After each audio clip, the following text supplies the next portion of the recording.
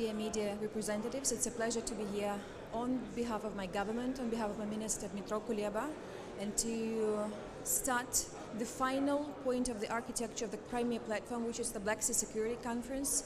You know, now we can say and state that the Crimea platform and its architecture has been fully accomplished and complete with its leaders level and the inaugural summit that we had in Kiev in 2021 before the full-fledged invasion start. The second line and domain of the Crimea platform is the forum and the summit that we had on the parliamentary level, which happened in Zagreb uh, in October 2022, and then this Black Sea Conference as the final point and brick of the uh, Crimea platform. What we expect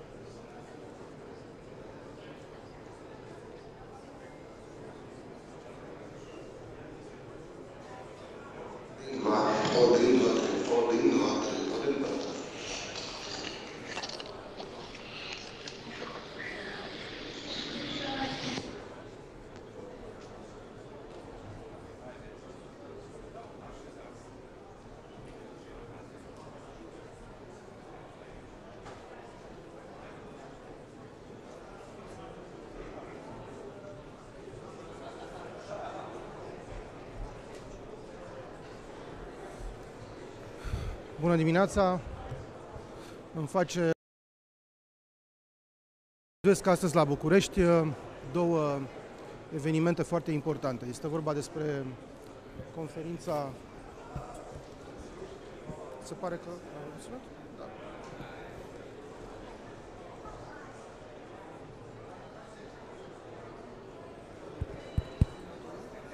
Nu știu dacă mergem. Este aprins, dar nu știu de ce nu merge.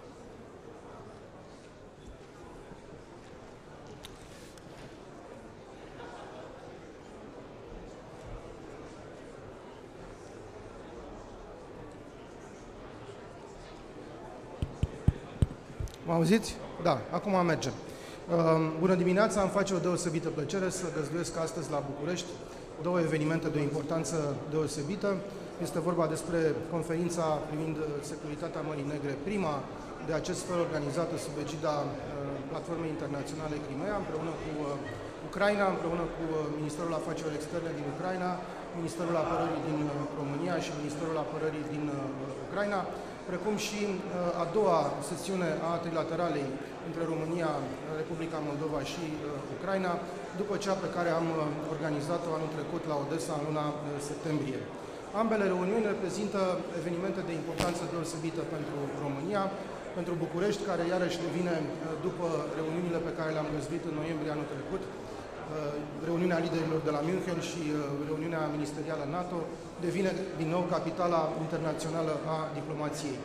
Avem uh, prezență astăzi la conferință, uh, foarte multe delegații, sunt peste 20 de delegații care participă fizic, uh, de asemenea încă șapte delegații care vor participa în format uh, virtual, mulți colegi de-ai mei, miniștri de externe din Uniunea Europeană, dar și din alte regiuni, din uh, India-Pacific, iată Australia, Japonia și alte state care doresc să participe la această conferință, peste 250 de uh, delegați din uh, peste 30 de țări care uh, vin astăzi la uh, București pentru a participa la acest eveniment. Așa cum am anunțat deja în cursul zilei de ieri, din păcate, domnul ministru Dumitru Culeba nu mai poate să participe în format fizic, dar va participa în format online din cauza evenimentelor de securitate și evoluțiilor de securitate care au avut loc recent în Ucraina. Și am condamnat ieri și voi condamna și astăzi cu multă fermitate violările dreptului internațional umanitar, crimele de război care au fost comise în Ucraina și este necesar ca uh, comunitatea internațională să pedepsească aceste uh, încălcări grave ale dreptului internațional.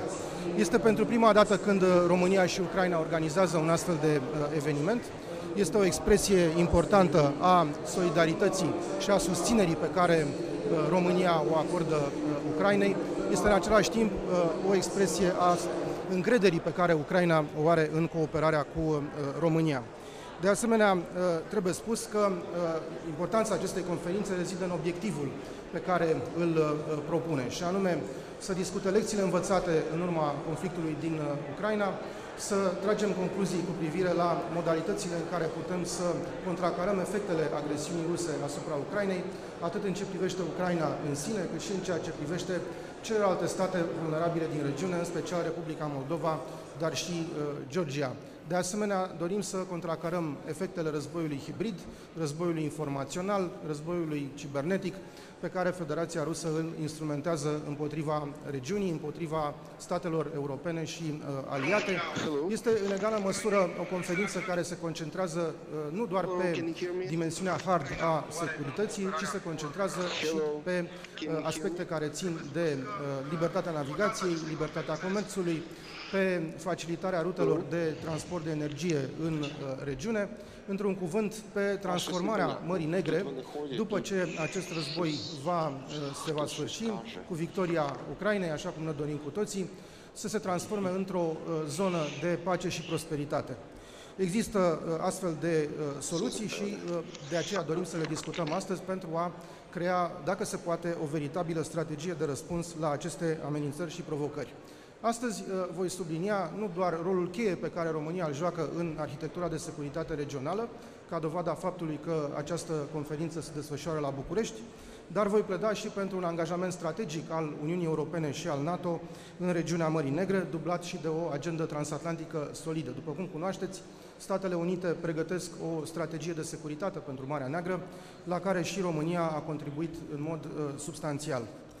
De asemenea, vom discuta despre construirea unei agende consistente de reziliență democratică și de prosperitate în regiune, consolidarea rolului uh, flancului estic în ceea ce privește sistemul de descurajare și apărare al uh, NATO, precum și în ceea ce privește susținerea perspectivei europene și euroatlantice a statelor din regiune.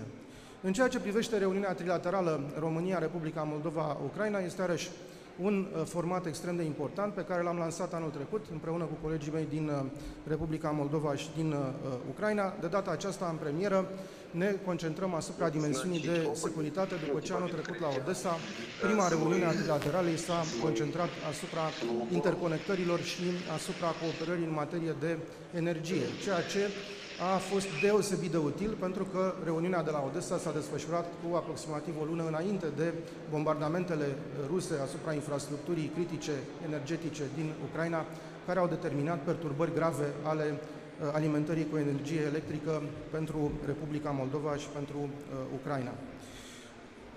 Astăzi, în cadrul reuniunii trilaterale, vom discuta despre toate provocările de securitate asupra uh, atât a Ucrainei cât și Republicii Moldova.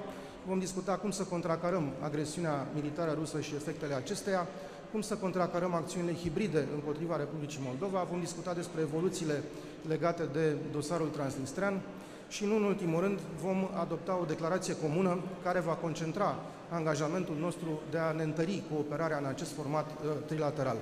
Dorim să transmitem mesajul că securitatea Ucrainei și Republicii Moldova sunt interconectate și în același timp dorim să transmitem foarte clar mesajul că susținerea pentru consolidarea securității Ucrainei, pentru consolidarea securității Republicii Moldova, efortul României în acest sens reprezintă o contribuție directă la întărirea securității României și a cetățenilor români. Sper că discuțiile de astăzi vor uh, aduce rezultate foarte bune, concrete și în acest fel România își va reconfirma profilul de actor regional relevant, ca aliat de încredere și ca furnizor de stabilitate și securitate în regiunea Mării Negre. Vă mulțumesc!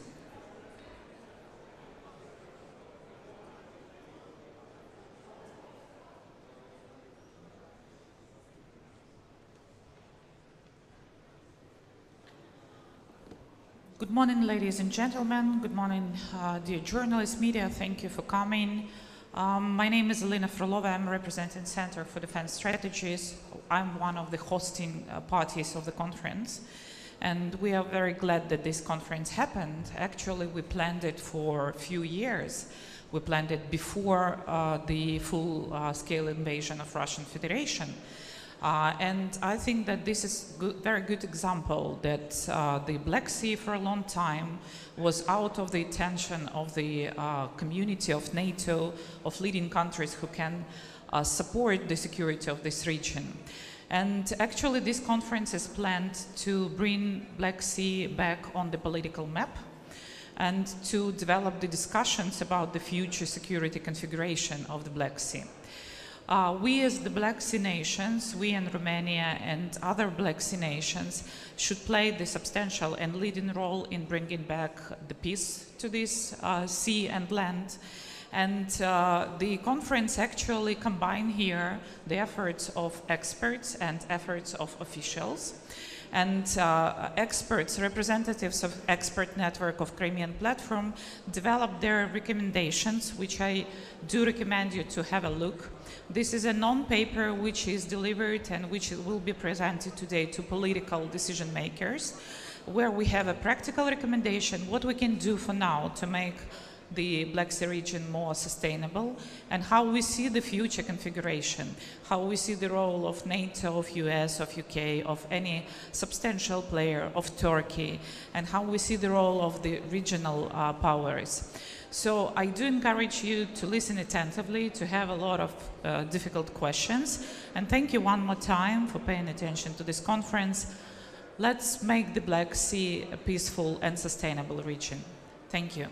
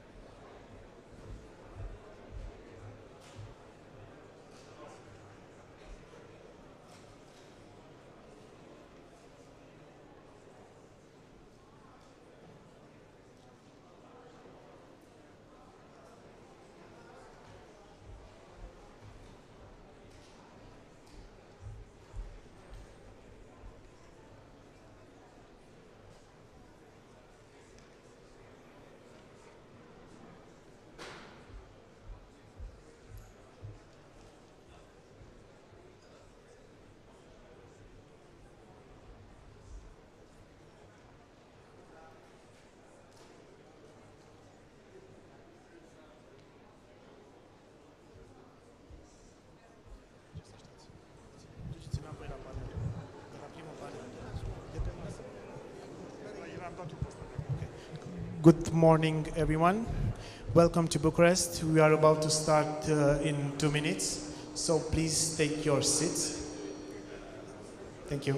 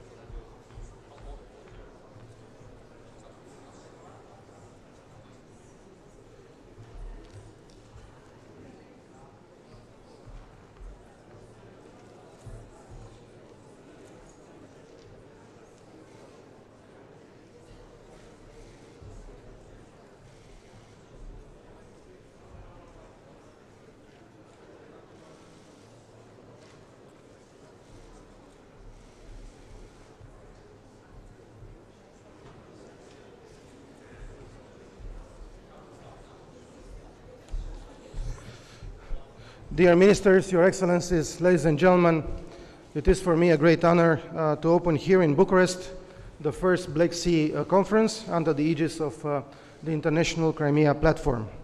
And I am grateful to my colleague, uh, Minister Angel Tilvar, for his partnership in making uh, this conference a success.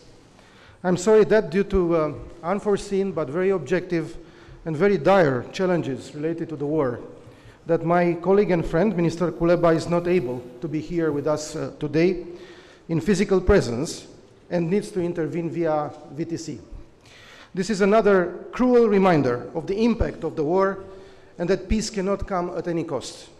I know, dear Dmytro, that this event is very uh, dear to you and that you would have made everything in your power to be here. Romania strongly condemns the horrid and atrocious crimes committed by Russia and reiterates that all those responsible must be held accountable. Dear participants, I would like to suggest a moment of silence for the victims of this irrational and unjust war.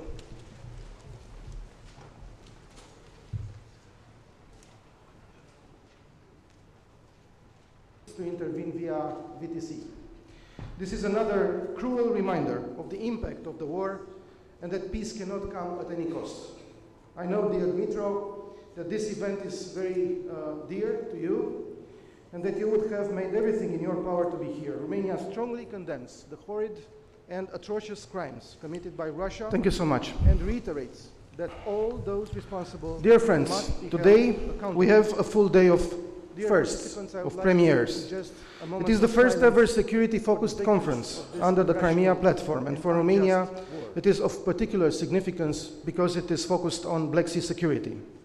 It is the first time that Romania and Ukraine organize together such an important uh, event. And later today, we will also have another first, which is the first time the trilateral Romania, Republic of Moldova, Ukraine, which was last time uh, first uh, organized in uh, Odessa Uh, in September, in the format with our ministers of defense in order to discuss security issues. So I am delighted to welcome to Bucharest our Ukrainian partners and friends, and I would like to acknowledge the presence here of Mrs. Emine Dzhaparova, First Deputy Minister of Foreign Affairs of Ukraine. Thank you for coming. The Romanian-Ukrainian partnership in organizing this conference could not have been more appropriate.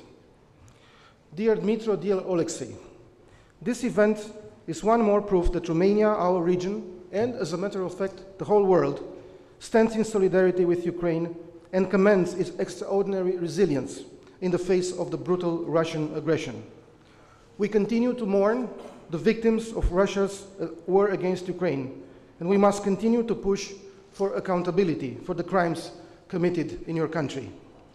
Romania stood by Ukraine in the very first day of this aggression as a neighbor and a true friend. As a pillar of regional stability in the Black Sea area, a provider of security, Romania has promptly granted a multidimensional response. We have demonstrated to the Ukrainian people that we are together in words, but also in deeds.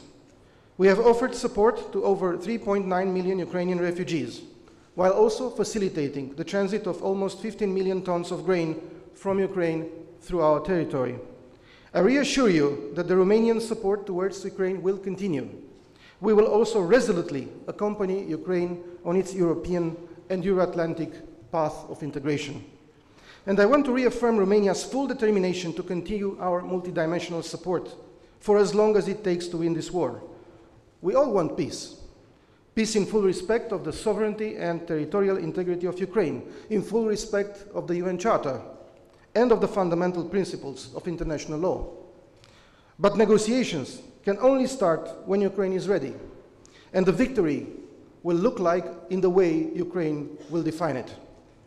Distinguished audience, your presence here today is vivid proof of our common goal to reverse Russia's aggression, to defend our common security and values, and to consolidate the rules-based international order. We are gathered here because we all have a stake in the security of the Black Sea, its present and its future. I welcome your presence and your interest. Unfortunately, the events of the past year have confirmed what Romania was already warning about for quite a number of years. Instead of peace and stability, the Black Sea region has become the primary target of the Russian aggression. For years, Russia has weaponized every mean at its disposal to keep the countries in the area in what it sees, in a totally illegitimate way, as its sphere of influence. Protracted conflicts, corruption, energy supplies, agricultural exports, hybrid tactics always accompanied the Russian actions, and such behavior will continue. Close partner countries in the region, like the Republic of Moldova, are increasingly impacted by Russian pressure. Russia has expanded control over the northwest basin of the, of the Black Sea, in close proximity of the Romanian waters, and implicitly the Allied territorial waters.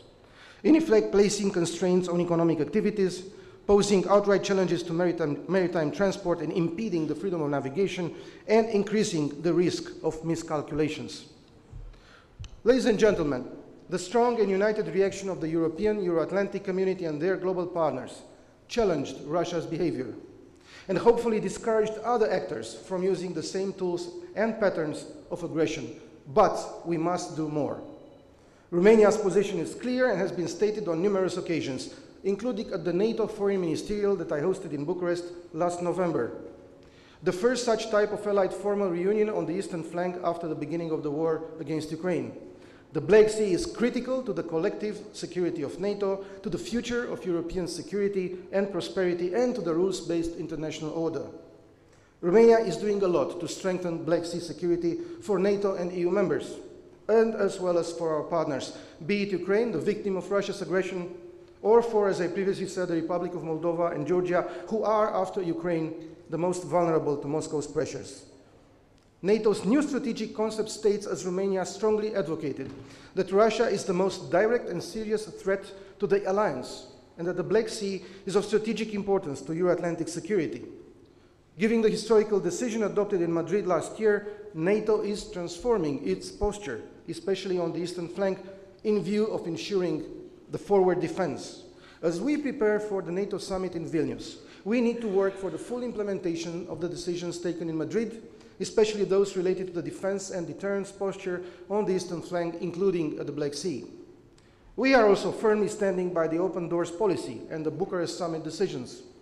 We will work towards a strategic alignment of NATO and Ukraine, just as I have supported at the beginning of April the resumed NATO-Ukraine Commission after six years and where I have participated together with Minister Kuleba. It is clear that Ukraine is essential to our future European security just as the Republic of Moldova.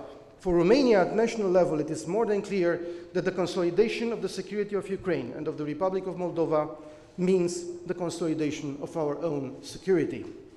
Our support through the voluntary contributions to NATO defense capacity building programs and through the European Peace Facility to Ukraine and Republic of Moldova is a clear proof that our investment in consolidating their resilience continues.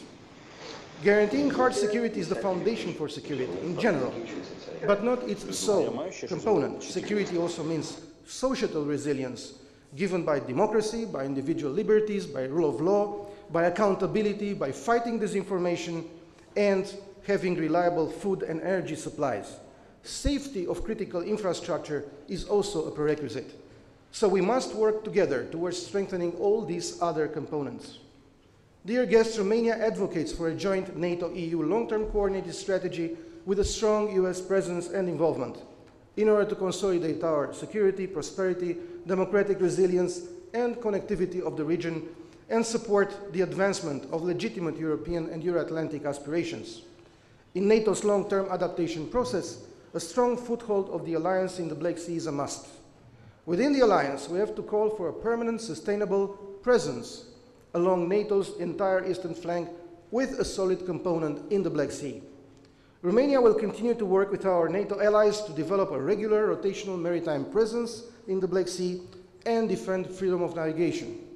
We welcome the high interest of the United States in the Black Sea and look forward to our strategy, that, to, to our partners' strategy in the area, as Romania has already sent its contribution in this regard. We welcome the broad anticipated focus of the approach encompassing security in all its formats. Additionally, we will work within the European Union on coordinating a strategy to support democratic initiatives and economic prosperity in the region, which includes European Union members, but also European Union aspirant nations. Other EU-related instruments or NATO programs or regional initiatives, such as Bucharest 9 format and the Three Seas initiative, provide valuable avenues to increase the strategic resilience of the countries in the region. The President of Romania, Mr. Klaus Iohannis, will host in September the Three Seas Initiative Summit, and we are working hard to prepare effective and substantial deliveries. All the above should serve to develop opportunities for increased investment and economic expansion, particularly on energy, climate and transport and digital infrastructure. On a global scale, efforts must be redoubled to counter Russia's propaganda and misinformation, which aims at breaking our unity and solidarity. At the same time, measures to prevent agriculture-related crises in vulnerable countries, especially in Africa, would clearly bolster the credibility to our actions and efforts. Dear friends, Romania's top priority is to transform the Black Sea region from an area of conflict to an area of peace, stability and prosperity. Restoring peace and stability in our area will require a long-term effort. Mutual solidarity, unity of purpose, coherence in our actions are key requisites for success and crucial for mutual long-term security and prosperity. Adaptation to the new regional and global realities is now the challenge of our time, and it is something we need to deal with head-on. The Black Sea is a mirror in which the European continent and the world can see what their future will look like. It will be either free and democratic or ruled by fear, by hatred, and the will of the most powerful. It is up to us to shape our future. Our discussions today will also chart this way forward. I am sure our debates will contribute to fostering ideas on how to increase security in the region in order to transform it in a true sea of peace, stability, and prosperity. Thank you.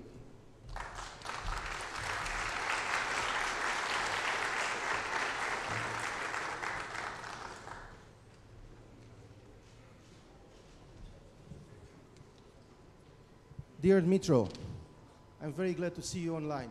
I hope you can hear us. I hope.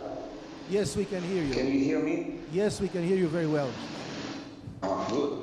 It is I see Bogdan speaking, so I will wait until he puts his microphone down. Dear Dmytro, can you hear us? Now I can hear you. Wonderful. So, I'm very glad to invite you as co-host of this conference to uh, take the floor. And I want to express my gratitude to you, Dmytro, for the uh, initiative of organizing this event in Bucharest. And I'm very sorry that you couldn't make it in physical presence, but we do understand, all of us, this terrible situation that you are facing and you have to manage. So, you have the floor, dear Dmytro. You're welcome to Bucharest Online. Thank you. Dear Bogdan, dear Nico, dear Alexei, ladies and gentlemen, I, I sincerely regret not joining you in person in Bucharest today because of the developments that have kept me in Kiev. I began my working day with, I think, the same the same task as my dear colleague Alexei, making calls, texting messages about um, on the on speeding up deliveries of weapons uh, to Ukraine. This is what he and me do on on on the daily basis, 24/7, to speed up the preparations for the uh, for the counteroffensive of of uh, of Ukraine. And of course, we were all devastated yesterday by the uh, horrified by the by the horrible video. And uh, we spent the day yesterday uh, mobilizing international reaction to this horrific crime. Today, uh, first of all, I, I, I, thank you, Bogdan, for supporting this initiative to call together this forum and give a closer look at the present and future of the Black Sea region. The International Crimea Platform has proven to be an effective mechanism. It has brought together peace-loving nations which oppose aggression and occupation. We are united by UN Charter principles and the shared conviction that Crimea is Ukraine and it will return under Ukraine's control. And every time you hear anyone from any corner of the world saying that Crimea is somehow special and should not be returned to Ukraine as any other part of our territory, you have to know one thing. Ukraine categorically disagrees with these statements. There is no difference between Simferopol, Donetsk, Lugansk, Kherson, or any other Ukrainian city. They all will, must, and will be Ukraine again like Kherson already did. I think we all agree today that Russian aggression has broken our region's security into many pieces that need to be put together anew. Many of us thought the 21st century would be one of peace, development, and cooperation. Unfortunately, Russia traveled the opposite way and arrived in the 19th century of colonial conquests. Now there is a bleeding wound in the middle of Europe, a dark and surreal time. But as they say, dark times bring forward good people. There is a lot of light, courage, and power in those around the world who support Ukraine. I take this opportunity to thank each and every one of you present here or not for standing with us in the darkest hour. We are a community, united not only by common values, but also by common sense and common sea. We all want it to be an area of peace and prosperity, not a war zone. Black Sea is instrumental for making the whole of Europe peaceful and future-oriented. Sadly, Black Sea is also a showcase of how rapidly things can deteriorate if one neglects threats. For years, Russia has been saber-rattling and militarizing in front of us. Georgia, Ukraine, Syria, and Ukraine again Moscow was launching one brutal attack after another. Many in the West chose to believe that Russians had their own truth. But the one and only truth is that Russia has always prepared for a big imperialistic war with an end goal of holding another Yalta conference to divide Europe into spheres of influence. I regret to say it, but I believe the West had no consistent Black Sea strategy, while Russia has always had one aggressive, revanchist, and barbaric. And by the way, I would like to recall, to remind everyone, that the first assault of Russia on the territorial integrity of Ukraine took place on the island of Tuzla in the Black Sea, between the Black Sea and the Azov Sea. So if we trace this aggression back to its very origins, it was the Black Sea, the place where the first attempt of aggression began 20 years ago. So Russia did have a strategy. Every step of the way, Russia acted where the West doubted. When fear-driven cautiousness closed NATO doors to Ukraine and Georgia in 2008, Russia quickly responded with attacking both. Russia was becoming a maniac, but some leaders decided that the best strategy was to keep the maniac happy, including by keeping his potential victims defenseless.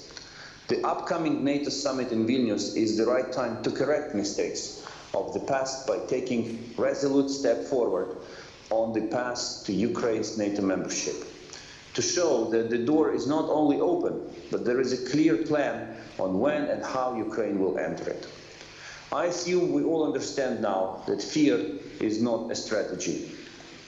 It is time to work out a comprehensive security network for all nations on, of the region that feel threatened by the maniac on the loose. It's time to turn Black Sea into what the Baltic Sea has become, a sea of NATO. This war has proven that the security of the region is indivisible. A threat to one is a threat to all. Missiles launched by Russia at Ukraine have threatened neighboring Poland, Romania, and Moldova. Russian strikes on Ukraine's power grid provoked blackouts in Moldova. Millions of Ukrainians fled the war. And I thank, I take this opportunity to thank you, Bogdan, and your colleagues in the Romanian government and the people of Romania for embracing Ukrainian refugees. Trade routes were disrupted, and I equally thank you for playing an active role in keeping these uh, uh, routes of solidarity working to help bypass Russian blockade. Black Sea ecosystem was damaged. Russian occupied Crimea keeps posing a threat to everyone. Today, Russia uses all of its hybrid tools to destabilize Moldova. We in Ukraine commend Maia Sandu's leadership in countering these attempts and reiterate Ukraine's resolute readiness to stand with Moldova. Together, we will thwart Russia's malicious plans to sow chaos and instability in our region. We need to address the common Russia problem together. For instance, I support the expert idea to integrate the air and missile defense systems of Ukraine with the ones of the Black and Baltic Sea NATO allies. It also makes sense for Ukraine to be part of the European Defense Initiative, and I've been raising this issue with Josep Borrell um, recently. All these steps are important now, but even more so after Ukraine liberates its territories. Ukraine's victory will be a victory for all of us. To bring this day closer, we need to have strategic endurance and take principled decisions. Colleagues, ladies and gentlemen, today is the first anniversary of the sinking of the Moskva cruiser, an event that occurred in the Black Sea and enhanced Black Sea security in practice. The formula is simple.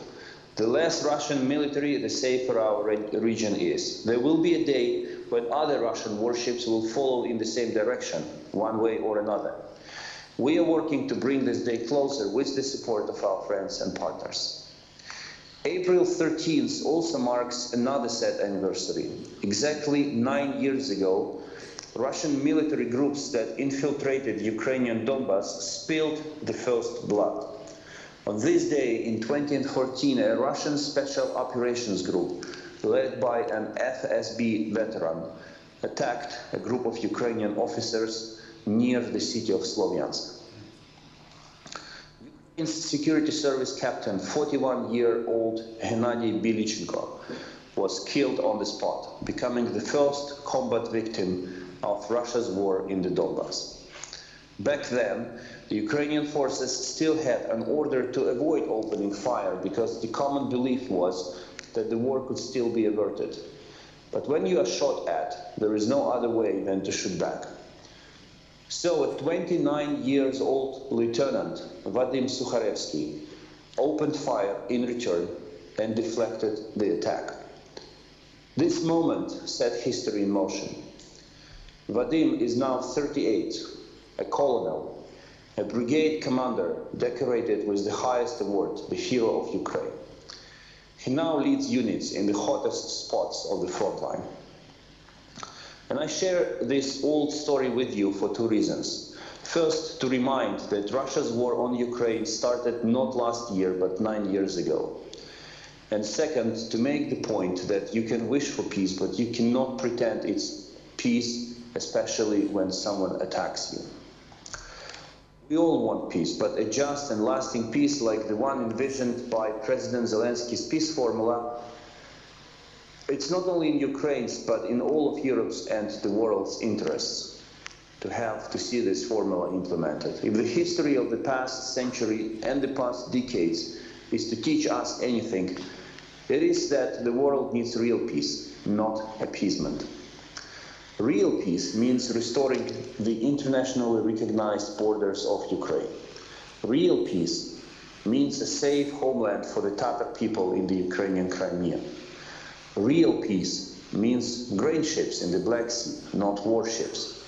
A world under the rule of international law rather than force is what real peace means. That is what we are fighting for. This is what this conference is for not only to win the war, but to win a real lasting peace. If Russia keeps Crimea, once it has rebuilt its strength, it will use it as a launchpad to invade Ukraine once again and take full control of the Black Sea. We will not allow this to happen. This is why we will liberate every inch of our territory and every last one of our fellow citizens. And that is why we are today calling for a demilitarization of the Black Sea so that peaceful, law abiding countries can once again use the shared sea to trade, travel, and live freely without fear of Russian warships. Let us persist on the way to this common goal. Thank you for your attention. I wish you very productive discussions today. I'm sorry I'm not in Bucharest today, and as I said yesterday to Bogdan, I owe you a visit. Thank you.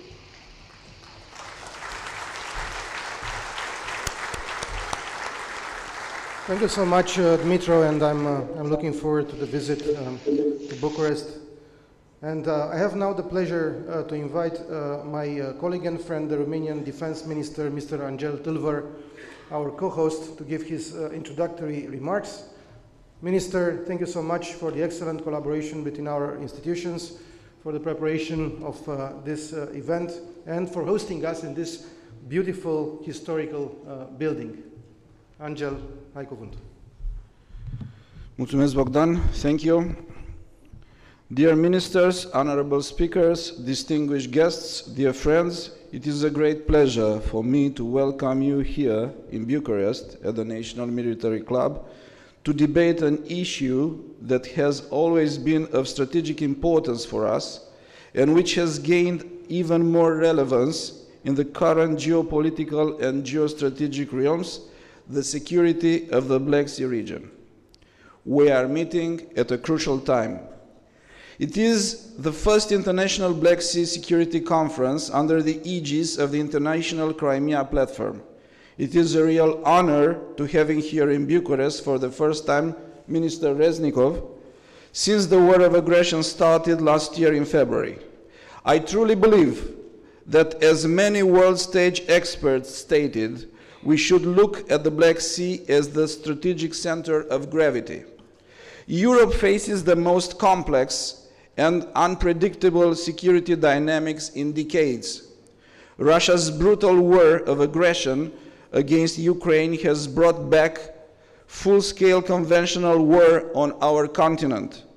The aggressive actions of Russia have increased insecurity in the Euro-Atlantic space and negatively impacted the rules-based international order and the global security. We have been talking about uh, notions such as inflection point or historical crossroad. Whatever we call it, while the international order is being reshaped, we must recognize the key role of the Black Sea. The importance of the Black Sea is acknowledged both in the NATO strategic concept uh, as well as within the EU strategic compass.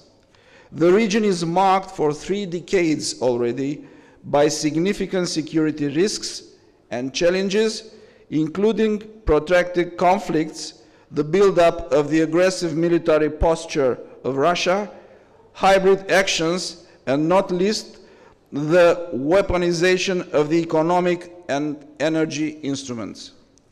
Last year, on February 24th, the international democratic community witnessed the true intentions of Russia, which decided to start a full scale invasion of a sovereign, independent nation.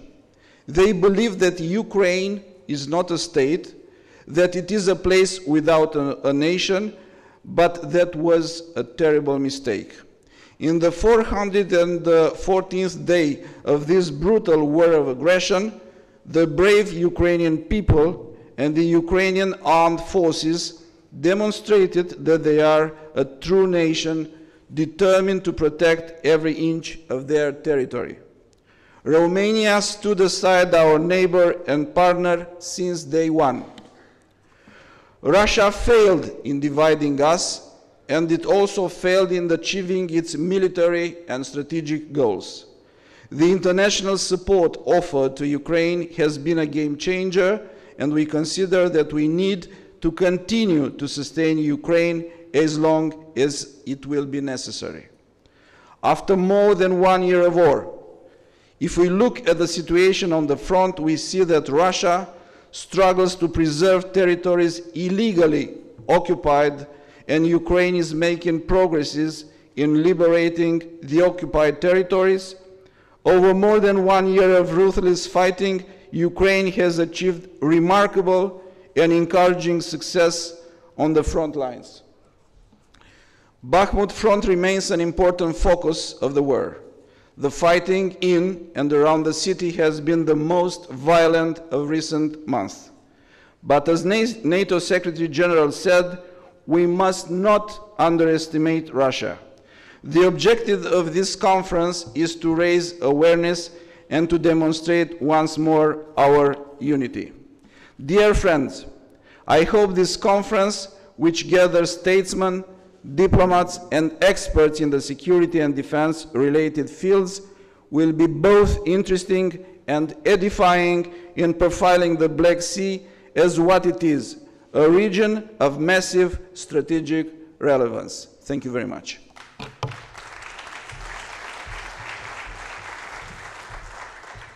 Thank you, Minister, for your opening address. And I have now the pleasure to invite the fourth co host, Minister of Defense of Ukraine, Oleksiy Reznikov, to deliver his opening remarks. Oleksiy, you have the floor. dear ministers, uh, dear distinguished participants of this uh, Black Sea Security Conference, ladies and gentlemen, I would like to express my deep appreciation of the Minister of Foreign Affairs of Romania, the Minister of National Defense of Romania, and the Ministry of Foreign Affairs of Ukraine, my friend of mine, Dmytro Kuleba, and also uh, Defense Strategic, I mean Ukraine, for organization, organizing this important event, not only for Ukraine, but the whole Black Sea region in, and Europe. And as you know, uh, a year ago, on this day, Ukrainian Navy forces hit the Russian flag warship cruiser Moskva. And it became very important and famous dive spot, dive site in the Black Sea. I believe this is a good symbol of today's event and guarantee of productive work. More than 400 days ago, Russia started a full-scale invasion that has killed thousands, forced millions to flee their homes, reduced entire cities to rubble and caused a military conflict on a scale that Europe hasn't seen for the last 80 years. The invasion made it obvious for European countries that food is used as weapon, energy is used as weapon. And the war spreads its influence far beyond the borders of actual hostilities. Violation by the aggressor of all existing principles of international law and order requires that we reconsider the critical aspects of regional security. This is in the best interest of every country in the region. We cannot rely on the practice we used until recently they failed. Ukraine is open to this conversation, but unity of efforts of the free world we will ensure the return of the world of the rule of law. not the rule of force, and will make the Black Sea the space of peace. Thank you very much.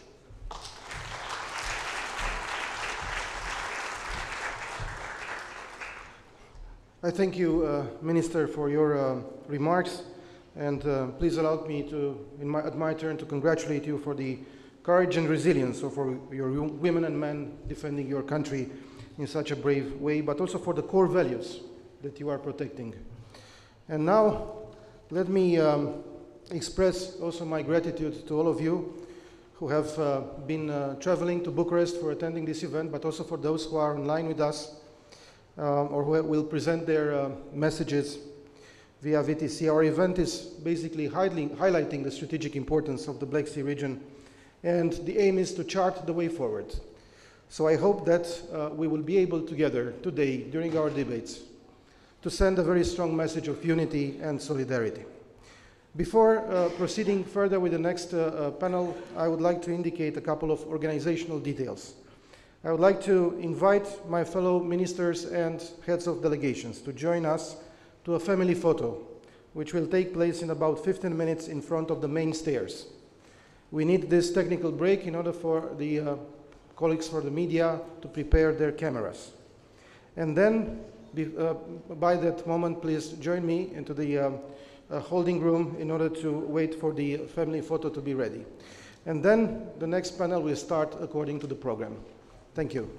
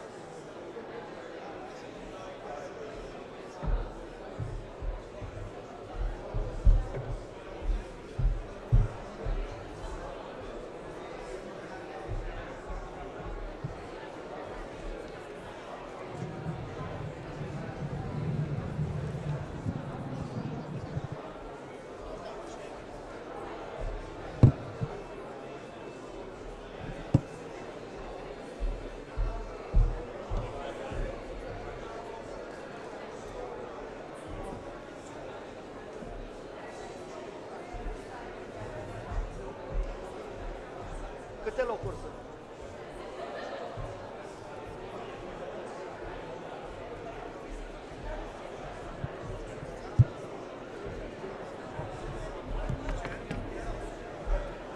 Nu mă mai întrebați pe mine, vorbiți cu Teodor, vă rog.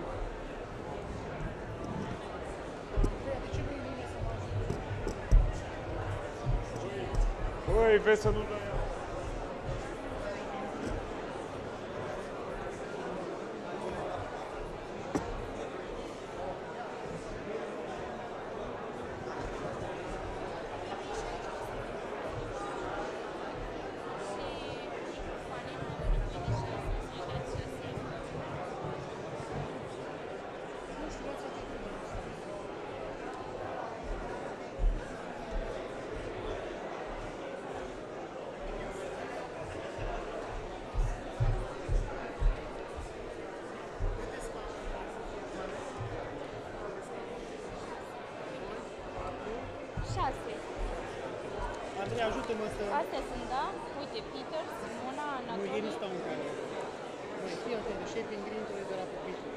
Mă nebunești. Shaping Green e de la pupitul. Nu avem de unde să știu. n-am- Nu, dar cum mai cu Shaping Green de Nu, la nu am vorbit nimeni detaliile astea cu mine, nici măcar nu trebuia să mă ocup de ele, ok? Dăm Ce jos. facem? Facem altfel. Facem, facem altfel. Dacă am pus astea, eu nu le mai pot. Să stea și Shaping Green. Da, de ce nu? Și să stea în extreme sau unde îi punem? Da. Deci avem șase persoane.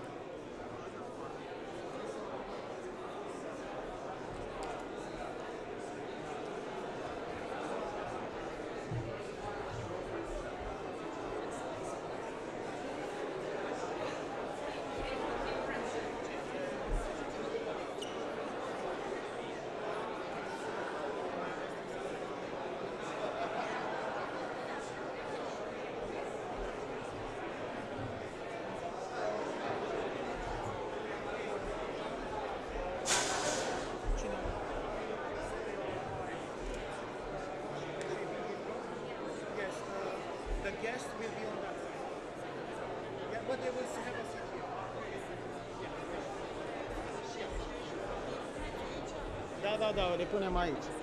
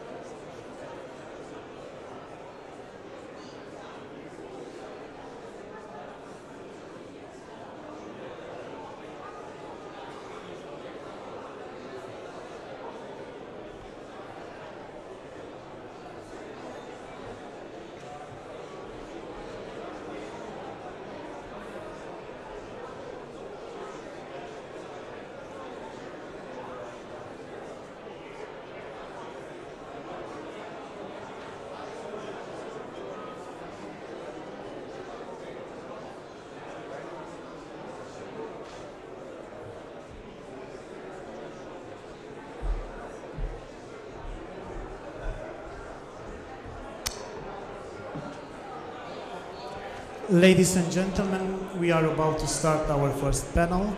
Please uh, take your seats.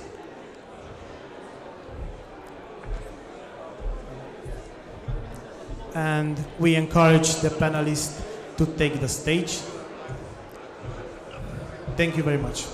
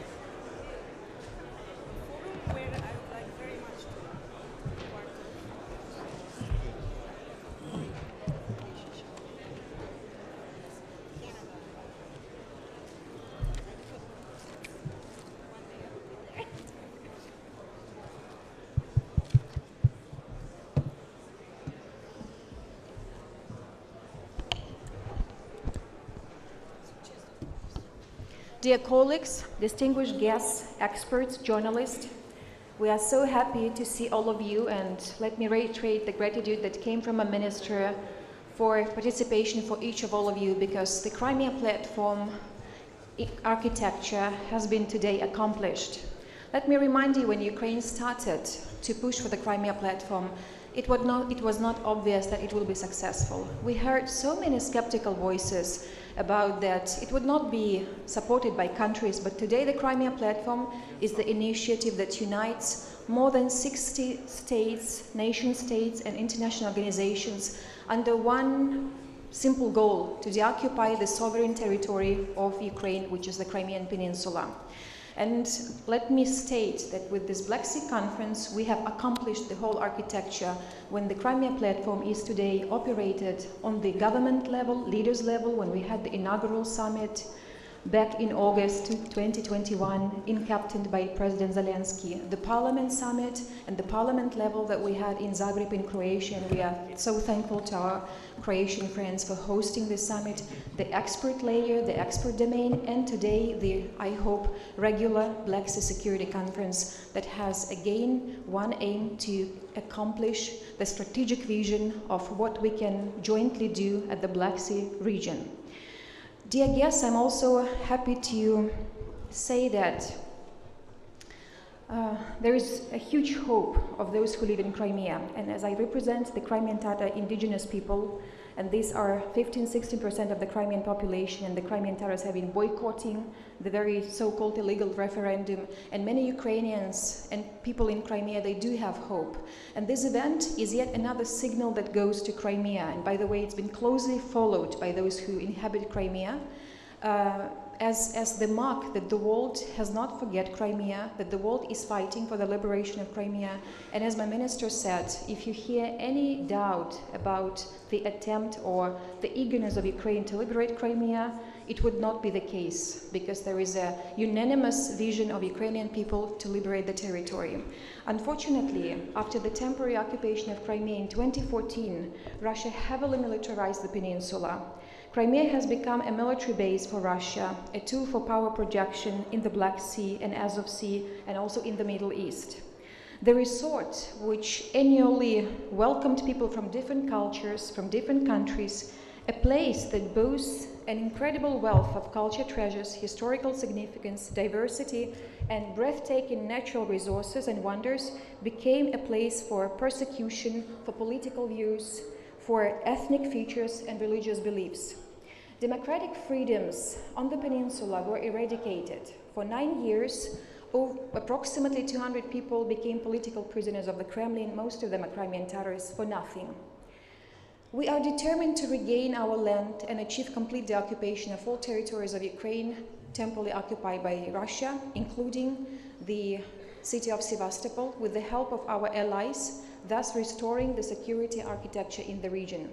To this end, we initiated the International Crimea Platform as a tool, and it's a very solemn moment that today we finalize this architecture.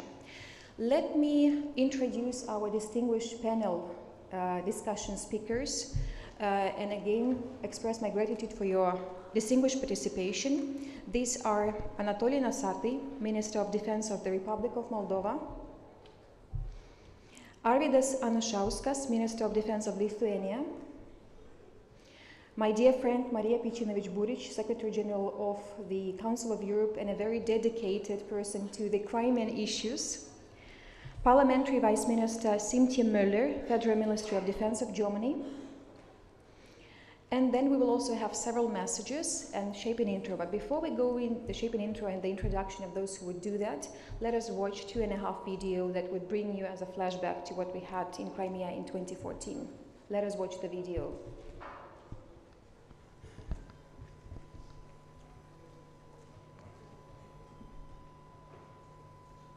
After days on razor's edge, Ukraine is now a nation at war. Russia's full scale invasion of Ukraine. Denazification and demilitarization of Ukraine. In February 2014, Russia temporarily occupies the Crimean Peninsula. Crimea is turned into one huge military base.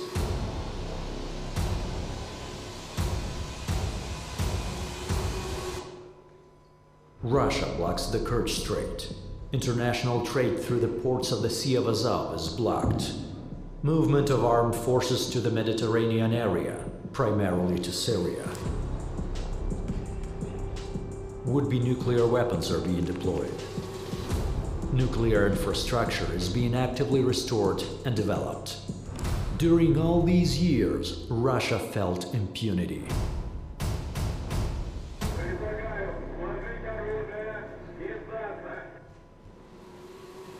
Massive missile strikes on the entire territory of Ukraine are launched from ships in the Black Sea. There are no more safe zones on the water or in the air. Nine of the top 10 global container lines have suspended operations in the Black Sea region. The rapid fall in direct connections to the Black Sea area has affected global logistics and amplified critical port congestion in Europe. A decrease in the export of agricultural products from Ukraine affects food security and increases the risk of new conflicts. Russia's use of ships with disabled transponders fuels the shadow economy and endangers ship traffic in the entire water area.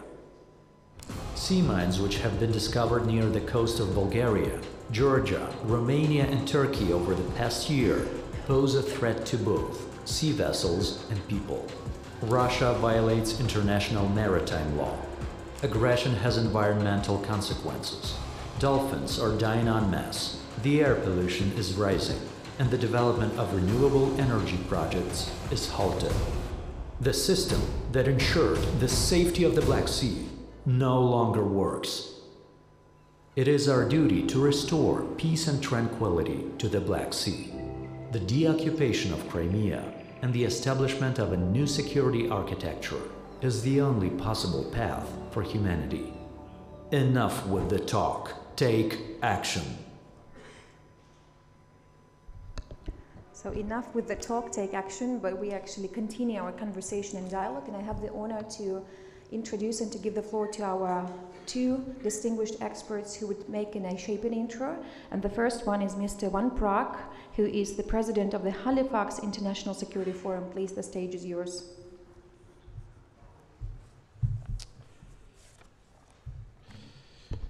Minister, distinguished officers, ladies and gentlemen, colleagues, and friends.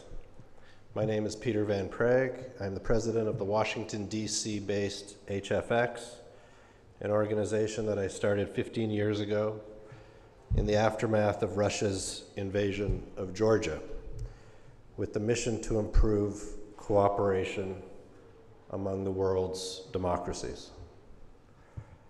We convene Halifax International Security Forum each November. And as someone with some experience bringing people together, I want to thank Ukraine and Romania, Alina Frolova, and everyone at the Center for Defense Strategies and the Crimea Platform for bringing us together for this important and timely conference. Your non paper on Black Sea security is important, and I urge everybody to read it. I know that we will look forward to continuing our cooperation together. This morning, I am going to make three simple points that might help shape today's conversation about lessons learned for the democratic world. One, acknowledge where we are. The Black Sea region that we are here to discuss, and as a result, the entire world, are in a much stronger position today than on February 24th, 2022. The world and the region are stronger because Russia is weaker. We cannot acknowledge this significant development in global strategic affairs without acknowledging and indeed thanking Ukraine. On February 24th, 2022, a new era for the entire world, not just the Black Sea region, began. Putin's Russia launched a full scale invasion of its smaller neighbor, Ukraine, and Ukraine fought back. President Zelensky inspired his nation to defy, to resist, to survive, to win. Counter to the conventional narrative that still lingers in Western capital cities, it was not Russia's attack on Ukraine that brought unity of purpose to the Allies. No, it was Ukraine's defiance. It was Ukraine's sacrifice. It was Ukraine's fight that gave the United States, Canada, the European Union, NATO, and all the allies unity of purpose. In many real ways, Ukraine saved not only itself, Ukraine saved all of us. Had Ukraine surrendered, as some European leaders urged President Zelensky to do, it's not difficult to imagine where we would be now. A much weakened Europe, a divided NATO, a humbled America, all confronting an empowered Russia backed by a smiling Xi Jinping in China. The Black Sea could have become a Russian pond. That is not where we are. Quite the opposite. Because of Ukrainian sacrifice, Ukrainian courage, and Ukrainian ingenuity, the era that began on February 24th, 2022, now has the potential to be the most positive era yet for freedom and democracy. If we needed reminding, President Zelensky's Ukraine taught us all over again our democracies are worth saving. Our democracies are worth fighting for. And we must be indebted to every single Ukrainian, all of whom are heroes, for reminding us of this fundamental truth. Thank you. Thank you, Peter. It's just one thing that I wanted to say that we are strong because Russia is weak, as you said, but I think Russia is weak only because we united our effort and performed our united strength. Thank you, Peter. It's modest. It's modest of you. Yeah. Two, acknowledge past mistakes. Last week marked 15 years since the 2008 Bucharest NATO summit. At that time, I had the privilege of organizing the accompanying conference that took place in this room. President Bush addressed the conference three hours before the official proceedings began and announced officially only then that he supported MAP, the Membership Action Plan to eventually join NATO for Ukraine and Georgia. The very next day, that American initiative was rejected by Merkel's Germany and Sarkozy's France and other allies. Seven months before Obama was elected US president, this was the low point for American influence in the world. And Putin invaded Georgia in August. Putin invaded Ukraine in 2014. And Putin launched full scale invasion last year. A lot of factors went into reject, rejecting MAP for Ukraine and Georgia, not least of all America's misguided invasion of Iraq five years earlier. Still, not giving MAP was a huge strategic error, and it and every other mistake in this region, including neglecting the Black Sea region and those errors made by Mr. Bush's successors at the White House, needs to be acknowledged by the actors and nations who made them. It is the only and best way to avoid the same mistakes going forward. Three, win the war. Aggression against sovereign states and crimes against humanity were defeated in Europe in the middle of the 20th century. There is no good reason that aggression and crimes against humanity should not be defeated in Europe in the first half of the 21st century. Simply put, Putin needs to fail. And defeating the evil that is coming out of Russia means Ukraine reclaiming all of its territory, including all of Crimea. It is not talked about much, but it is not insignificant for me to tell you that beating German Nazism led directly to getting rid of segregation, the institutional racism that existed in the United States until the 1960s. After fighting and dying to stop institutional racism in Europe, Americans could no longer defend such blatant racism at home. However, in 1945, when the war ended, nobody imagined that ending segregation in the United States would be a result of victory in Europe.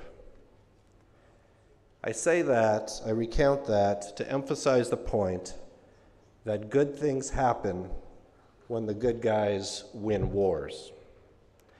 Many of those good things won't and can't be predicted at this time.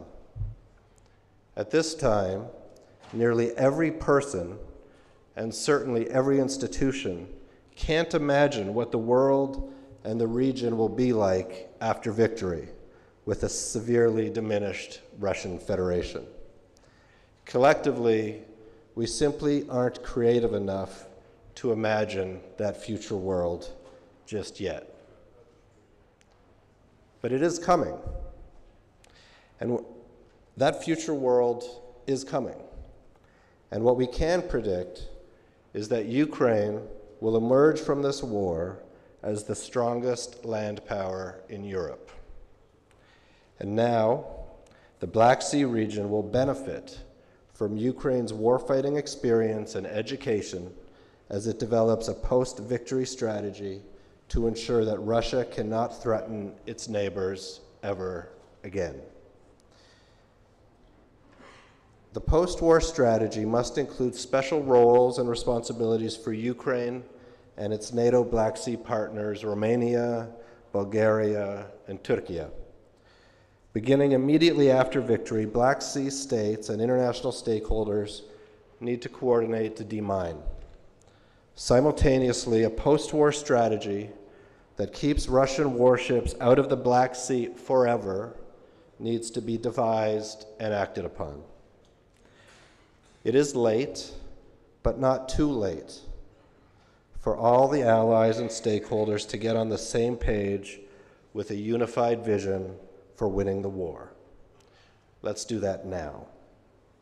If I have to make one prediction today, let it be this that Europe itself will soon come to realize that Europe, whole, free, and at peace, will, will only happen when Ukraine is whole, free, and at peace, and Moldova and Georgia. Thanks to Ukraine, there is a lot to be optimistic about in this region, but there is a lot of work to do, and today's conversations are an important part. Thank you. Thank you, Peter.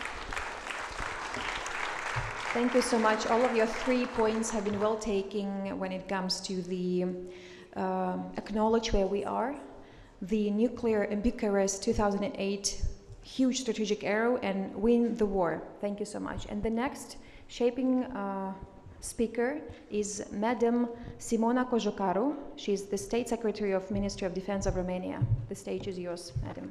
Thank you very much. Your Excellencies, distinguished audience, dear friends, a very good morning in Bucharest to all. This first panel focuses on topics that are central to our security. Let me take this opportunity to say, as we do with uh, fervent regularity, that we must be aware of the fact that what happens in the Black Sea does not stay in the Black Sea.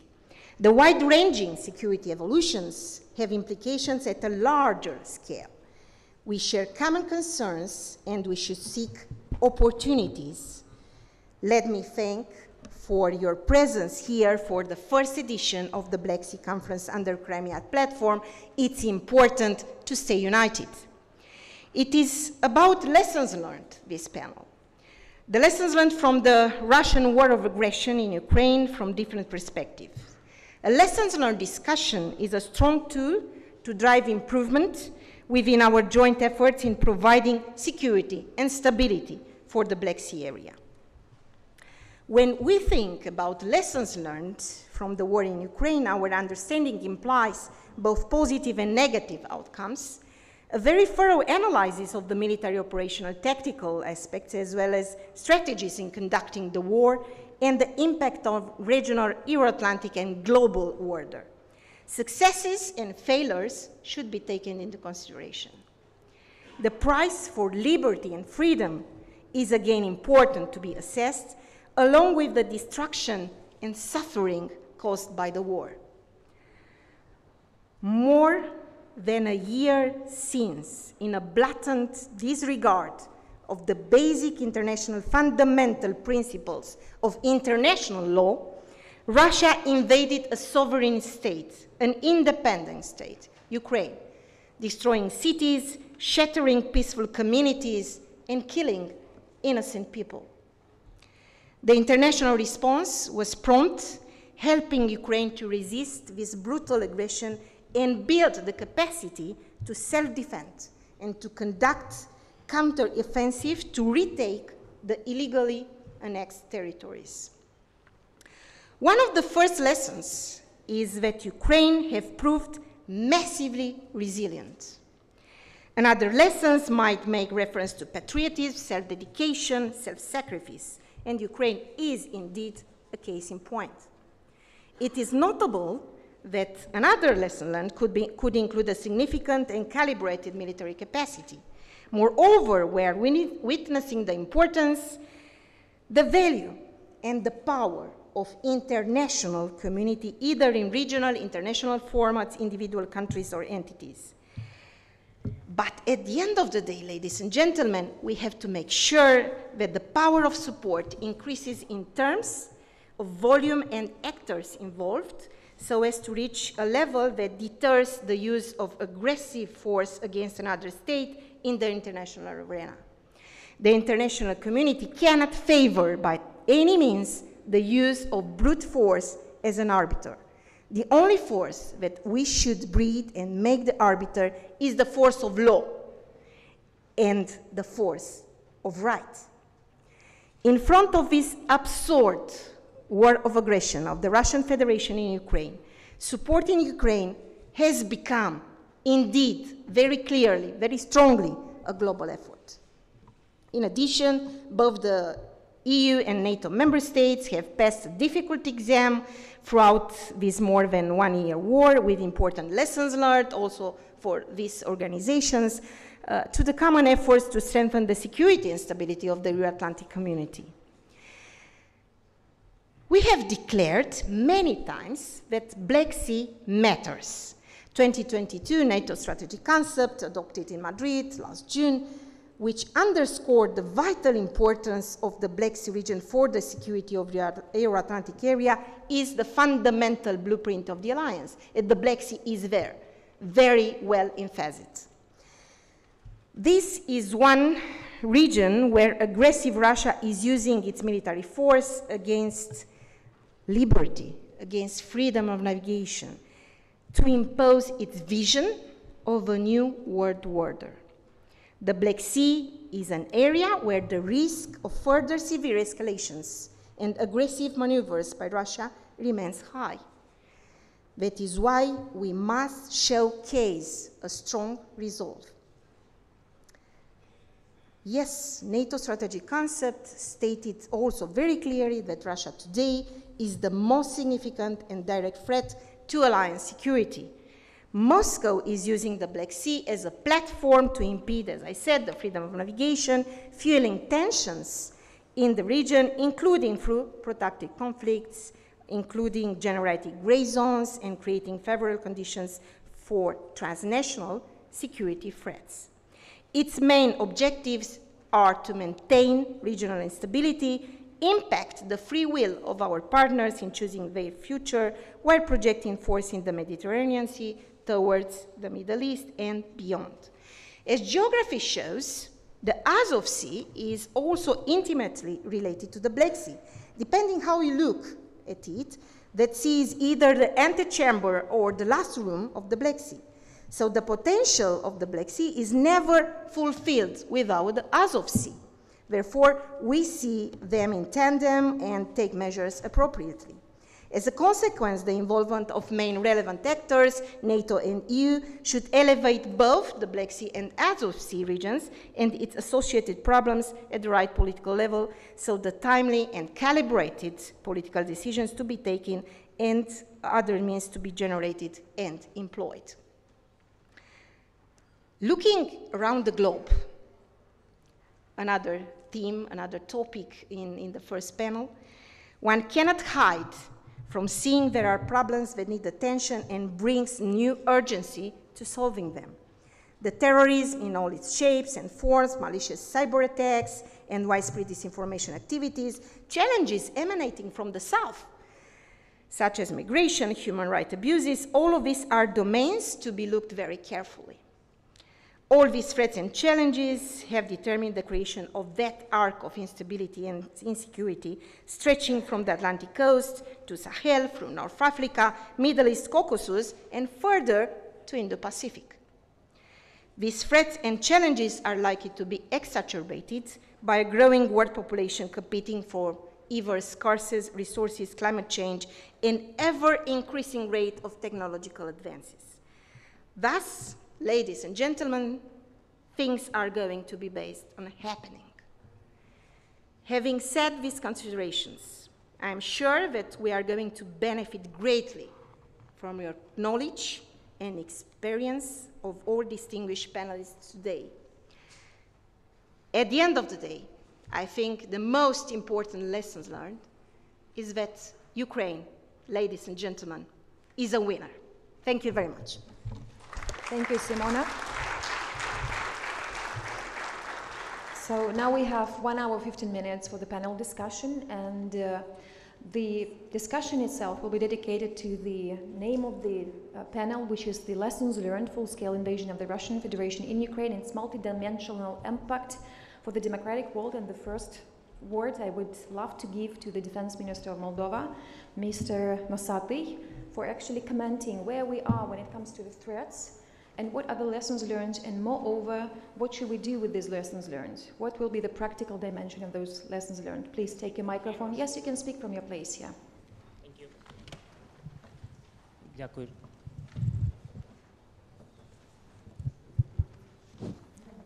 Can you hear?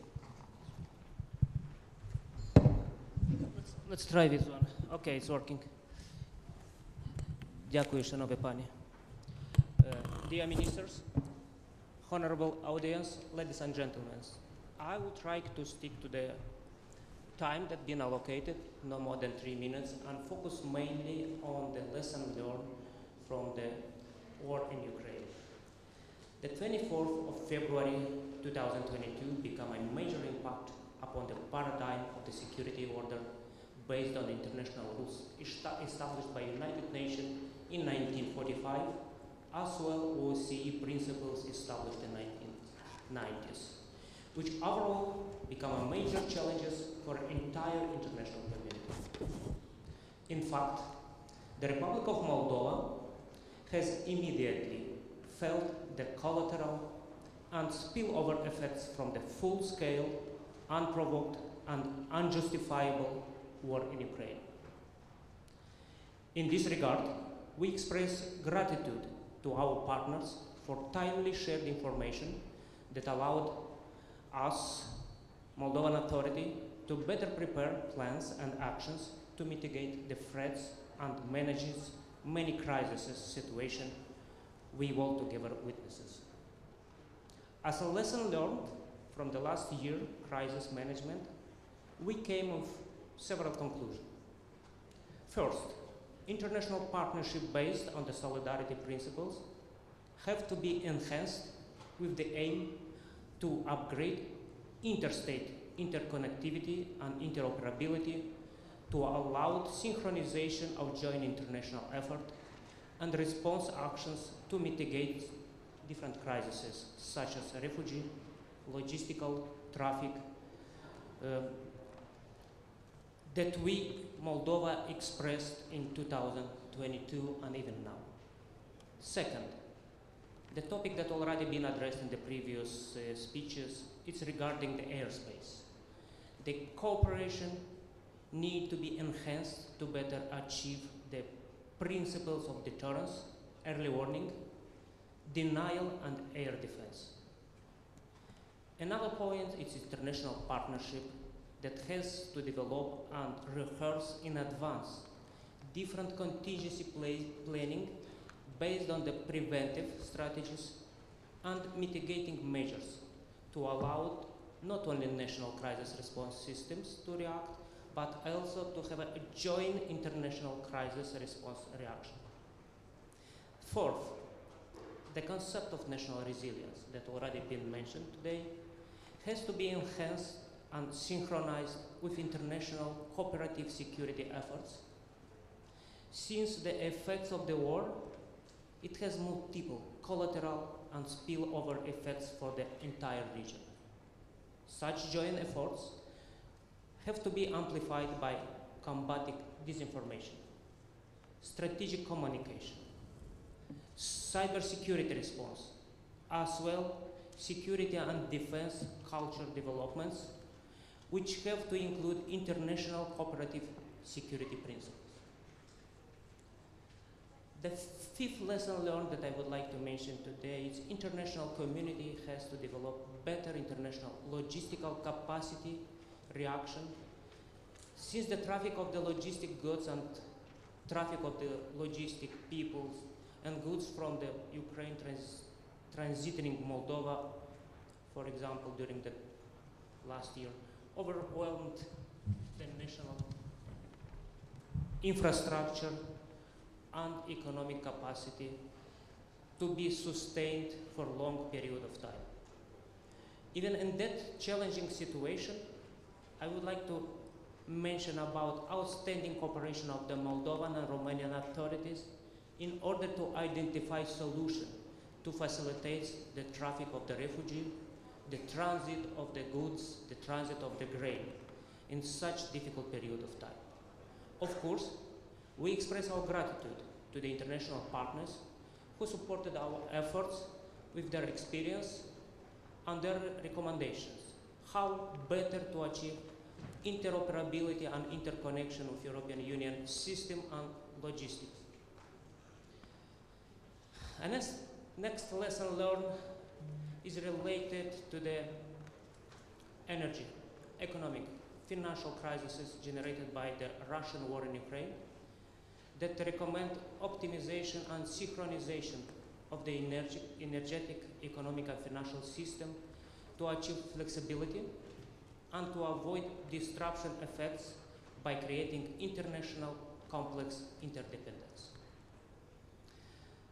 Last, ladies and gentlemen, that I would like to mention, apart from the military effects, the war in, in Ukraine revealed that other challenges such, as transnational organized crime, transnational illegal immigration, and hidden subversive action designed to destabilize, to destabilize the nation and the region security that impacted the Republic of Moldova.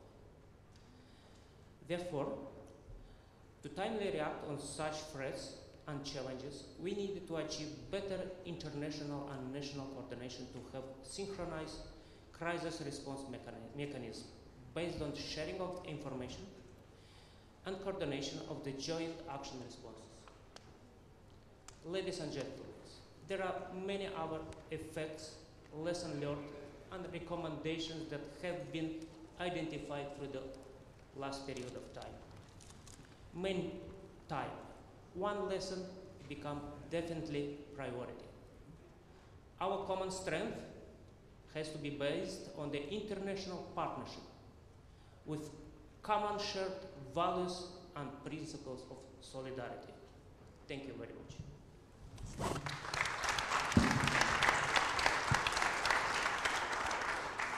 Thank you, Anatoly, for your contribution. The only thing, the only remark that I have, that you have up to seven minutes for your remarks because there is a small change. We were supposed to have three rounds of questions, but now it's combined.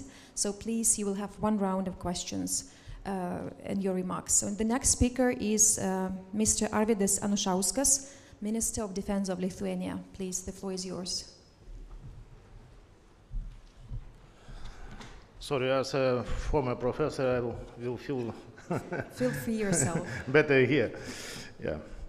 Dear ministers, uh, ambassadors, delegates, ladies and gentlemen, it is my honor and pleasure to be in this important forum. Thank you, Romania, uh, for continuing the Crimea platform tradition and uh, for hosting this event. Lessons from wars are learned over the time. And I am sure the historians will do their job. But in our case, we do not have time. We must move forward. Just last week, I returned uh, from Kharkiv. I clearly saw two things. Firstly, Ukrainians believe in victory, victory and uh, any cost. Secondly, I clearly realized that time is of uh, the essence. Each day counts for the security of Ukraine and uh, our own. In Vilnius, we fully realize that European security depends on the end of this war. Even after the war, Russia threats will remain. Uh, to all of us, we are in the Black Sea or Baltic region. NATO summit in Vilnius is coming soon. In Vilnius, we must send a strong message to Ukraine of the prospect of its membership. We cannot just repeat uh, the same line uh, as in uh, Bucharest summit. I believe that stronger assurances and commitments should be given to Ukraine. Right now, we have to do everything for Ukraine to win. In this context, we must combine political and practical tracks. Firstly, our, our united and constant support uh, for Ukraine is any political format. And in communication with our societies is crucial. People worry about gas prices, jobs, in infl- uh, inflation. I fully understand this. It is our job to explain to our public why supporting Ukraine is more important. Ukraine should never feel alone. We should not get tired in uh, any sense. Secondly, we must stay focused on practical support, not only for this year, but for many years to come. And uh, it is not only military equipment support, but also training, service, and re- repairs, cybersecurity, economic re- resilience. Our goal it is make Ukraine as much NATO as it uh, can be. Ukraine must be ready for membership as Finland was. On the Ukraine side, we need Ukraine's commitments to uh, proceed with uh, uh, establishing democratic control of the armed forces and the adop- adoption of the Western military decision-making process and integration into uh, NATO structures it is a huge uh, challenge in the wartime, but I know from Alexei Reznikov and other friends that Ukraine is up to the task. The end of the day, NATO will be stronger with Ukraine. Through the bloodshed and courage the Ukrainians have given us time to strengthen our own defense. At NATO, we must take this opportunity. This means, firstly, the implementation of Madrid summit decisions, reinforcements uh, of forward defense, and deterrence in eastern flank in particular in the Baltic because of geo- geographical situation. Just remember the Russia recent decision to deploy nuclear weapons uh, in Belarus minutes before Vilnius summit. Secondly, it is also important to ensure air defense coverage from the Nordic Baltic region to the Black Sea region. Lithuania itself invests into such capabilities too. Thirdly, at Vilnius, we must commit to increase NATO defense spending and make a long-term pledge for investment. Lithuania has already uh, realized uh, defense budget up to uh, 2.5% of GDP. And this is not the limit. It is important to continue, uh, continue investing in the innovation and modernization of the armed forces. Fourthly, uh, we need long-term contract with defense industries. We need industrial mobilization for ourselves and for Ukraine. Today, we are dealing with extremely dangerous terrorist Putin. Ukraine, Ukraine will win, I have no doubt about it, Uh, we must hold Putin and this regime accountable for the war crimes committed in Ukraine. Justice uh, must prevail, and it will. Thank you for your attention. Thank you, dear Arvydas. Ukrainians do not reject your kind suggestion to be NATO'd with pleasure. So the next speaker will be with us online, and it's the Sweden Minister of Foreign Affairs, Mr. Tobias Billström. Let us first technically solve the issue, and I hope that everything's going to be smooth. Mr. Tobias? Hello, dear Minister. Can you hear us? But we can't hear you. Could you please fix the technical team? Yes, now we can hear you. Please, uh, Minister, the floor is yours. Excellent. Thank you very much, uh, ladies and gentlemen. Uh, let me first and foremost express my admiration for the Ukrainian people who have shown incredible strength in defending their homeland and the core principles of international law against the Russian aggression. It is truly impressive to witness the Ukrainian resolve in defending their freedom in face of hardship when uh, confronted with Russia's crimes. The choice of the people of Ukraine is one of democracy, rule of law, and respect for fundamental rights. Ukraine is part of our European family. Ukrainians have expressed their wish for a future within the European Union, and we have acknowledged that by giving Ukraine the status of candidate country.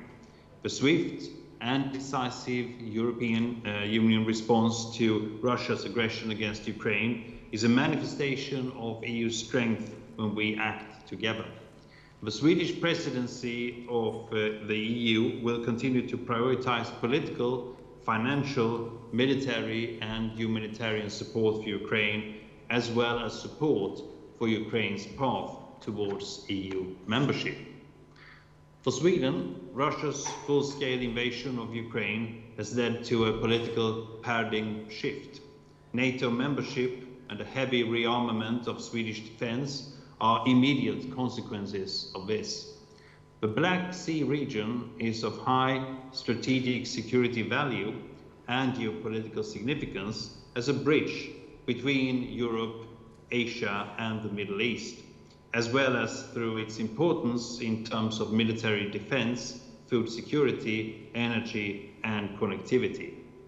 Security concerns in the Black Sea are clear. About 90% of all freight transports in and out of Sweden takes place by sea. Sea routes and ports are of central strategic importance, and we can relate to the challenges states in the Black Sea region are facing.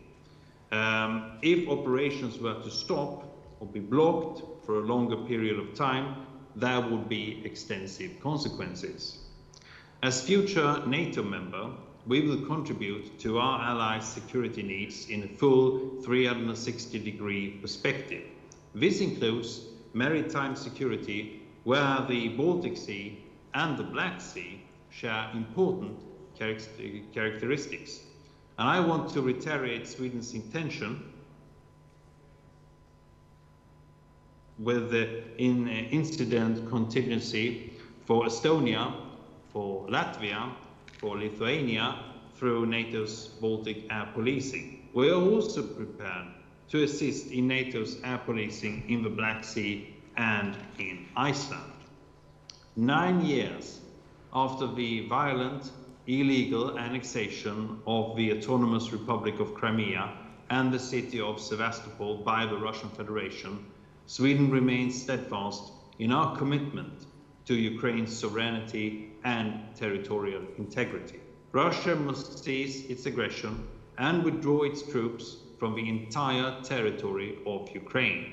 We will never recognize the illegal attempt to annex Ukrainian territories, including Crimea. Crimea remains a priority from an international security perspective, and Sweden confirms our readiness to increase efforts to further strengthen the activities carried out within the framework of the International Crimea Platform with the aim of reversing the illegal annexation of Crimea, including through adopting further restrictive measures against Russia. I would like to wrap up by mentioning Russia's extensive attempts to disrupt the states in the Black Sea region. It is clear that Russia is trying to destabilize Moldova and undermine its pro-European government. Increased support to Moldova is crucial for strengthening resilience and for protecting its democracy. Our unity remains our most important asset and we must continue to work together to counter disinformation and attacks on our free democratic societies. Excellence, ladies and gentlemen, I regret I was not able to be with you in person today, and I will shortly have to leave for another engagement, but my ambassador will continue to participate in the remainder of today's conference on my behalf. Thank you very much. Thank you, Minister Billström. And the next speaker is Madam Maria Pejčinović Burić, the Secretary General of the Council of Europe. Please, you either take the stage or, yeah. We have a choice Ministers, Excellencies, ladies and gentlemen, let me start with the remark that uh, you, Emine, made at the outset of your introduction, saying that uh, in what relates our umbrella uh, Crimea platform for this conference, uh, that some were skeptical. I can reassure you that the Council of Europe was not skeptical. When the uh, invitation came from uh, Minister Kuleba, I think early 2021, uh, I certainly was one of the first to respond positively. And secondly, uh, when going there, still with Russian Federation part of the Council of Europe, well, that was a bold thing to do uh, for the Council of Europe. But I had no doubt that uh, whatever we need to be there, and uh, we are very proud to continue to be there. So no skepticism at all, and I'm happy to see Crimean platform evolving. And let me remind that uh, we work on an annual report that uh, takes, we take stock of the human rights situation in the occupied autonomous region of Crimea and the city of Sevastopol, uh, uh, recording what the situa situation is there, and uh, that happens based on different evidence that we can gather, including talking to people who are uh, on, in Crimea. And let me remind you that one of those uh, steps before uh, the, this horrible war of aggression started was that later that year, end of 2021, we together went uh, and that was yet another uh, confirmation of our support to, to uh, reintegrating Crimea uh, and the city of Sevastopol to what are the internationally recognized borders of the Ukraine. We went together to ABL in the Chaplinka, the city, the region of Kherson, and already end of 2021, it was quite clear that getting there was not without a risk. I remember vividly, we were flying with a, with a helicopter when we were getting closer to there because that was the only way how to do it in one day. And uh, I remember that the helicopter was flying very, very high. So uh, that all was uh, a sign of, of worrying. Um, second, you know, the topic of this uh, conference and the main interlocutors are defense uh, experts. And you know, when the, this invitation came to the Council of Europe, I just thought, well, defense is the only area that is explicitly excluded in, this, uh, uh, in the statute of the Council of Europe, in the Treaty of London, not to be treated by the Council of Europe. But however, there is an important thing for the Council of uh, Europe to do there, which is security, meaning democratic security, which is integral part of any security uh, uh, in uh, all parts of the world. So uh, let me start with saying that Council of Europe, of course, promotes democratic security among the member states, uh, including every country around the Black Sea, uh, apart, obviously, from Russia which we excluded from the organization last year. And let me remind you that uh, we were the first and the only so far, the international organization to have done so. Uh, because of its illegal aggression against Ukraine, uh, where together with now our 46 member states, we set European standards in human rights, democracy, and the rule of law to ensure what again the statute of the Council of Europe says, the greater unity uh, uh, that in turn underpins peace on our continent.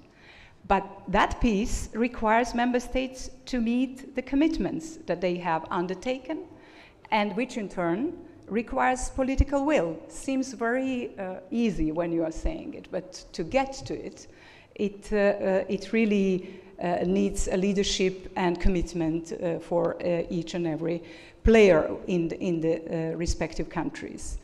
So Russia did not lose that will all of a sudden last February. And this is one of the lessons learned, and you refer to it at, the, at your speech, uh, what we learned. We certainly learned that in the future we have to take, uh, uh, take uh, not only note, but to take action before. And actually, uh, really, and that was uh, meant and said by several interlocutors today, starting with Minister Kuleba, with Emine and others, it it really, this war of aggression started nine years ago, and it continues. So it was uh, taken piece by piece over years. The occupation of Crimea and uh, Sevastopol was one terrible moment uh, in that timeline. The aggression that began last year is certainly the bloodiest. We cannot force now Russia to meet the standards of modern civilization, to which uh, its Black Sea neighbors are committed. But we are here to help the neighbors, all those neighbors, so that they can promote democratic security in their own countries and between one another. And I think both are uh, crucial and important. So this includes uh, uh, our specific resolute support for Ukraine, our joint action plan for resilience, recovery, and reconstruction, our efforts to help meet the needs of Ukrainian refugees seeking safety in our other member states, and our determination that the ongoing violence ends, and this is what is important now, in a just peace. And with accountability, someone just mentioned accountability, at its heart.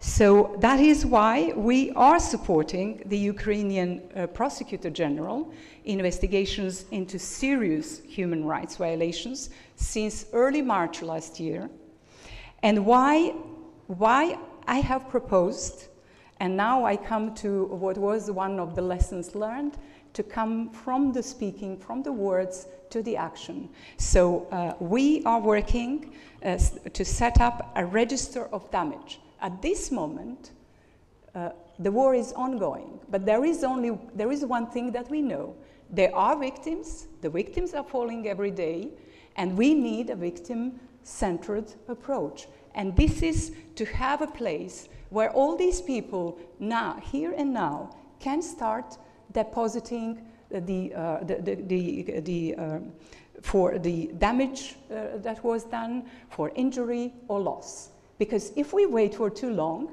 some of these things that are very important for the accountability when the moment comes, and uh, it is coming uh, to, uh, to, to uh, for Russian Federation to pay for what they are doing still, uh, we need to have witness, we have to need an evidence which can be used. And the register would be the first legal step in accountability. And I hope we will have it at our fourth summit of heads of state and government next month. And finally, uh, we uh, hope that this register will pave the way uh, to a compensation mechanism that certainly will only make sense if the second phase, which is a commission for the compensation, and the third, which is the fund, how to nurture uh, the, the, the, the, the, compensation mechanism, is uh, established. But that is for the time to come to work on that. Uh, so um, the terrible reality is what uh, is happening in uh, uh, not only in the uh, Rep autonomous Republic of Crimea and city of Sevastopol. Now we have all these things happening all around the place. And I think if there is one lesson learned, is that we need to be aware, we need to speak up, We need to go to the places. I was last week in the, in the village of Yahdine, Yagodine, Yahodine, and uh, in the region of Chernigov. And really, I mean, you can read about it, but if you go to the cave where 365 people were held in 200 and square meters for 27 days without the right to get out, with a baby of one and a half year, uh, one and a half month old, to elders, and 10, 11 of them died uh, over there. Then, if you are there, you really see what the Council of Europe uh, European Convention for Human Rights in Article 3 forbids in all conditions during the war and any other, which is prohibiting torture and inhuman and degrading treatment. And what you see there is exactly that. So once you see that, you, if you ever had any doubt about what kind of war, what is the real nature of this war, I think you will, you will then know it for sure. So I think getting to these places, acknowledging the things, and working on that, that this war, that Ukraine wins this war, I think uh, everyone who have this insight will never, uh, uh, never doubt whether uh, the uh, uh, Crimea or any part of Ukraine has to be part of that. And we all have a word to say, and we all have a role to play in that. And I'm sure that from our side, we will deliver first thing as uh, this register of damage and continue to work with Ukraine and with all allies and friends as long as it takes to win this war. Thank you very much.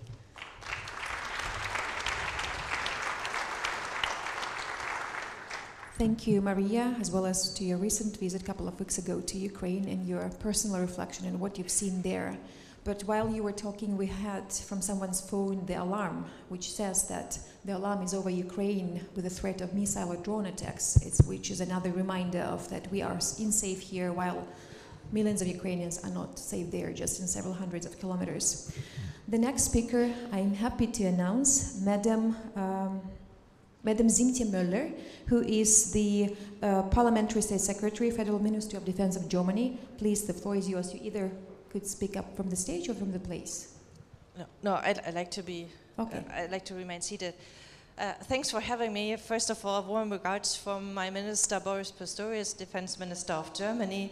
And uh, I'm very happy to uh, be able to represent him here. He's visiting our troops in uh, Mali and, Niger at the moment.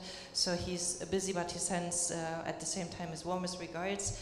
Everybody knows that Germany is a strong supporter of Ukraine um, in these war times that we, that we selected and that we chose the side we stand on. And the side is at Ukraine because Ukraine is not only fighting for themselves, a very heroic war, but it's fighting for, as Peter and also Simona um, uh, pointed out, um, is fighting for a bigger purpose than the country itself. So it's not only about military action and a war, full scale, full fledged war in Ukraine. It's about the free world against imperialistic aggression, about an empire, a, a self selected empire, to think that it could shape the world to their better. And it's against, or, it's, or is it demo, the, the world of democratic countries? It's the international rules based orders, international organizations, international law that will, in the end, live up um, so, and this is why we stand that strong with Ukraine, supporting in different dimensions. In military, it means in artillery, air defense, heavy fighting vehicles, engineering, such as bridges, equipment training, um, but also standing very strong in, in our alliances. So, to support Ukraine on the first step. But of course, it's something much bigger. It's something that Peter mentioned. It's a strong era for democracy. You said a strong era for a time for democracy and freedom because Ukraine is fighting that is, uh, is showing that it's worth fighting for um, for freedom and democracy. So that is something that we can learn, and that is why we stand that strong at your side. And in this heroic times that we live in, you are really fighting a war and, uh, and standing up for values that we all share and that we all before maybe took for granted quite effortlessly. And we now know that we have to do something for it. So talking about lessons learned is not only standing at the side of Ukraine because it's for democracy and freedom in the end for the security of ourselves and the world order that we believe that is the better. It's also about thinking how to, uh, why Ukraine is still supported by a strong community of countries present also, for example, in this very platform here. Um, my chancellor said it's uh, unity is the value as such because Russia didn't only want to get Ukraine, it wanted to shatter the world order, it wanted to shatter Europe, it wanted to shatter also the unity of the West. So the unity of the West is the value because we stood up together against this aggression, against this, this wish to shape the world order to the Russian perspective. That's why unity is a value. That's for me is one of the, the despite the fact that Peter mentioned um, that Ukraine showed all of us that democracy freedom is worth fighting for and that you can win and stand up against an imperialistic aggression, aggressor. The second lesson for me is that unity is the value as such, because only united we can stand against this aggression, only united we can support. The second lesson would be that if we think about democracy and democratic values, about democracies standing together at the side of Ukraine against the aggression of Russia, then it's also that we need to, the support of our publics because we don't, we don't force our publics, we need the support for our actions uh, by our publics. That's why we have to convince, that is why we have to talk about the purpose that was mentioned, we have to talk about values, we have to, we have to convince what democracy, what this freedom is all about, and that after decades of peaceful times in Europe, we cannot let this or this freedom and this security will not be guaranteed effortlessly as it has been maybe before. So this we have to, there, but to do this, we need the support of our public. And the third lesson learned is that, of course, what what we all have to face, that we need to invest heavily in security that is why um, Chancellor Scholz, during his speech of Zeitenwende, uh, um, announced a special fund for the Bundeswehr, because we all know that now we have to take more responsibility for ourselves, because it's not longer, no longer a theoretic threat at our borders, it's a real threat, and we have to show that we are able to deter and defend if it is needed, but hopefully never will come true. So then this is where we have to invest, not only material, also in personnel, also in structures, so that is functioning in the end, that we all come to, uh, to a function, uh, efficient infrastructure and structure of security, of all the security instruments that we have. That is what we're working on. That's also um, what we have to do at the same time, supporting Ukraine, building uh, training, doing training, doing a lot of material, giving a lot of material to Ukrainian um, armed forces. And at the same time, we have to heavily invest in our Bundeswehr, um, which we do, and to restructure so that we um, fulfill what we told our NATO allies what we will, so that we stand up to our responsibility, that we help Ukraine, and that we at the same time guarantee the security for to our people and to all the alliances that we are member of. So that's our, more or less our lessons learned. And as Chancellor Scholz and all, all our ministers, or the whole government and the majority of the German public says, we will stand at the side of Ukraine as long as it takes. Thank you, Siemtje, for your reassurance of strong position and solidarity with Ukraine. And the next and final speaker we go before we go to the national statements is our Guatemala Foreign Minister, Mr. Mario Bucaro Flores. He will be with us. Your Excellencies, Ministers and Secretaries. He will be with us with the pre-recorded messages. Your Excellencies, Ministers and Secretaries of Foreign Affairs, Your Excellencies, National Ministers of Defense, ladies and gentlemen, I would like to thank the governments of Ukraine and Romania for the invitation extended to Guatemala to participate in this first Black Sea Conference held in the framework of the International Platform of Crimea. On behalf of the government of Guatemala, throughout this message, I want to reiterate my country's deep commitment and unrestricted support to the people and the government of Ukraine in the context of the large-scale and unjustified invasion committed by Russia, which has large proportions and implications for the Black Sea region and for the rest of the world. We reaffirm that sovereignty, independence, and territorial integrity are fundamental elements of a state, and the unjustified and unprovoked aggression against another state is a violation of the principles held on the Charter of the United Nations.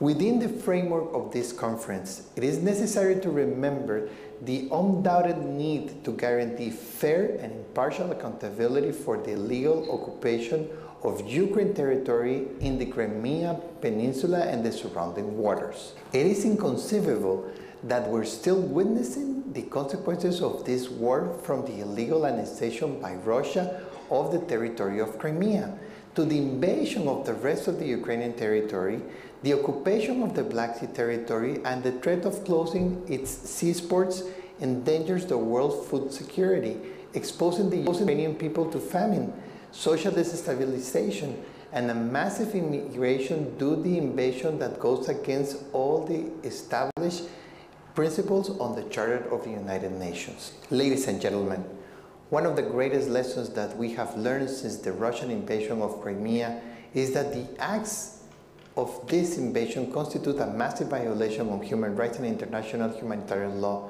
for which the Russian Federation should be held internationally accountable. We cannot accept precedents of this kind to be accepted or ignored. In this sense, Guatemala supports the special court to trial the crime of aggression committed by the Russian Federation against Ukraine an, an agreement between uh, Ukraine and the United States to be able to make this possible. Also, we want to highlight the need to strengthen the cooperation of the international community to ensure the recovery of the security in the Black Sea and Azov region, guided by the respect of the principles of sovereignty, territorial integrity, and international law. Guatemala, as a state respectful of international law and with deep pacifist vocation, will continue to strongly condemn any attack of aggression that violates international law. We also reiterate our full support for the people of Ukraine, asking everyone to be able to work closely so we can be able to achieve a peaceful agreement as soon as possible and to end this terrible war. Slava Ukrainia.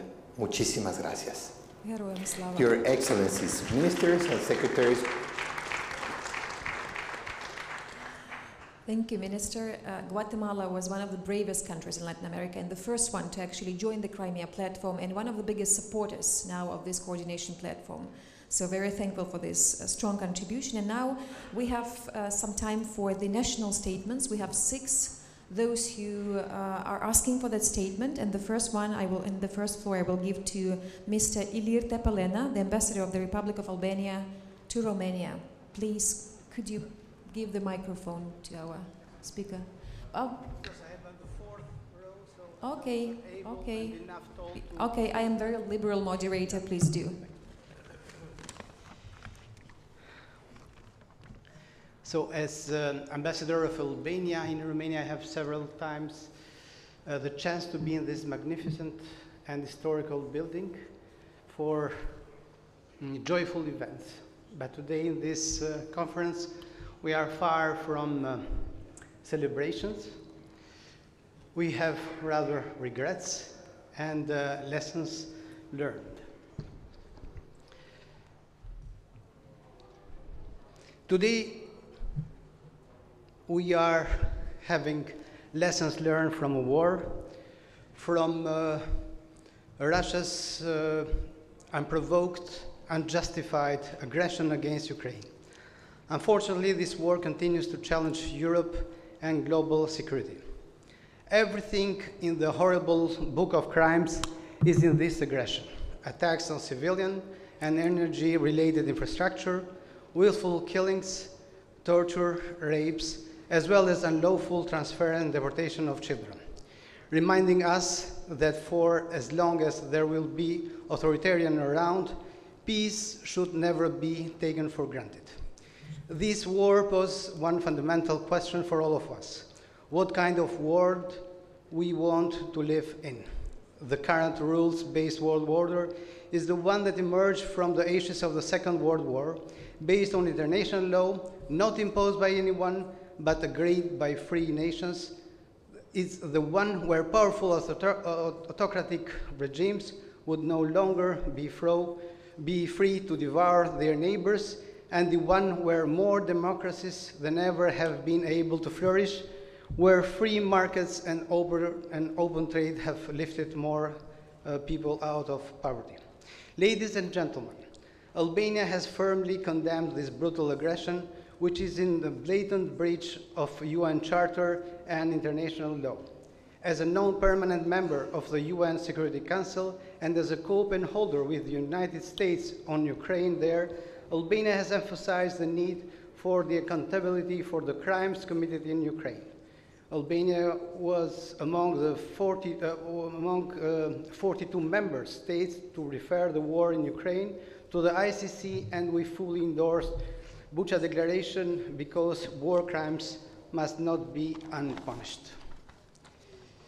We note also that Russia has stepped up its efforts in terms of destabilizing the influence by third actors in the Western Balkan region using hybrid tactics and also elements of common history and religion with the ultimate strategic goal of blocking reforms and derailing Euro-Atlantic integration efforts. In conclusion, I would say that maintaining the dialogue as part of the International Crimea Platform is crucial, it's very important. The security situation of the Black Sea and Azov region has serious implications on other regions as well, and there is a needed a joint response to end the war in Ukraine and to think about the reconstruction of this country. Thank you so much. Thank you, Ambassador. Thank you, dear speakers.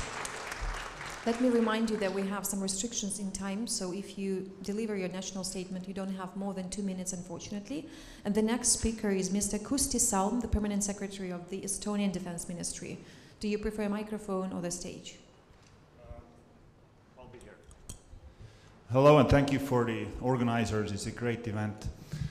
In Estonia, we very often call the Russian aggression against Ukraine existential.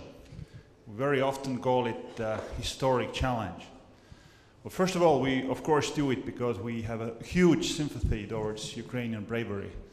Um, and it has sparked the desire for freedom in every Estonian and, I mean, probably in every single country of, uh, in this room. But at the same time, we acknowledge that what's at stake there is not only the front line in Bakhmut. It's also the basic principles that we need to adhere to. What's at stake in Ukraine now is something that needs to go into the dustbin of history. Attacking other nations to achieve your political goal needs to be thrown away. Aggression as a tool needs to be uprooted. And this is what we need to stand for, and that's why we have conferences like these. That's why we support Ukraine. The policy of sphere of influences is something that does not belong to 2023. And that's what we need to stand for there. And it becomes especially acute knowing that there is a shadow of potential negotiations. There's a shadow of one nation that we know that has uh, attitude. What's mine is mine, and what's yours is up for negotiation. We know what's what, what's, what is going to happen, and we need to understand that we cannot tolerate anything that will lead to frozen conflicts or another war. The war in Ukraine has uh, revealed the murderous nation, nature of Russia. It has revealed their bar, bar, barbaric actions imperialism, revanchism, everything. But at the same time, it has also revealed the black, pot, black spots in uh, European defense readiness, in our ammunition stocks, our defense investments. And this needs to be remedied. We need, to, we need it for supporting Ukraine, but we also need to ramp up our own nat- national defenses because this is incremental. And this falls into the same chapter as our collective efforts in supporting Ukraine. I'm extremely happy that we heard these messages from our greatest allies in Europe Germany, Lithuania, Romania. Thank you for that. Um, and let's win the war. That's the historic challenge for us. Let's win the war. Thank you. Thank you. And the next speaker is Mr. Frano Matušić, the State Secretary of the Foreign Ministry of Croatia. Thank you, dear Amina. Excellencies, ladies and gentlemen, at the outset, I would like to commend our Ukrainian and Romanian partners for organizing this important conference. And I'm pleased to note that the last gathering within the framework, international framework, uh, Crimea platform, was held in, in Zagreb last October when parliamentary dimension of the platform was launched. So the Russian invasion against Ukraine has brought dramatic implications not only for Ukraine but also for the Europe and the world's security architecture. This conflict is not only about Ukraine. Tomorrow, the sovereignty, territorial integrity, and independence of any country might be at stake. Effective multilateralism is under threat, and it is our duty to protect it. And I agree with all of you who underlined that Ukraine is not only defending its Uh, internationally recognized borders and its territory, but also democracy itself and democratic values. So this is, this is very important to, to emphasize also. So Russia actively attempts to destabilize Europe and weaken our unity through hybrid economic and other means.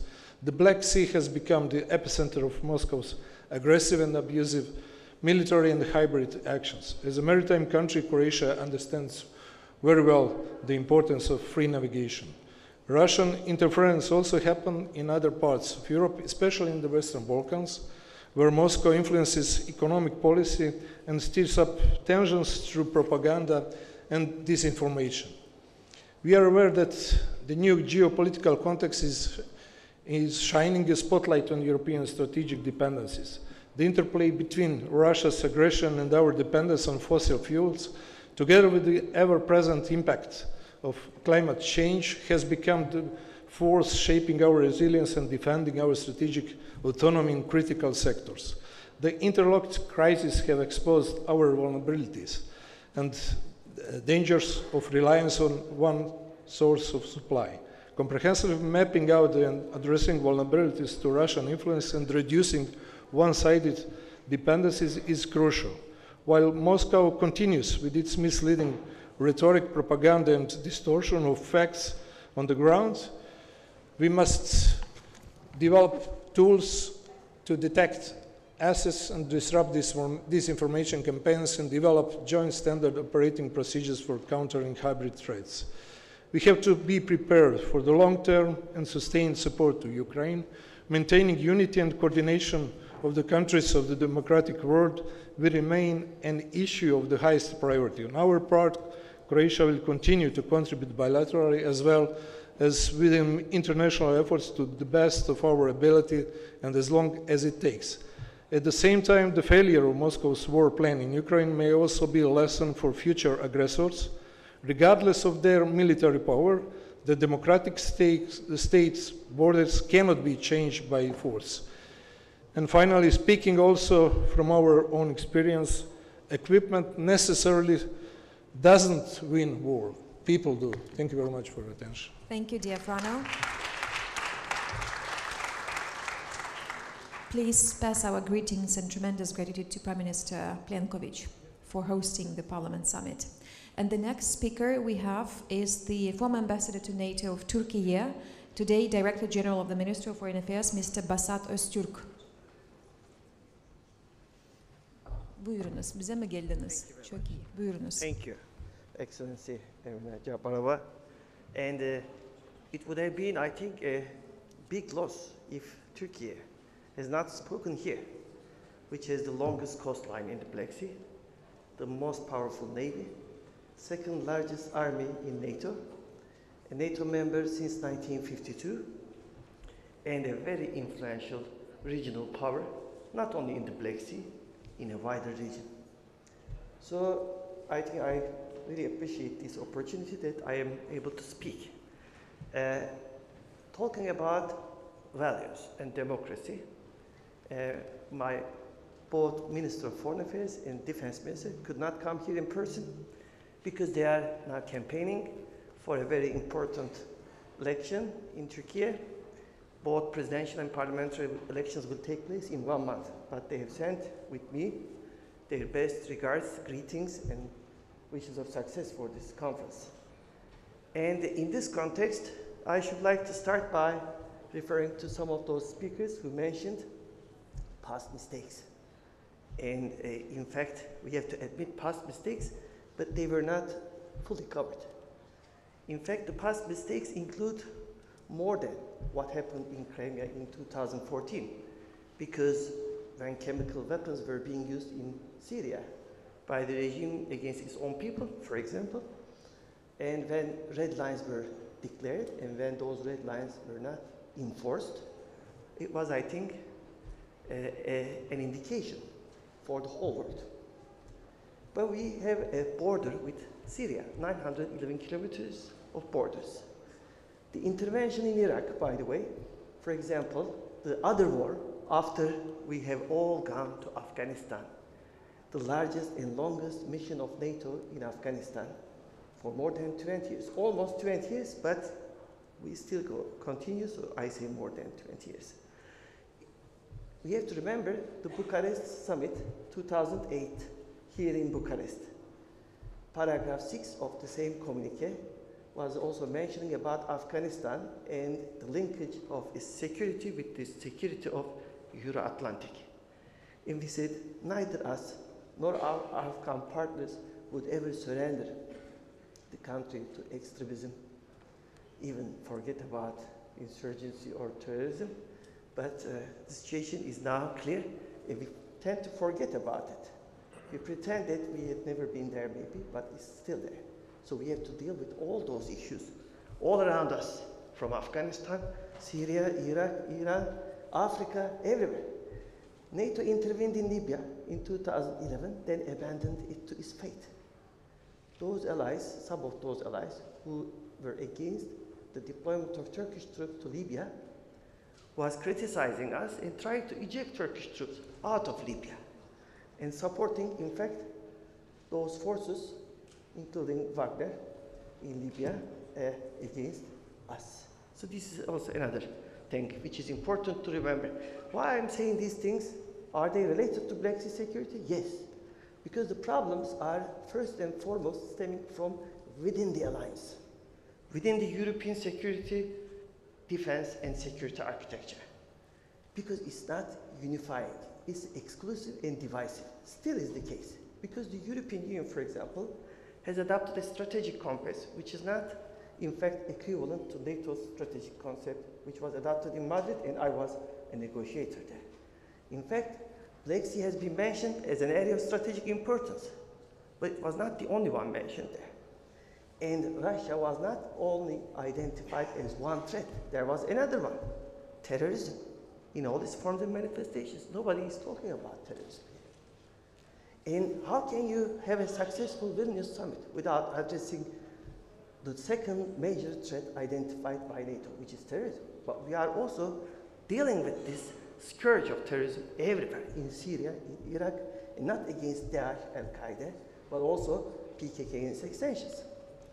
What happens, for example, when Turkey intervenes, let's say, in Syria in a legitimate manner, de-escalation zones, as you know, in Idlib, and to prevent further flux of refugees, migrants to Europe. We are hosting almost 5 million refugees in, in Turkey, but uh, when we had to intervene in Syria, we were sanctioned by our allies, and it continues. We started to help Ukraine long before other allies, including the very famous Bayraktars. But you know, the cameras of these drones are not provided by one ally, which is still refusing to provide them, even under these circumstances. even when there is an ongoing war, even there are so many challenges, rising challenges, we are still suffering. So I have just shared these things with you, saying that we try to understand the concerns of our allies. First and foremost, Ukraine, and especially Crimean Tatars. I also have the same descent from Tatars, and then we have a sympathy, but we have 3.2 million Tatars living in Turkey only. And ultimately, we will continue to support Ukraine. We will continue to support all our allies in the Black Sea, but first and foremost, it requires intensive, genuine, comprehensive consultation with us among the Black Sea allies. And then we can look for the future together in a more confident manner. Sorry for being long, but with the longest cost and with those uh, features, I couldn't uh, be less. So I did not Teşekkür ediyorum. anything. Thank you very much. Bey, Mevlüt Bey'e de selamlarımızı gönderiniz lütfen. We do recognize an effort of Turkey in the peace broken and also with the grain initiative, which is another challenge in the Black Sea uh, a lot. The next speaker is Ambassador of Japan, Mr. Hiroshi Ueda. Please, the floor is yours.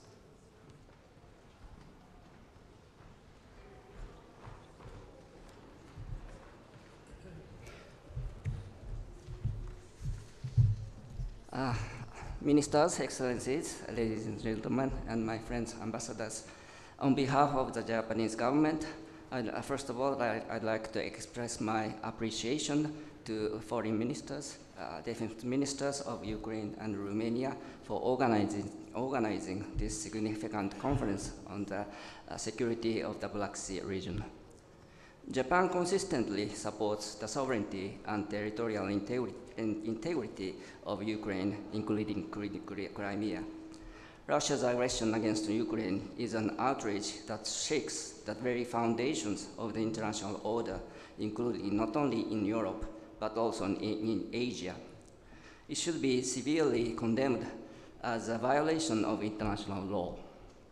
Last month, uh, Prime Minister Fumio Kishida visit, visited Ukraine, emphasizing solidarity with Ukraine and his determination to defend the free and open international order based on the rule of law through tough sanctions against Russia and strong support for Ukraine. Japan stands with the people of Ukraine who are working hard to defend their homeland from Russian aggression Japan continues to work in close cooperation with the, the, international community to achieve the restoration of peace and reconstruction in Ukraine as soon as possible. Japan have confirmed close co cooperation with both Ukraine and Romania at the summit level. In addition to Prime Minister Kishida's visit to Kiev last uh, month, Prime Minister Kishida held a summit meeting with Romanian President Klaus Iohannis in Tokyo and both leaders announced the upgrading of bilateral relations to a strategic partnership. Along with support and solidarity with Ukraine, we will also strengthen relations with neighboring countries. The government of Japan is steadily and seamlessly providing a total of approximately 7.6 billion US dollars in assistance to Ukraine and neighboring countries. Ukrainian uh, uh, unilateral attempts to, to change the status quo by force, but such as Russia's invasion of Ukraine, must not be tolerated anywhere in the world. Last week, Foreign Minister Yoshimasa Hayashi attended a NATO foreign ministers meeting and stated that Japan formulated a new national security strategy in the most difficult and complex post-war security environment and that the strategy will strengthen cooperation with NATO and other allies and like-minded countries. Prime Minister Kishida recently announced a new plan for free and open Indo-Pacific, FOIP. In the plan, he made it clear that FOIP cooperation will be expanded in order to lead the, the international community, which is at, at a historic turning point toward cooperation rather than division and confrontation. As Russia's aggression against Ukraine is protracted, it is important for the, the, international community to respond with unity, and the role of the G7 has never been greater than ever before. Japan holds the G G7 presidency this year. At the G7 Karuizawa Foreign Ministers meeting, to be held this weekend, we hope to maintain the unshakable unity of the G7 and demonstrate our determination as the G7 to uphold the international order based on the rule of the law. Slava Ukraini. Herojem slava. Thank you, Ambassador. Indeed, Prime Minister's visit to Ukraine was a very strong signal of support both within G20 and G7, and then his visit to Bucha, where Japan delivered generators, and those generators really warmed up the whole city of Bucha for several weeks during the blackout. This was really well taken. Thank you, Ambassador, for that humanitarian assistance that your country delivered. The next speaker is uh, Mr. Paulo Cunha Alves, Ambassador of Portugal in Romania.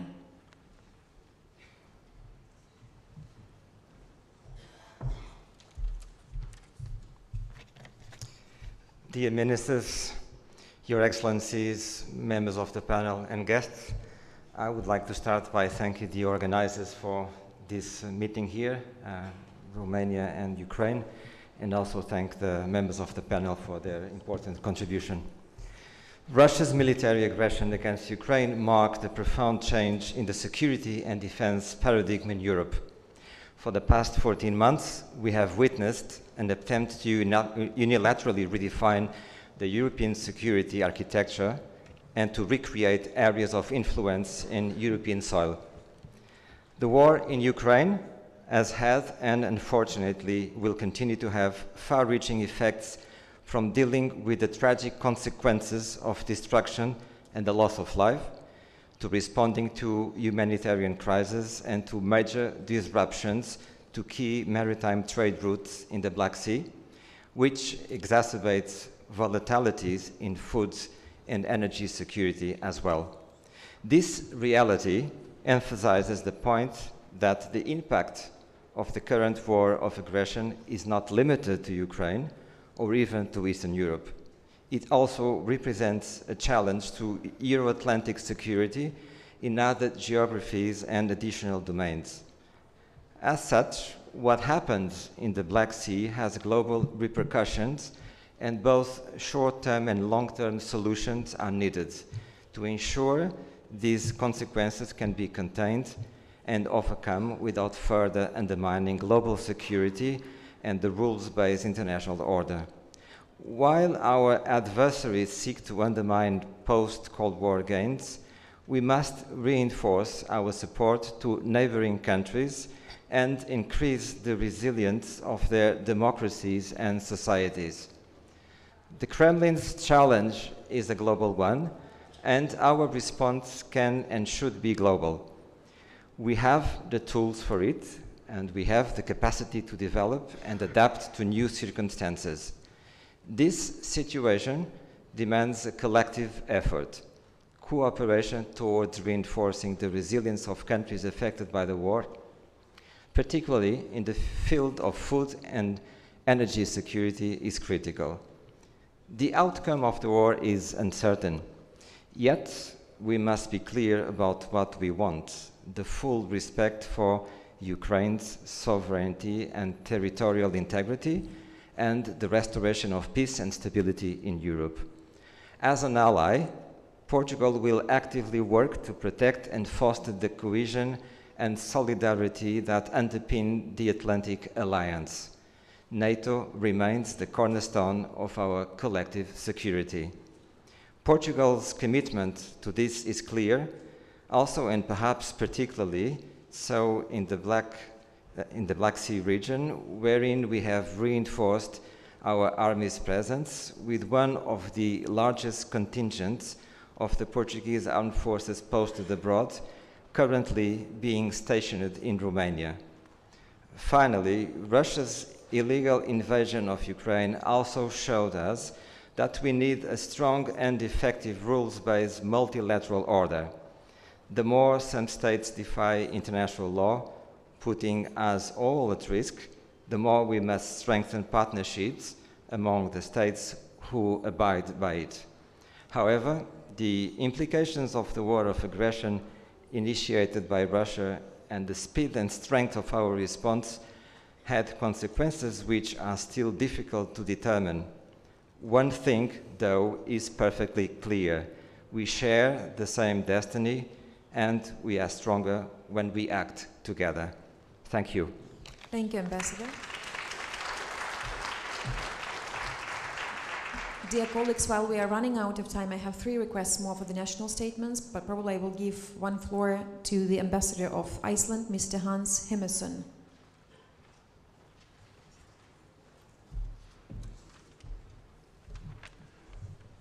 Ladies and gentlemen, I'll be brief. With the effect of the uh, full-scale Russian invasion in Ukraine being felt globally, Iceland's support for Ukraine is unwavering. The Russian aggression has put the international order to the test. We are faced with the fact that democracy, human rights, and the rule of law need to be protected, and these values are worth defending. The stability and security of the Black Sea region is of fundamental importance to our common security. Russia has blatantly violated the European security order. We must, however, remain steadfast in our efforts to safeguard the principles that underpin our freedom. To this end, Ukraine must be provided with all possible support, and we must further deepen our cooperation with, within multilateral organizations. Iceland, currently holding the presidency of the Council of Europe's Committee of Ministers, is firmly focused on delivering for Ukraine at the Reykjavik summit in May, in five weeks' time. In particular, when it comes to ac accountability for Russia's aggression, and I repeat the word accountability. The summit will also be an important milestone to reaffirm our common values on which the Council was founded. For a truly democratic and, and, just Europe, we have to address the challenges we face at home, in our backyard, and further afield. We must seek innovate, innovative solutions while also remaining steadfast in upholding the values of the post-war regional and international architecture. And uh, we must remember why these in institutions were put up in the beginning. Thank you. Thank you. Thank you, Ambassador. So with this, I have to close the discussion without Q&A session, which I'm very sorry for that, but it was really crucial to hear the statements of those national countries uh, relevant. Dear friends, the conclusion I believe that we all came to is that the formula is vision, action, and cohesion. And I believe that the lessons learned will be very important to implement practically with many small and big steps with one goal, so that good guys, as Peter said, will win and good things happen afterwards. Slava Ukraini!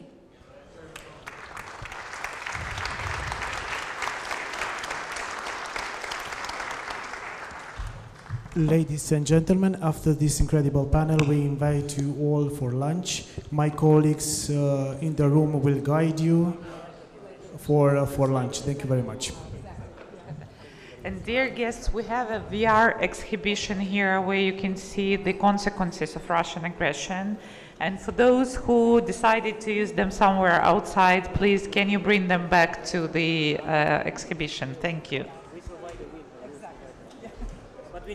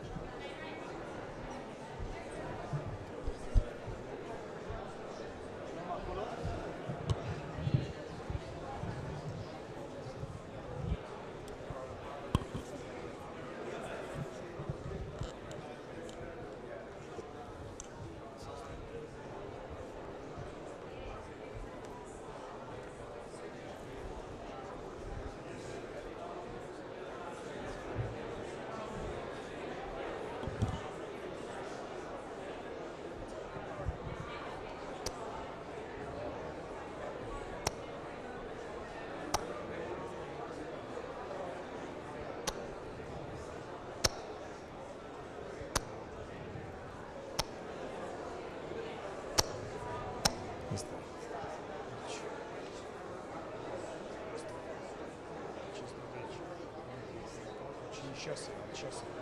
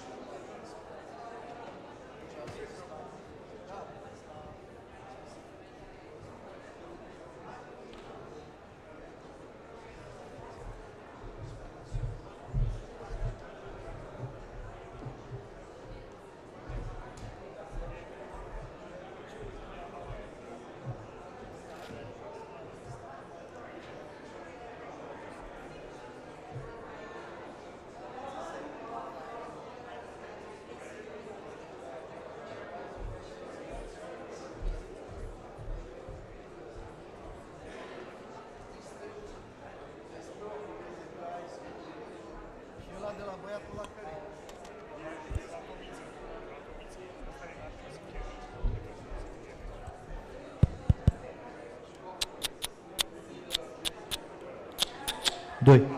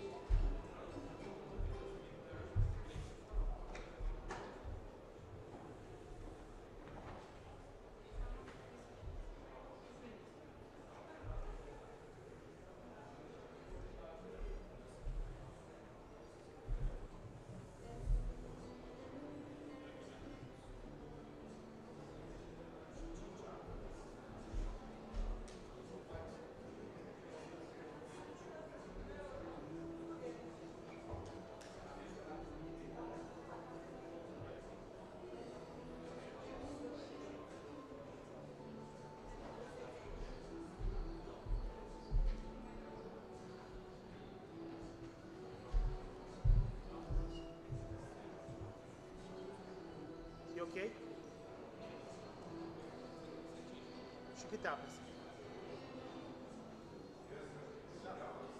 A, hai să, așa, ajută-mă, ia bine.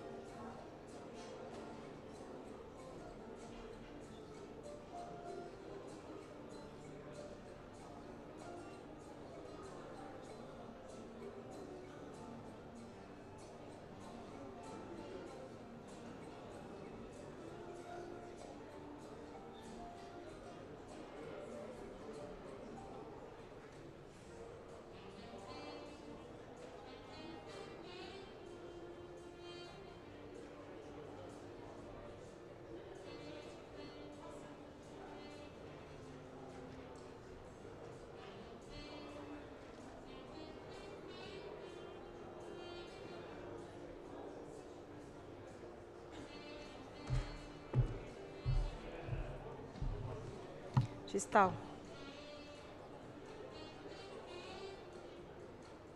Așa.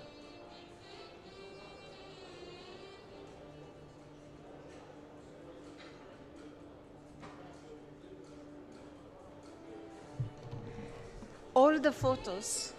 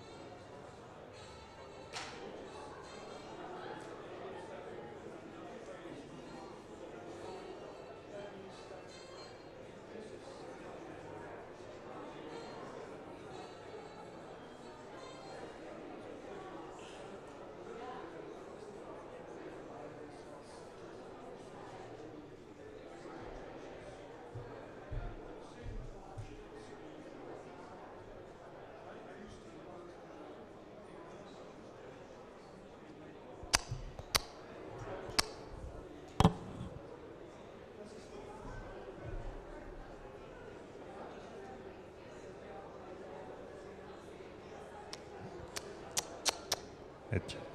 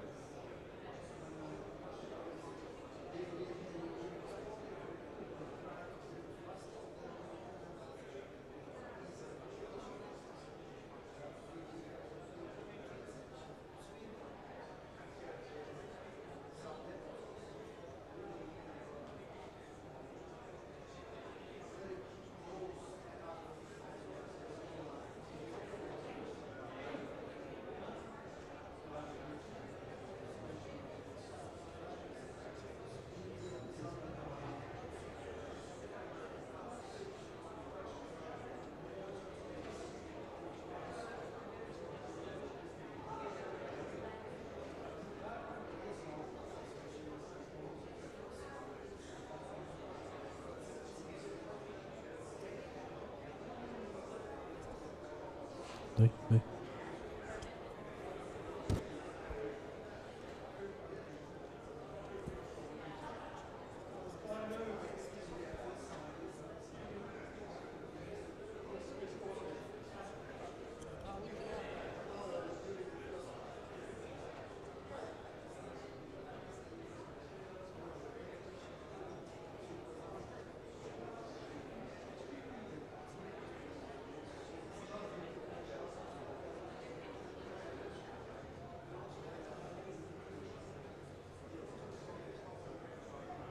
Priorities for France.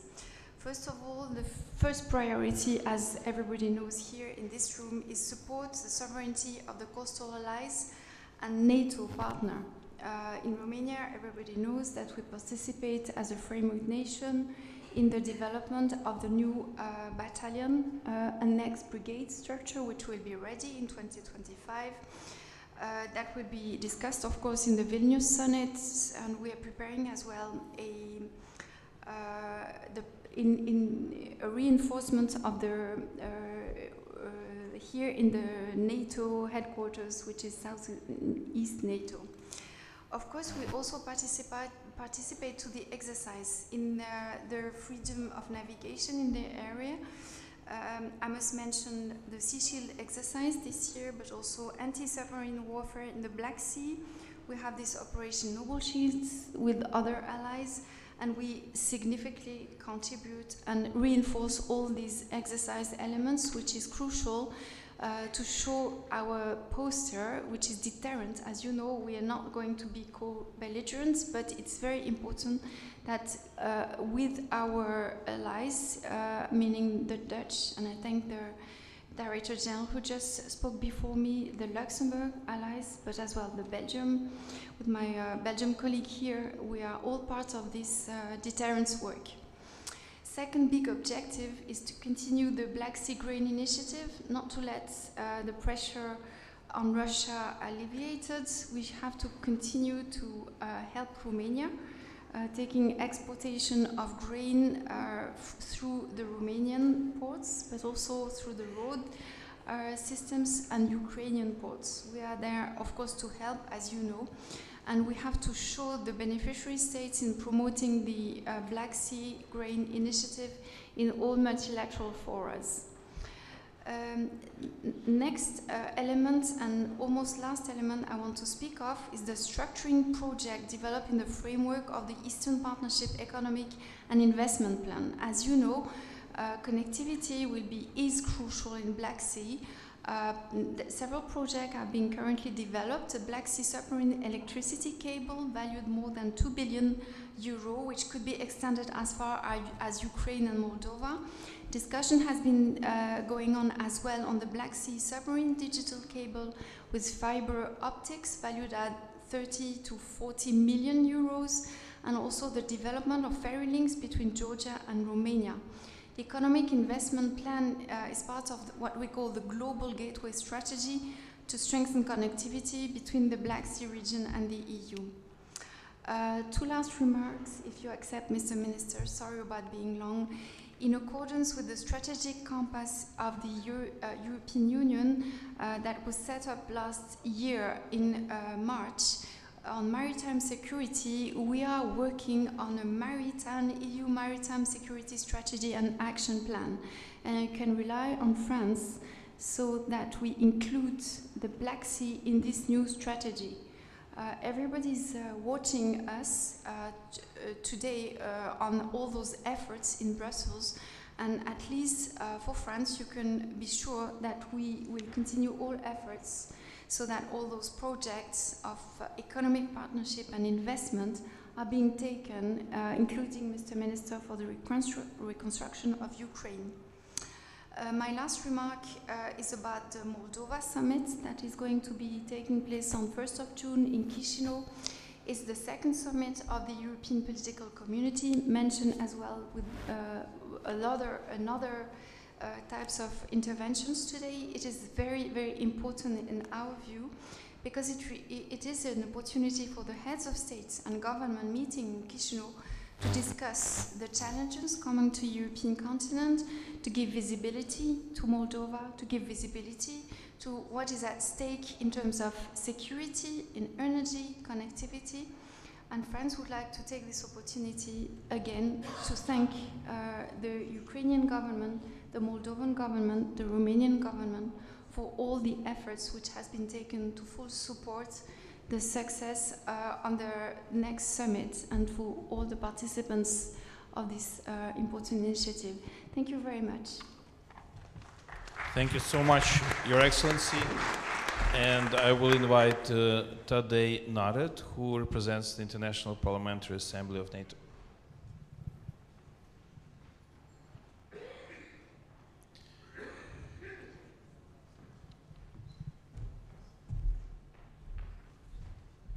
Thank you. Uh, ladies and gentlemen, thank you for having me, and thank you for letting me to speak before you. I am Tadej Naret. I am the CEO of Alter Ego, the US-based, uh, women-owned cybersecurity and special military tech company. I also serve as chair of the board of Slovenian Ethical Hacker Foundations and also as an advisor to various defense committees and parliamentarians of NATO countries in terms of cybersecurity.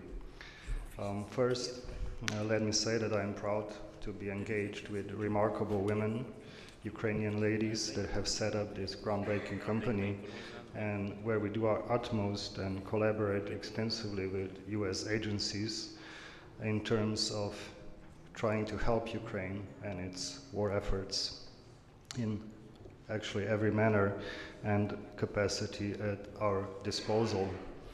Um, I would also like to um, thank you for the interest and all the positive remarks received after yesterday's panel discussion. Uh, as you might have noticed, um, I was not scheduled to speak today, but it seems like the topics raised uh, were recognized as relevant and important, so I'm thankful for the opportunity to reiterate the very pressing issues.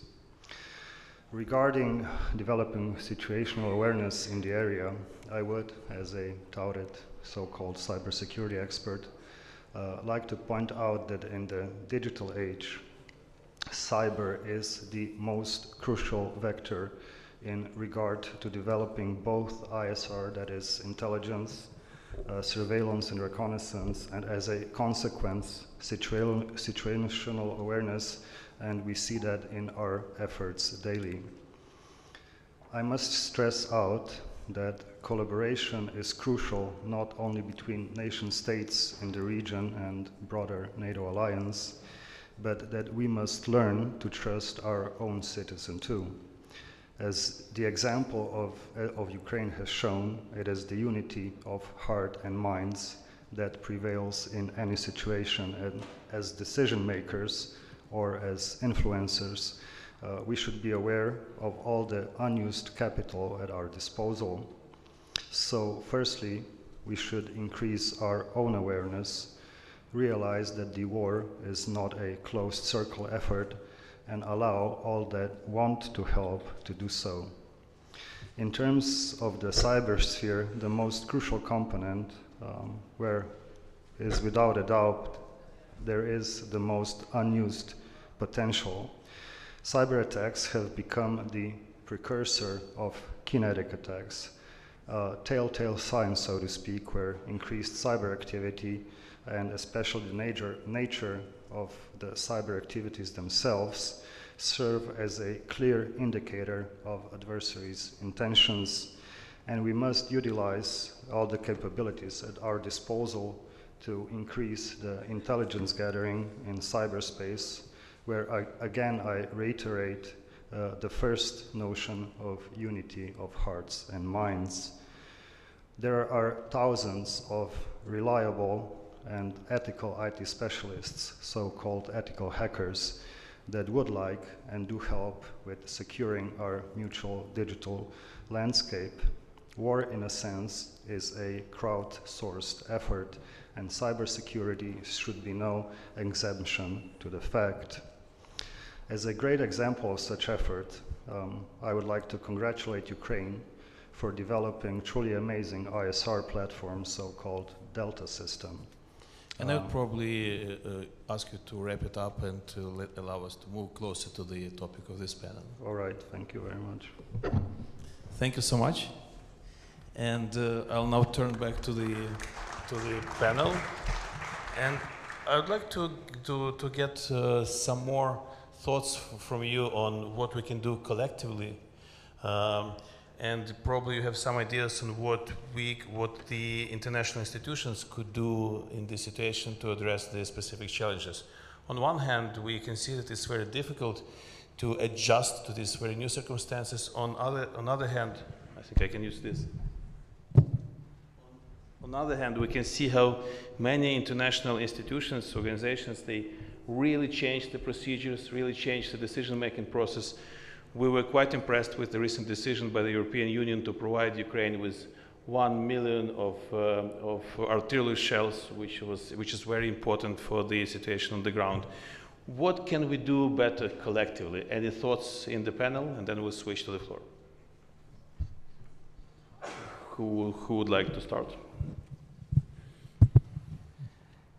I think there's there's a lot to do, and it, it, depends for sure on, on, on the perspective we might see. I would say, from a NATO perspective, as I mentioned, we we have to protect the coast, and we have to make very clear, especially to Russia, that there are no areas of higher or lower priority on the eastern flank of NATO, meaning that the north part of the eastern flank, the Baltic countries, are protected as the Black Sea region. I think we need to emphasize this.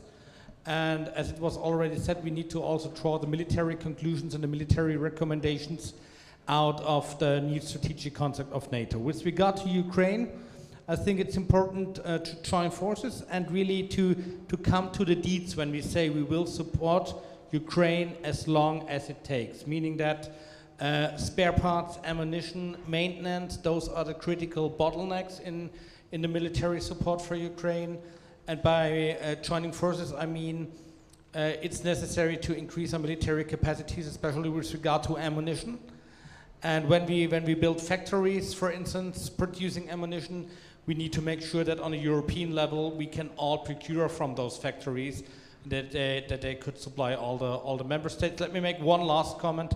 And on the short run, um, we, with regard to the Black, Black Sea Grain Initiative, uh, we need to, to keep to sustain it. And I, I like to, to express my appreciation both to the United Nations as well as to the government of Turkey uh, with regard to their efforts, at least to prolong the Black Sea uh, Grain Initiative for a few months. Uh, but we have to take into account um, Russia will try, try whenever they can to, to extend its war from, from a war by force to a war on food, and we have to be vigilant with that. Thank you. More thoughts here on the panel? Yes, please. Um, Okay, thank you. Thank you. Sorry, Julian. Uh, of course, uh, I would start, start by saying that uh, every international organization has its own perspective and specificity. From that point of view, I would like to point out that there is a perfect synergy between NATO and the European Union in this regard. First of all, now we witness that the strategic documents that have been recently adopted by both organizations, namely the strategic mm, mm, concept of NATO adopted in Madrid, and also the strategic compass of the European Union that has been finalized under the French presidency, are in perfect synergy. They are looking in one direction, and from that point of view, we have an action that also is appropriated, mutually complementing, and uh, going in the, the, the very same, uh, for, for fulfilling the, the very same goals. Uh, anyhow, the two organizations also have some uh, differences because of uh, the, the specific, uh, um, well, capacity of the organizations to act. Uh, we see that uh, the uh, European Union is engaged in sanctions, and we have very many packages already adopted. I would like to assure you that, uh, well, this is a process that we will follow very closely. We will actively participate in this because this is a powerful tool for helping Ukraine. At the same time, believe me, this is not a very uh, smooth process. This is a difficult one. And uh, there is a, a difficult process of coordinating the sanctions because what is acceptable for one country is not necessarily acceptable for someone else. So it is a complicated procedure, but uh, we succeeded to have uh, many sanction packages that are affecting in a very negative way the Russian economy.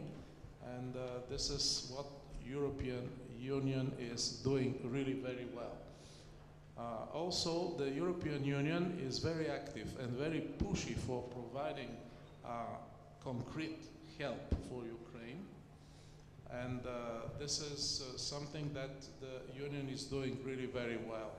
Uh, considering NATO, of course, this is the ultimate guarantee for our security, and we can rely on unity there, on perfect synergy among all the countries, in order to be sure that the aggressor will be deterred, and uh, also uh, that the aggressor will never undertake any step towards uh, further infraction of the international rules-based order that uh, is affecting our, our countries. And finally, a couple of words about the United Nations.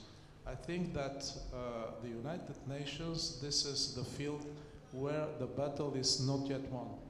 This is a very important to consider that many UN member countries are not seeing the situation the same way we see that.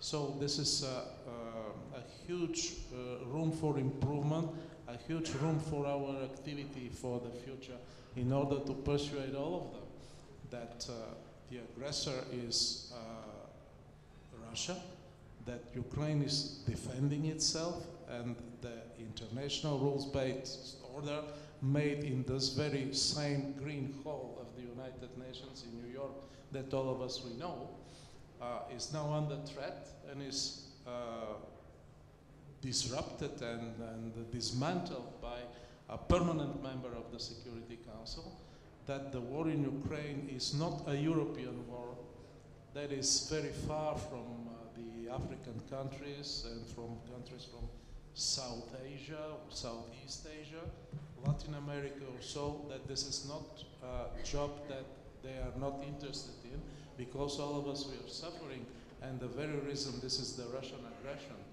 and not the war in Ukraine. Put it in this very neutral way, which is, which is really not true. Secretary Fota. You know, I think that from time to time we have to accept the idea that maybe in the past uh, uh, OS collectively uh, made some mistakes. Uh, uh, look at this paradox. Black Sea is the only region in the world where in the last 31 years we had nine wars.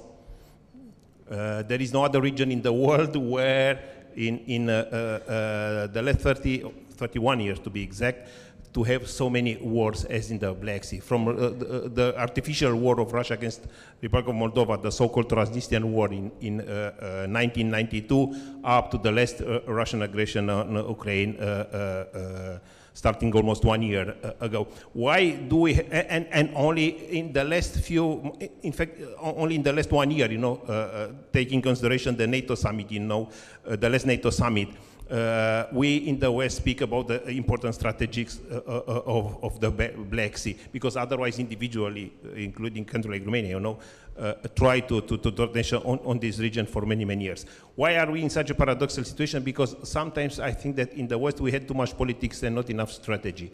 I think that uh, one thing which we, we, have to take seriously serious consideration is to uh, give more time and more space in our debates to strategic considerations because I don't think that it will be possible to move forward and to, to guarantee the interest, the collective interest of the West, our security, our sovereignty, our economic prosperity without uh, thinking very seriously and very strictly in, in a, also in a strategic uh, way. And the first condition of any strategy adopted by the West is to help Ukraine with whatever we can to win this, this, this huge confrontation of this huge uh, uh, this war with, uh, uh, with uh, Russia. Otherwise, any, any discussion about uh, uh, uh, Western or NATO or a strategy on, on the Black Sea will make no sense. The second, uh, uh, I, I think, uh, uh, or the second pillar of, of possible future strategy should be uh, uh, uh, addressing, you know, correctly or exactly, you know, uh, the uh, issue of, of, of Russia. For me, it's very difficult to understand how Russia, who is definitely the, the, the, the, the, uh, the how to say, the source of all our problems, could be considered, you know, or could continue to be considered as a part of the solution too, as it was the case in the past. And, and, and thirdly, uh, I, uh, I totally agree with our uh, Turkish friends. There is no way to marginalize Turkey. There is no way to bypass or to ignore Turkey. Turkey is a country too, too large, too important, you know, too strategically uh, located, connected, you know, to be uh, ignored. And honestly, you know, we may speak about, you know, all sorts of attitudes on Turkey, but I don't think that I've seen anybody in the recent years, you know, trying to do that because we'll be very, very uh, uh, foolish. Uh uh, uh, uh, we all understand and we all recognize the importance of, of Turkey, not in the Black Sea, but from a much larger perspective than and uh, Black Sea. And the best way to move forward, you know, is to work collectively and to act collectively. And I hope that NATO will do that a little bit faster because soon we will have one year since the, the, the NATO Madrid summit, and we are still, you know, far from understanding. And now I, I, I have a personal point of view uh, uh, to see how the very important statement uh, uh, from the NATO strategic concept of considering Black Sea uh, uh, uh, uh, a sea of uh, strategic importance will be put in practice because uh, uh, uh, uh, words, you know, from our strategic documents are uh, uh, less relevant if they will not be followed by very practical approach. And definitely we need for the Black Sea a very practical approach. The last NATO ship visiting Black Sea, it was in November uh, uh, 2021, I think more than one and a half years ago. If I remember well, it was an American, you know, uh, uh, uh, destroyer. Since that moment, no other uh, uh, uh, uh, uh, NATO ships, of course, I'm not including here, you know, ships from Romania, Bulgaria, or NATO, you know, who are uh, NATO riparian, countries- who are Black Sea riparian countries. But any, uh, uh, uh, no other uh, uh, uh, NATO uh, country ship, you know, came to visit uh, uh, Black Sea. And I, I think that that is not in, in our uh, strategic advantage. Thank you. Secretary of NDU. Yeah, uh, thank you very much. Uh, of course, uh, uh, we as an organization cannot be compared with uh, uh, big entities like NATO and Europe, but we as a interstate regional framework with, as a full-fledged organization with all the dimension, political, parliamentary, business and economic, uh, with uh, instruments and mechanism of cooperation are in place, uh, um, ready to play uh, a positive, uh, constructive role uh, in the region uh, to promote peace, stability, cooperation in, in that sense.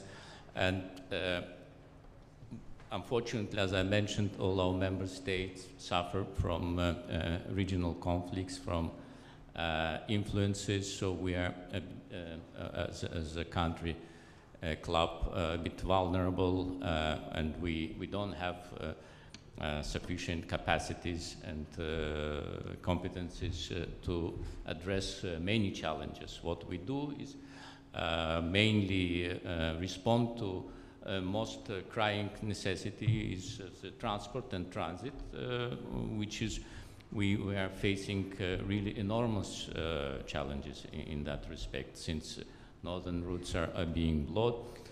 Uh, so we decided why not to uh, address. So the concept uh, as it is was adopted in uh, 2013. It's only after uh, aggression uh, in 2014 of uh, Russia against Ukraine and eastern border been blocked and Ukraine was cut from access to traditional markets, uh, export markets in Central Asia and uh, far beyond. Uh, then we, we start this dialogue. We developed a concept, uh, terms of reference, and now we want to make this as a competitive, stable, secure uh, corridor uh, in compliance with uh, the best, with European standards as a part of expanded network that is being developed um, uh, by European Union uh, in eastern neighborhood.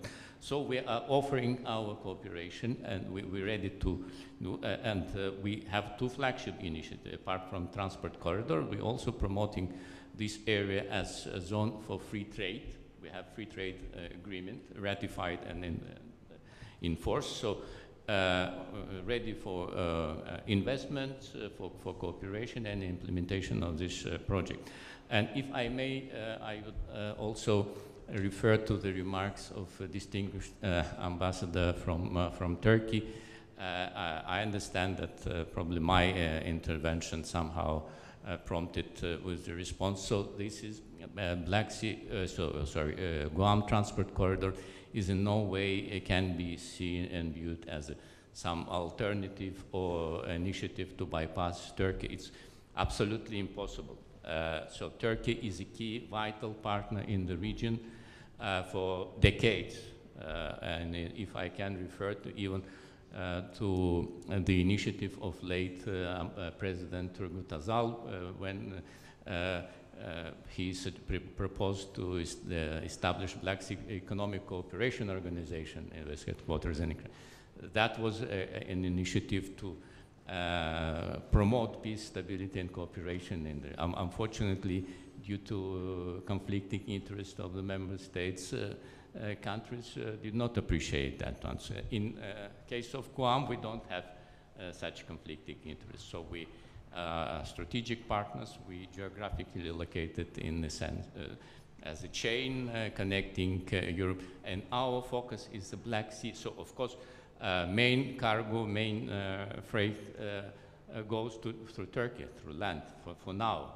But as we uh, I'm from Azerbaijan, and uh, in early uh, years of oil field developments, when uh, big uh, international oil companies been uh, pondering, so after starting exploration, what to do with the oil.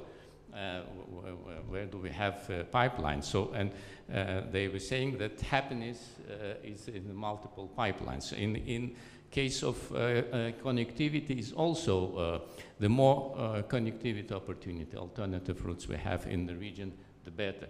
Turkey will be the main without any, of course, uh, doubt, but we also, since we're ref uh, referring to the uh, security navigation and maritime in the Black Sea and in the Caspian Sea, I would also like to mention. so we try to promote, and we now offer to the European Union uh, as a partner, as an interested partner in uh, promoting uh, this initiative. And we'll see how it develops. And in uh, our purpose is to make it as a unified, harmonized uh, uh, area as a single transit corridor with less bureaucracy, border crossing procedures. It's a comprehensive uh, initiative that uh, would require uh, expertise, know-how, and of course financial assistance as well. Thank, Thank you for that clarification. I'm sure it will be appreciated in some portions of the room, that's for sure. Let's uh, switch to remarks and questions from the floor.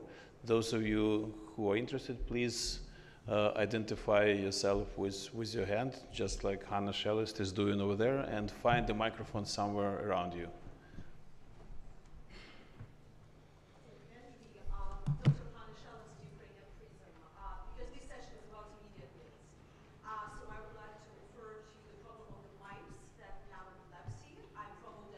Is, is the mic on? Yeah? Oh. Put it over there.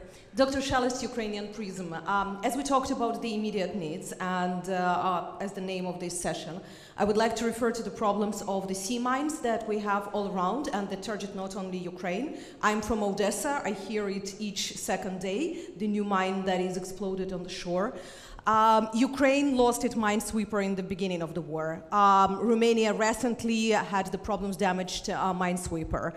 Uh, can we start talking about, for example, European Union maritime mission for the mine sweeping, for the mine security in the Black Sea region with this particular? Uh, if NATO is the problem, uh, European Union already had experience with the maritime missions in Somalia and uh, others.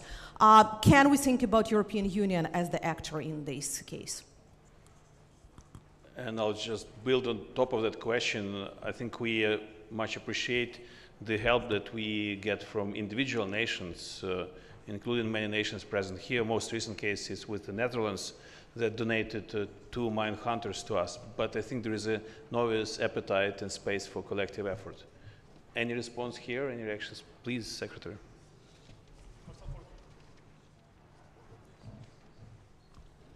Thank you. First of all, let me say that uh, in Romania we are addressing this issue very seriously. That's why we are uh, uh, modernized our counter. Uh, although we have counter mining capabilities, we also decided to modernize them.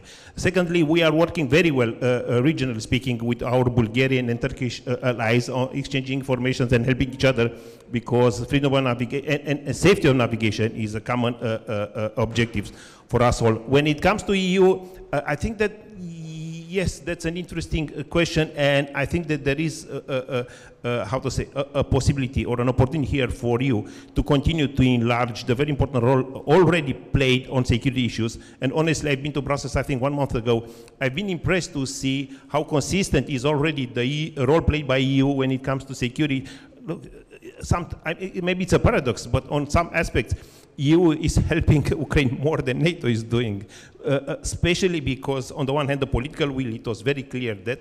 Uh, uh, uh, uh secondly, EU developed very useful tools which can be used on, on dealing with security issues. And now that, as, as our friend and, and colleague, French ambassador, already mentioned, EU is anyway discussing you know, issues related with, with uh, its future maritime uh, uh, strategy, and I think that a security aspect should should should be included. I think at the end of the day, if you ask me, it's only a matter of political will, because because otherwise, technically, I think that EU has everything in place, you know, if we will decide that also to include such such uh, uh, uh, how to say concern you know among many others.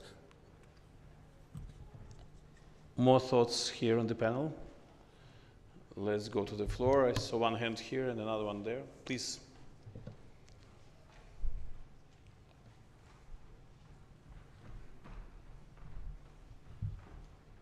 Uh, hello, my name is Andriy Ryzhenko. I'm from Ukraine. Uh, currently, Ukraine controls only 20% of its coastline. This is from Danube River to Dnipro River. And paradox that controlling coastline, Ukraine uh, doesn't control uh, freedom of navigation. Actually, all ports are blocked. Only um, grain initiative allow partially to implement this, uh, uh this possibility. The rest, 80% of coastline under Russian occupation. Uh, my question, and this is a going to me that it's not enough to control only coastline. As soon as Ukraine, uh, hypothetically, actually liberate coastline, we immediately need to take under control our waters of sovereignty. And this is territorial sea and uh, exclusive economic zone. For this, uh, Ukraine needs to have a fleet. We don't need a big fleet. We need a small maneuverable fleet capable to act within, within littoral waters. How you see possibly um, development of this shipping um, uh, warship initiative, which recently was introduced by Minister Reznikov, uh, how Ukraine can, can take back under control its waters and ensure freedom of navigation. Any thoughts here? Please, Minister. Thank you. Uh, if you allow me to say a couple of words on Turkey, on demining, and also on the last intervention First of all, on Turkey, I would like to praise the Turkey for its role. Turkey had uh, last year a very successful, exceptional diplomatic year. They did many things to stabilize the region, including by signing with Bulgaria an agreement for using the Turkish gas transportation network and we are really very grateful because it has not only a very big and important significance for Bulgaria, but for the whole region, because through Bulgaria, the gas that is provided by Azerbaijan through Turkey can go also to other countries from our region, namely Serbia, North Macedonia, of course, Romania. And this enabled us with also capabilities to sign an agreement with Republic of Moldova for cost-free transportation through the Bulgarian gas transmission network to Moldova, which is a stabilizing factor in these difficult times for Kishinev. Next, uh, a couple of words on demining. Of course, using maritime mm, sea mines is a very cost-efficient way for Russia to control the situation in the Black Sea and uh, uh, on the coast of uh, Ukraine.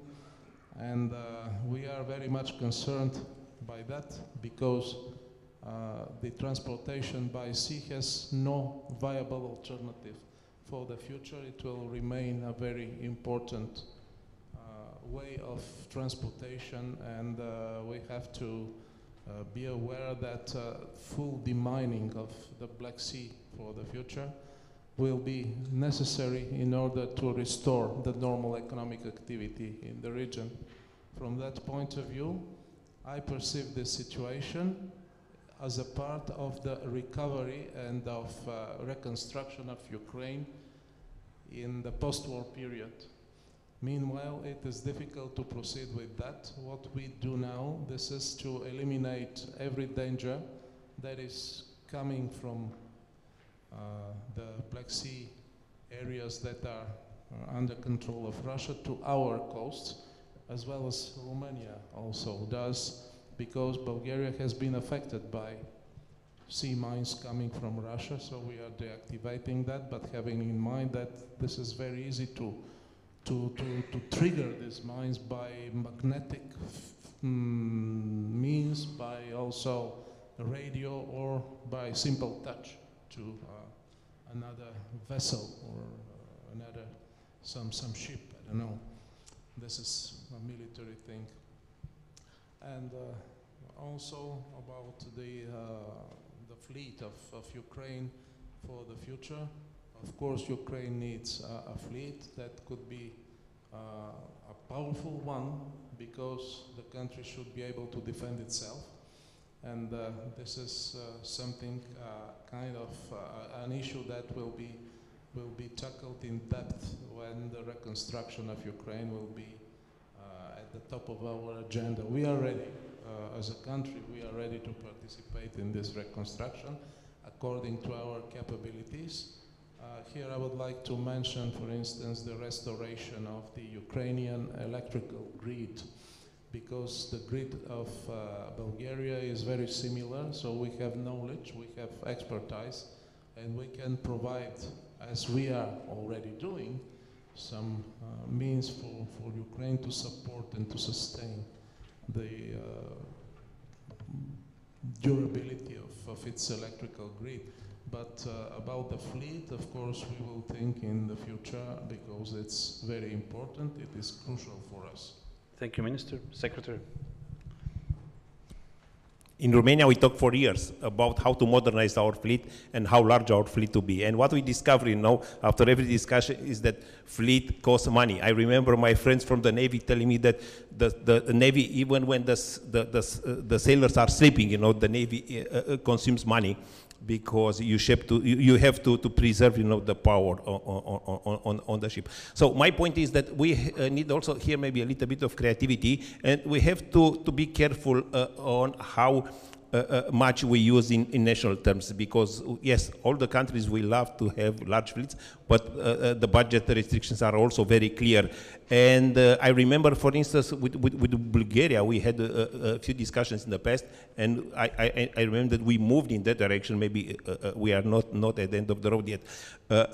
trying to follow the Dutch-Belgian model, you know, of, of cooperating, you know, uh, very well, very beautifully, as long as uh, the, the uh, littoral line for, for them uh, is important as their uh, uh, uh, neighbors. So my point is that, uh, uh, and look at the, uh, this, uh, uh, look how EU is now trying to move forward no, when it comes to the idea of, of revitalizing the defense industry. No country will be able to do, them, to do that uh, only for themselves. I mean, if we are not uh, uh, cooperating to revitalize our defense industry in the collective way, I think that we will all uh, fail. So my point is that I know that it's not that moment, and I know that, that uh, uh, we have to focus our attention on the war. But I, I think that we should consider more and more this idea of cooperating more, you know, to, to protect our coastline, you know, with, with, with uh, uh, uh, Ukraine, uh, Bulgaria, and Turkey, eh, because uh, uh, uh, not only that we are coming closer as countries, but and we are already ready to welcome, for instance, Ukraine in the same organization as us. I mean EU.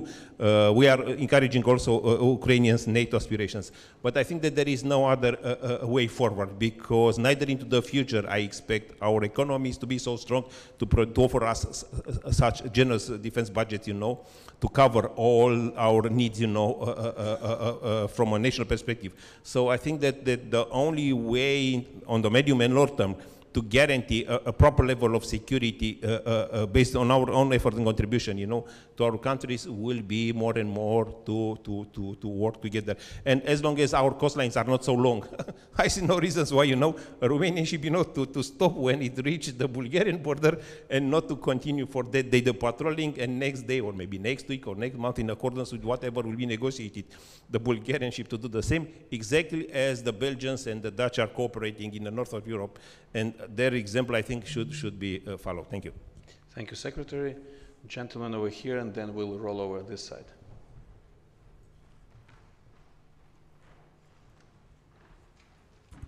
Uh, Thank you very much. Uh, uh, uh, I'm a representative of Ministry of Defense of Latvia, uh, Defense Attaché uh, of Latvian Republic uh, to Ukraine and to Moldova.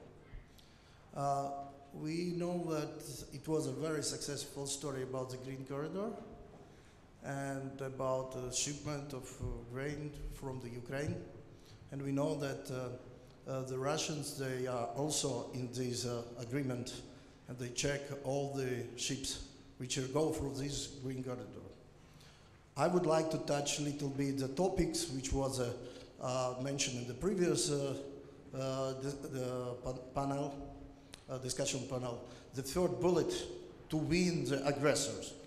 And we know right now that we all expect uh, the offensive action from Ukrainian armed force in order to, uh, to defeat the aggressors and to, to, to win the war. Uh, my question is uh, about the, another corridor, which is operate, I will call it as a red corridor, which is used by Russians in order to sustain in the occupied territory, which goes from Azov Sea, from the Kerch Strait, and go out, and this corridor is used very hardly. Uh, my question, do you expect any mechanism, the same as for Green Corridor, for expectation of these ships in order to prevent the sustainment of aggressor in the occupied territory? Because I think as long as they use these uh, ships for delivery of goods or for delivery this, it was announced that some of the uh, for the material and uh, Ukrainian material and goods was also traveled from the uh, uh, from the Azov Sea. Uh, do you think this mechanism should be activated in order to support Ukraine and minimize the aggressor sustainment capabilities in occupied areas? Thank you. Anyone willing to respond? I'll probably take another question from here and see maybe we'll get some more interest to this topic. I see two hands. Let's do both questions or remarks. Thanks, Mr. the Minister. Uh, I'm the Colonel Parpaillon, the French military attaché in uh, Bucharest for Romania, Republic of Moldova, and Bulgaria. It will be just a precision uh, regarding the, the fleet, NATO fleet we have in uh, Black Sea. Uh, so we have NATO fleet with Romania, with Bulgaria, with Turkey. And for the other countries, other fleets from NATO, the last warship was a French one, in fact, in December 21, January 22, uh, the destroyer uh, Auvergne. And uh, we have also presence in the eastern flank with ground presence, mainly in Romania, also in, in Estonia, and uh, all in, the, in uh, all the eastern flank in the, uh, in the sky, from Finland to, to Bulgaria, and also in space. Just a precision. Okay. Please pass the mic behind you. I expect there will be some comments on the illegal Russian activities. Yeah, um, my name is Yura Kashik, and um, I want to make also some comments that we don't just celebrate each other because, yes, the sanctions are working, and, and yes, we do. I think all the countries represented here looking after Ukraine's interests, but also I see there is much more room to cooperate better. You know, I see that some of the talks about EU presence in the Black Sea, etc. This is a, at this point um, a waste of time because we don't have time to waste. We have to look how we can make NATO work faster because you know we don't have any more time to get together a new mechanism. It's like where we are sitting here right now, 250 kilometers away from here, just off the shore of Romanian waters. There's a ship that is running part of the uh, Russian Ghost Fleet. You know, it's happening right now, and we have only capacity we have is NATO, and also it's sanctions. Sanctions is hurting Russia. In the long term, they're going to bankrupt themselves if they go on this route. But these are clever people, and they find ways to work around. And I don't think like. Um, in this case, obviously I'm Turkish, so and but I'm just a civilian. But I, obviously, maybe I'm not totally uh, partial. But I don't think Turkey is um, uh, consult enough. Like the price cap mechanism passed, very good, but then it created an insurance crisis because I don't think it was coordinated well enough with Ankara. And so, like, there is all these issues that we we are not fully uh, projecting our combined power because we are still lacking to communicate with each other because there is like multiple groups. And um, so uh, that is uh, and like also like the ambassador has mentioned this you know like the pipeline is getting built or refinery it's still owned by Lukoil right? So like and of course no country should take the burden enough. So like if it's going to happen we need to create mechanism that the countries uh, can be compensated somehow so we can uh, respond better because there is more room we can do for Ukraine. So that's what. Well, th- thank you. And I think in the in the spirit of this soul searching and self-reflection, I would just add that uh, I think to many of us, uh, we were surprised how quickly the war distracted uh, all sorts of economic activities across the region, and um, how this impact quickly became of a global uh, nature.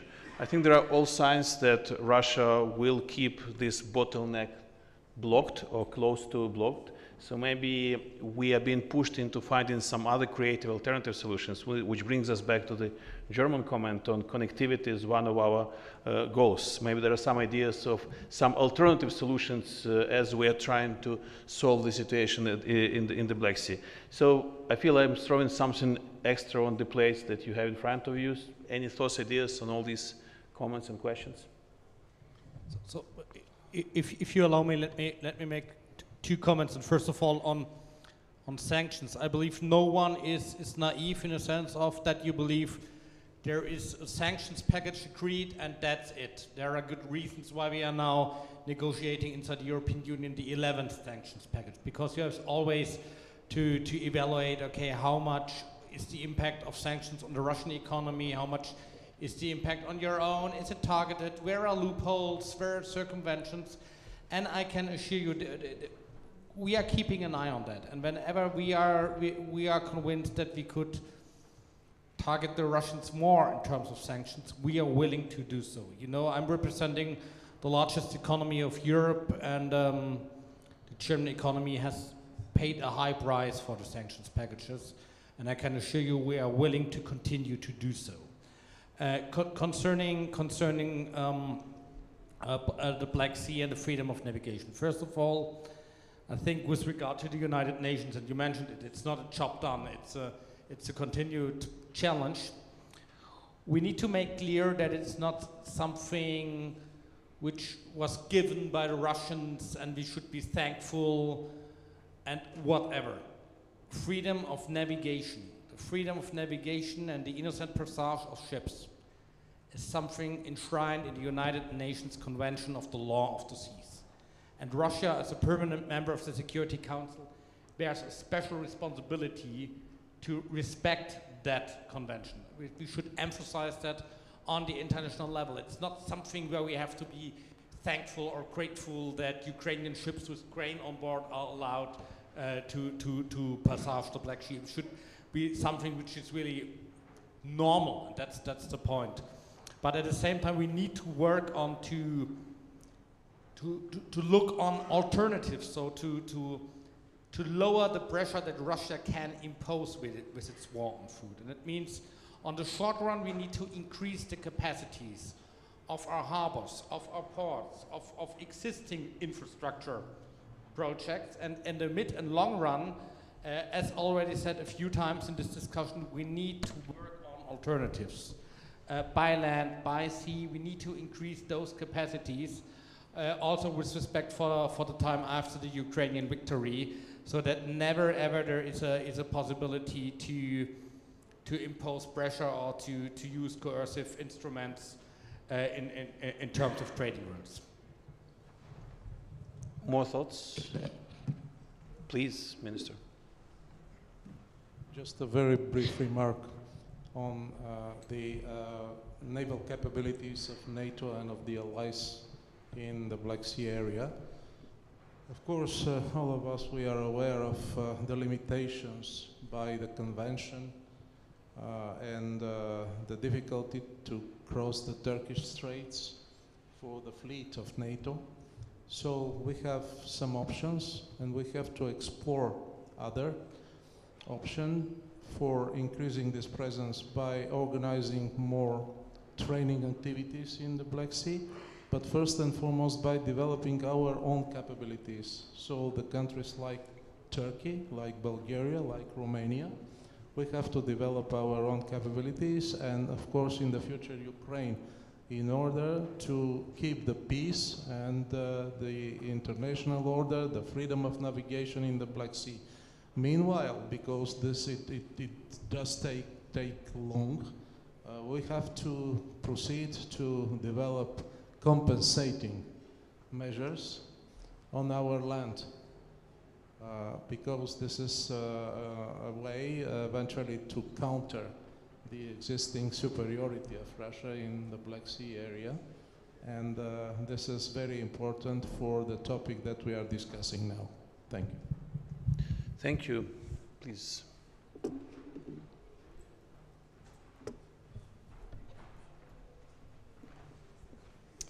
Um, thank you so much. Um, my name is Hans Petter Midtun. I'm a former Norwegian Navy officer.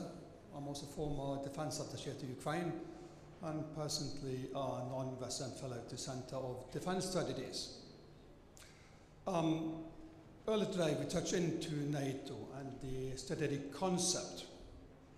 Strategic concept of 2010 had a very different text than the one implemented last summer. Um, let's, if you look back to 24th February and the time following, heads of states across Europe or NATO was unified in a message that Ukraine, not being a member of NATO, do not um, have established any right for collective self-defense. All absolutely correct. They all listed core essential task number one of the strategic concept 2010. They've also unified in the sense that they did not mention core essential task number two, which was crisis management. Crisis management, the text on the crisis management in the previous strategic concept was very clear. It said if there is a conflict or threat of war um, which could in any way impact on the security and stability of its member nations, NATO would stop it. It was the basic for several of our operations elsewhere, out our area operation, if you like. That very strong and committing text disappeared in the Madrid summit uh, June last year. The question is, can, having stepped back from his commitment, because that's what it is, we, we lowered the level of ambition, instead of intervening in a conflict, we decided to step back and deliver non-military means only. Can NATO thereafter have any role in the Black Sea security?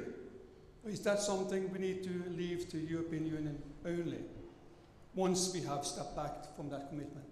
Thank you. And I think this will be our final remark from the floor.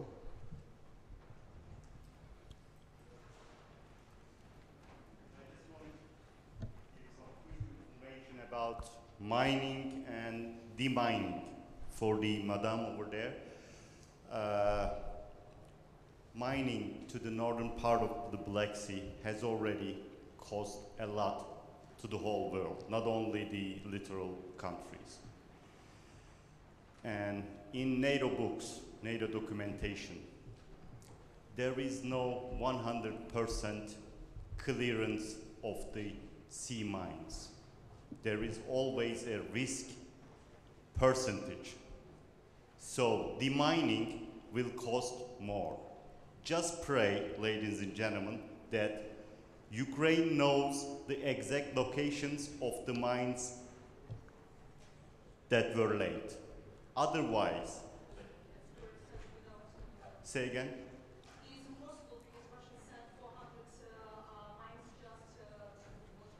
Yeah, so so it is not an issue of EU, NATO, or any other country to sweep away that threat.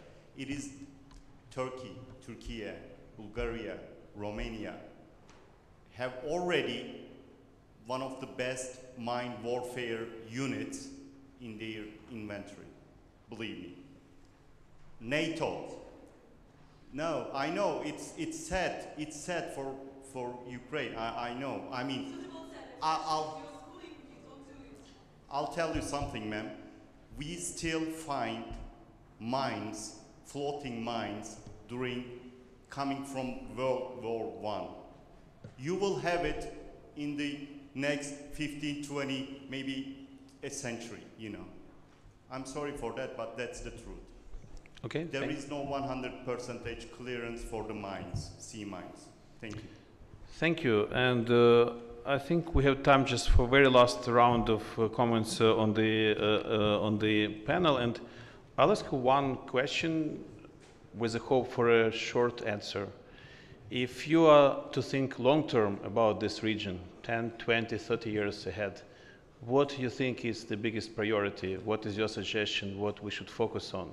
And I want this question to be a bridge to our next and final session, which will be on our long-term strategy. And also, I hope this will be a good food for thought for the whole audience when they, after this panel, will go to enjoy tea and coffee. I have my suggestion. I think we need to build what I call sustainable solidarity. I think we have been quite good and decent in terms of these collective efforts right now. I think we must find our ways to convert it into something sustainable long term. Any thoughts here? Please. I, I would start with a, with a short reply. First of all, I agree. And I hope in 20 or 30 years we will have regional structures, but we should keep in mind what's the necessary precondition, and that is that security in the wider Black Sea region can only be achieved if Russia uh, ends its barbaric war of aggression against Ukraine and withdraw all its troops from the entire territory of Ukra- Ukraine. I think that's important, and to to uh, withdraw it from the internationally recognized borders on land, and that was emphasized here in the discussion as well as on water. And that's the reason why my country will support Ukraine as long as it takes. Thank you. Minister Milko?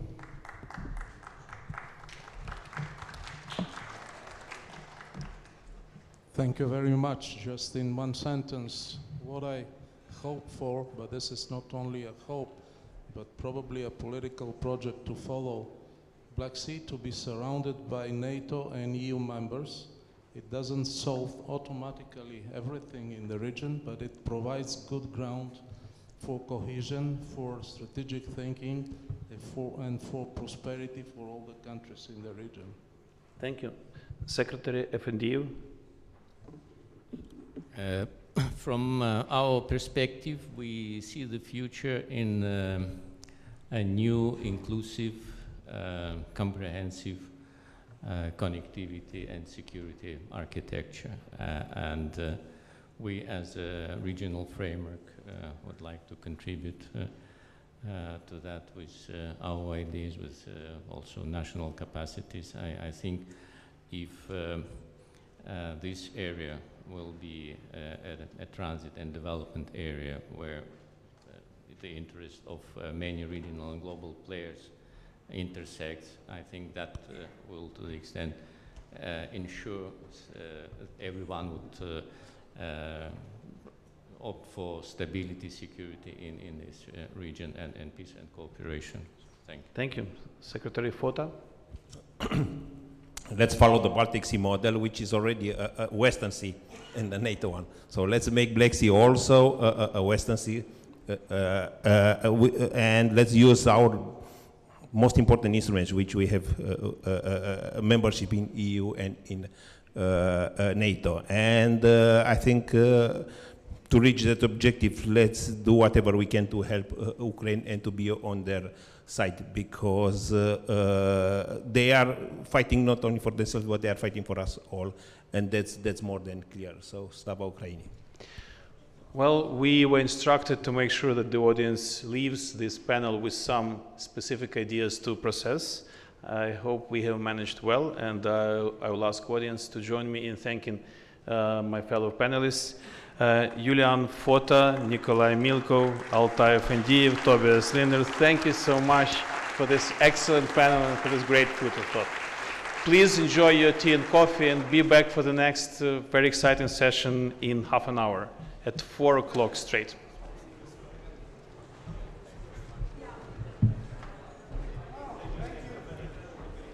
Please uh, enjoy a coffee break in the same room as uh, the lunch was served. Thank you very much.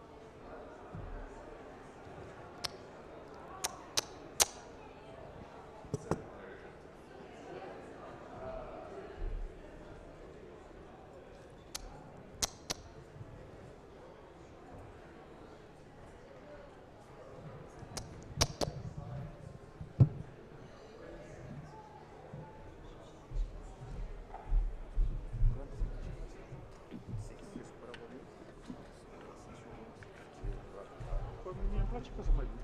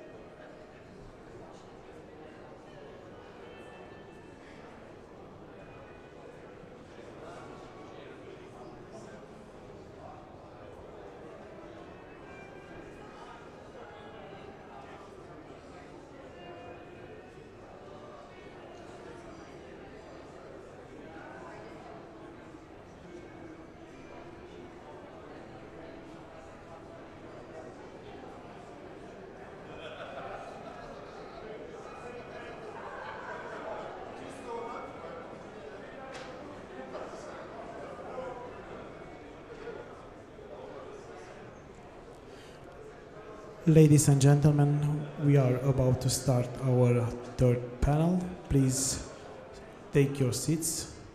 Thank you.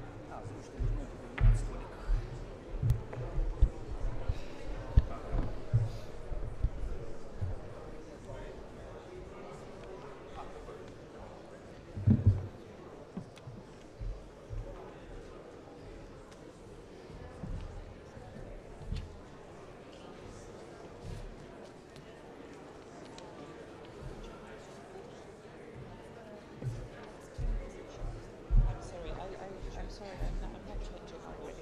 So sorry.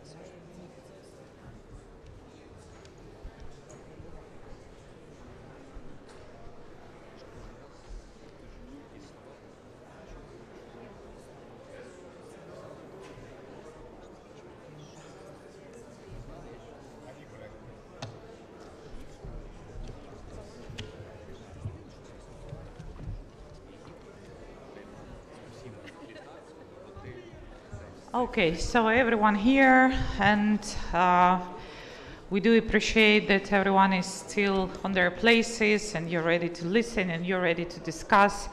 And I think that we had like a very intense two days, and uh, we will go straight forward to the session. We will start, as always, from video, which will give a mood, and then I will introduce everyone. Please, video.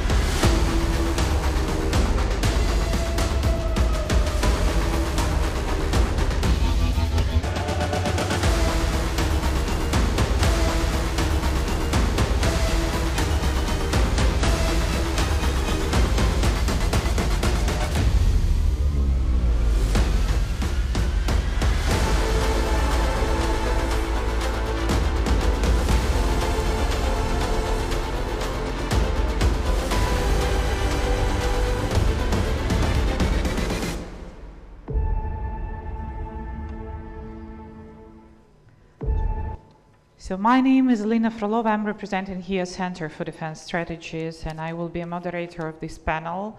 And I'm here in double capacity because I'm also representing the expert network of Crimean Platform.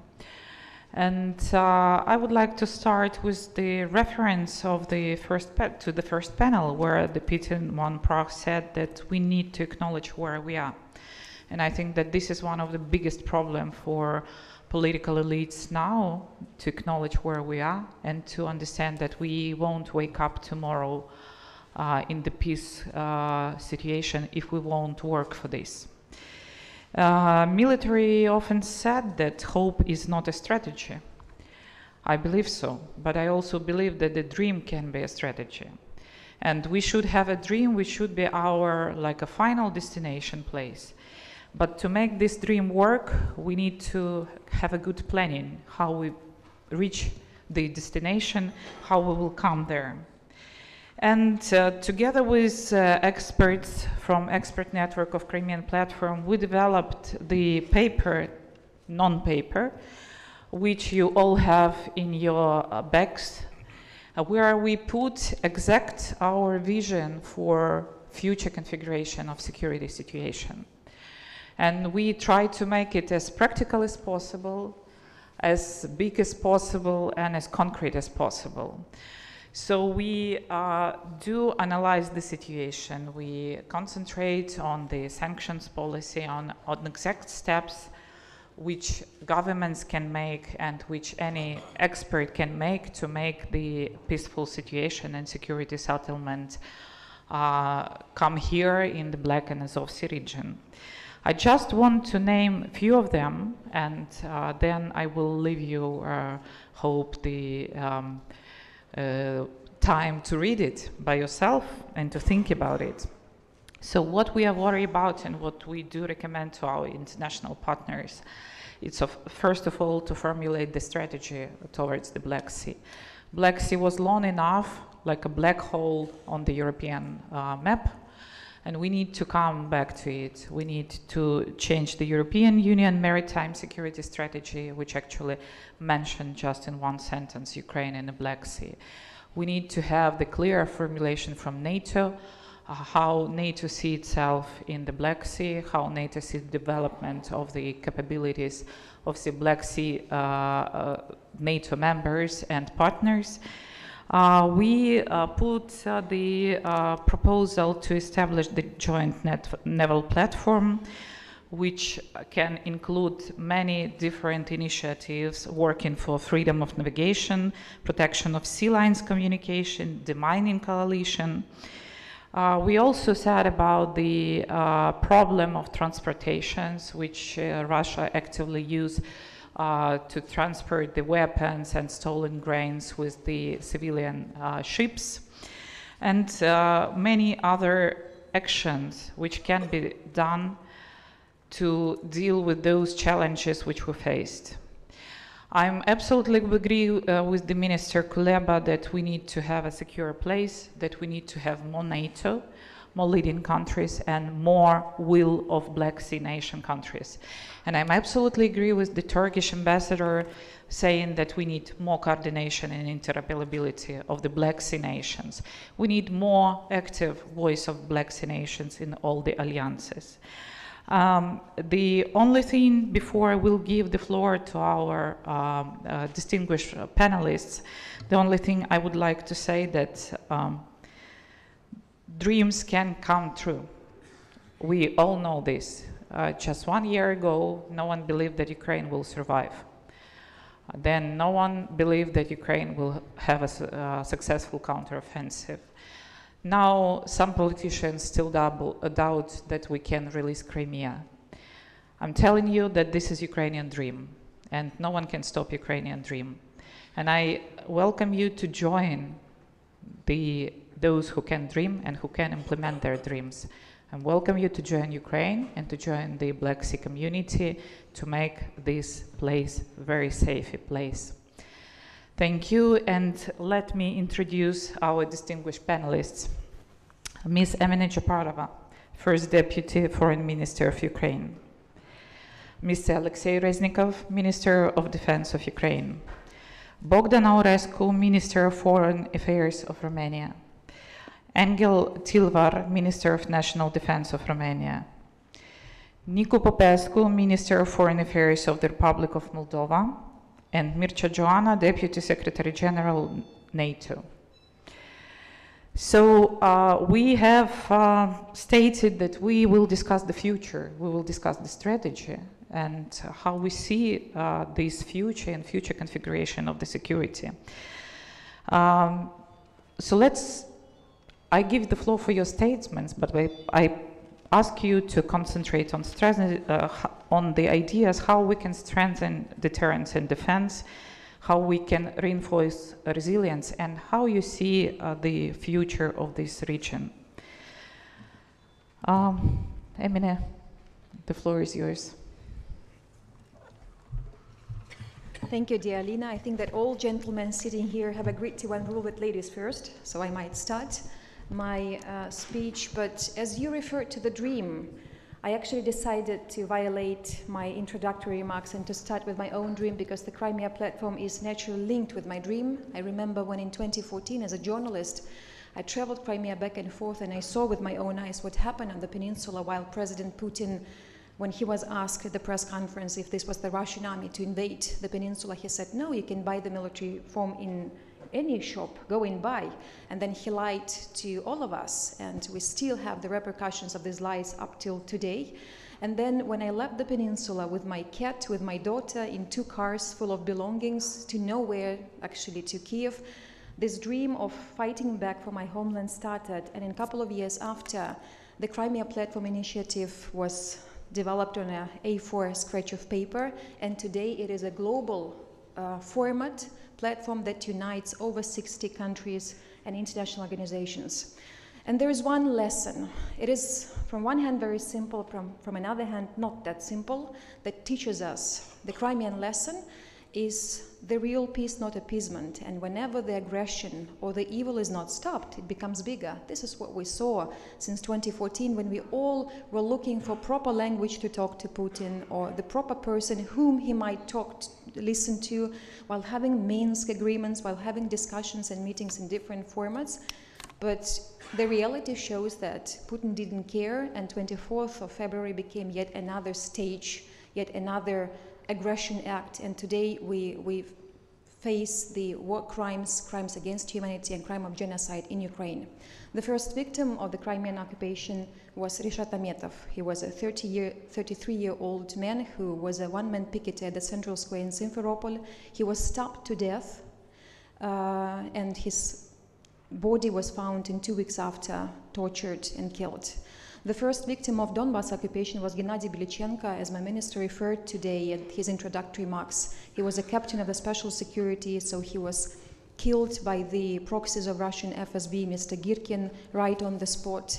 And since that, the whole Donbas occupation started. And I think that at this first panel discussion, we also discussed what kind of lessons we should learn. So the Crimean lesson is the one that we should now be prepared for the decisive actions, and Ukraine is demonstrating the decisive actions by paying the highest price possible, which is the price of our people. There is another lesson, which is a Bucharest lesson, that was in 2008 and April 3rd marked the 15th anniversary of the NATO summit in Bucharest, which was a turning point in modern history. It was an opportunity to take Ukraine and Georgia out of the so called gray zone but beneath these optimistic statements about our countries potentially becoming a member of NATO, there was a hidden rejection, in fact, to accept Ukraine and other countries. And in four months after the Bucharest summit, it led to the beginning of Russia's war against Georgia, and in six years after, the Ukrainian invasion. So, Russian occupation of Crimea back in 2014 became a knockout for the security of the Black Sea region. My next point is about the uh, Black Sea as a militarized zone.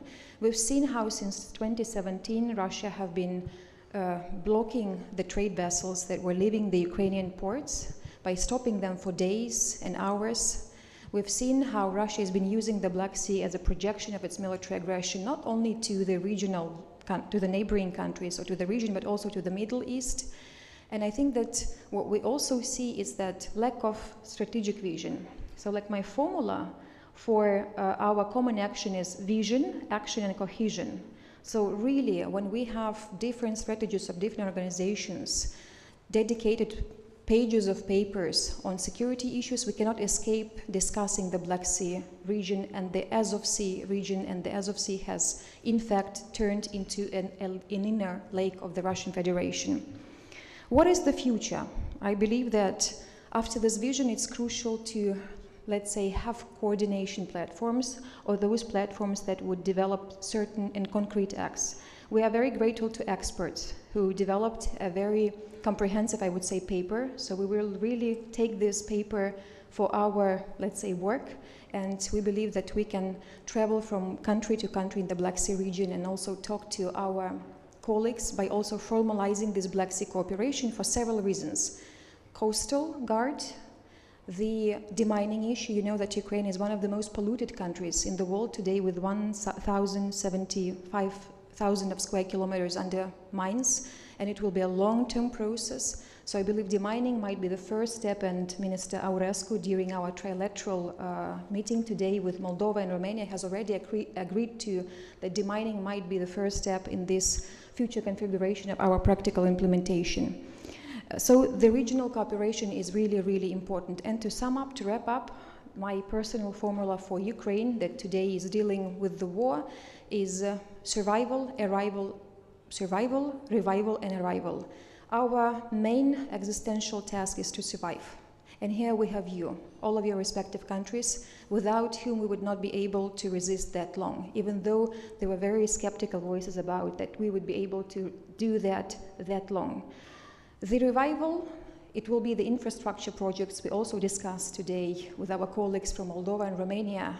The next meeting in the trilateral cooperation It is very important, and President Zelensky, I think, was made a genius step in kind of putting the effort into the future because it's also a therapy for Ukrainian people when you not only focus on the repercussions of the war, but you also discuss the future. And as Alina said, there is a hope, and there is still a hope that there will be a future, and discussing that in a very constructive way is yet another therapy, I would say. And arrival. Our dream is to arrive to EU, to NATO, being a part of the family, family. and I Coming from India, I had a two days visit there, while um, Prime Minister Narendra Modi has defined a motto of G20 is one earth, one family, one future. We really believe that everything is interconnected, and we cannot speak about the future of the world without escaping the discussion of Ukraine. So, Ukraine is seeking for the membership in both EU and NATO as the only way how we can feel ourselves secured. But we also believe that we can contribute both to the security, economic growth, not only of, the region but also of the globe. Thank you. Thank you. Mr. Aurescu, the floor is yours.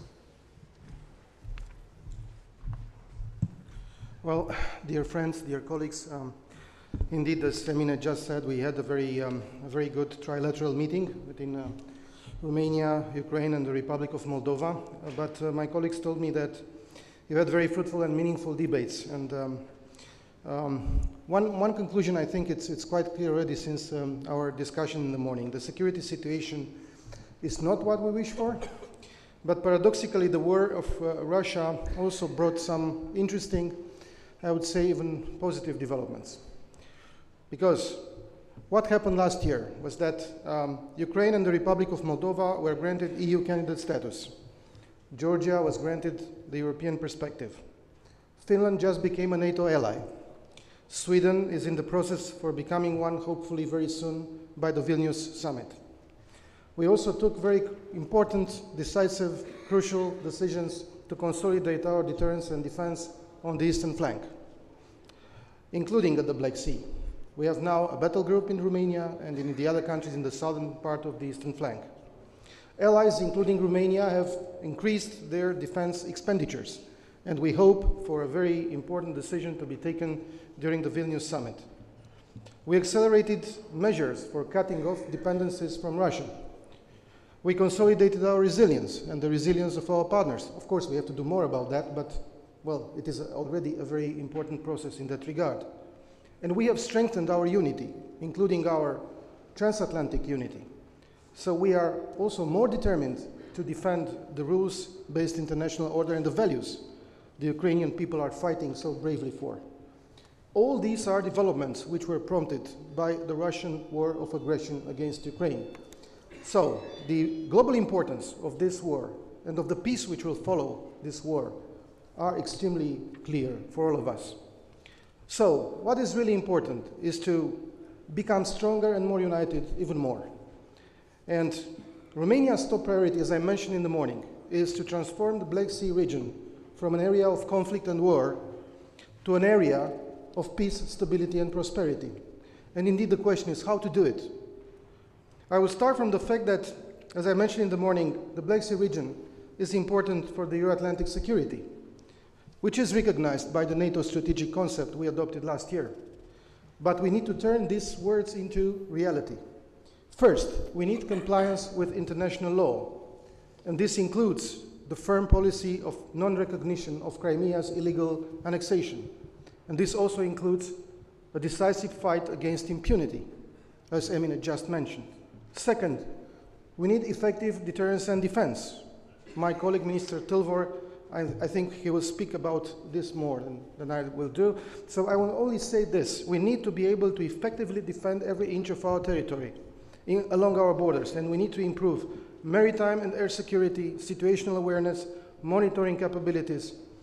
So the Black Sea must be and become a welcoming sea, open not only to riparian, but also to non-littoral states and ships, where littoral and non-littoral countries respect the rule of law, and can train, can exercise together, and ship their goods and energy safely. As we prepare for the Vilnius summit, we need to work for the full implementation of the decisions we have taken in Madrid.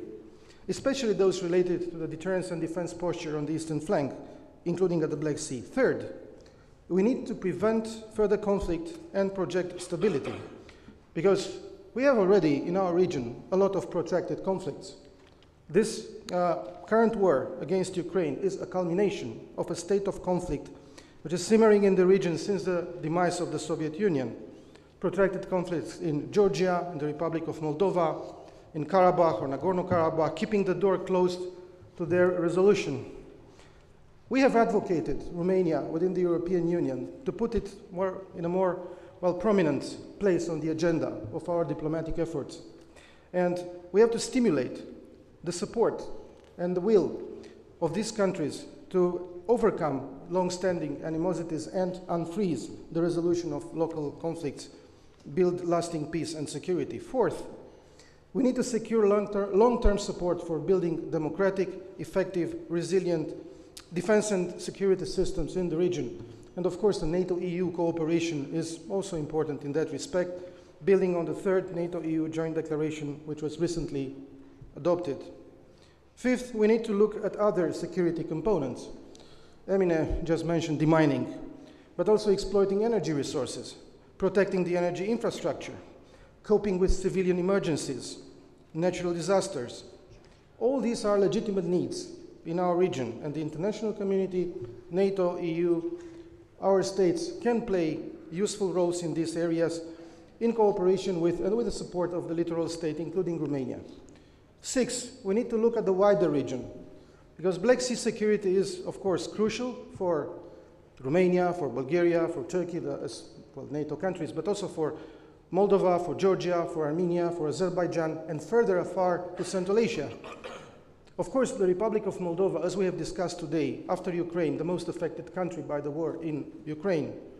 And we are doing our best to help. But more help is needed.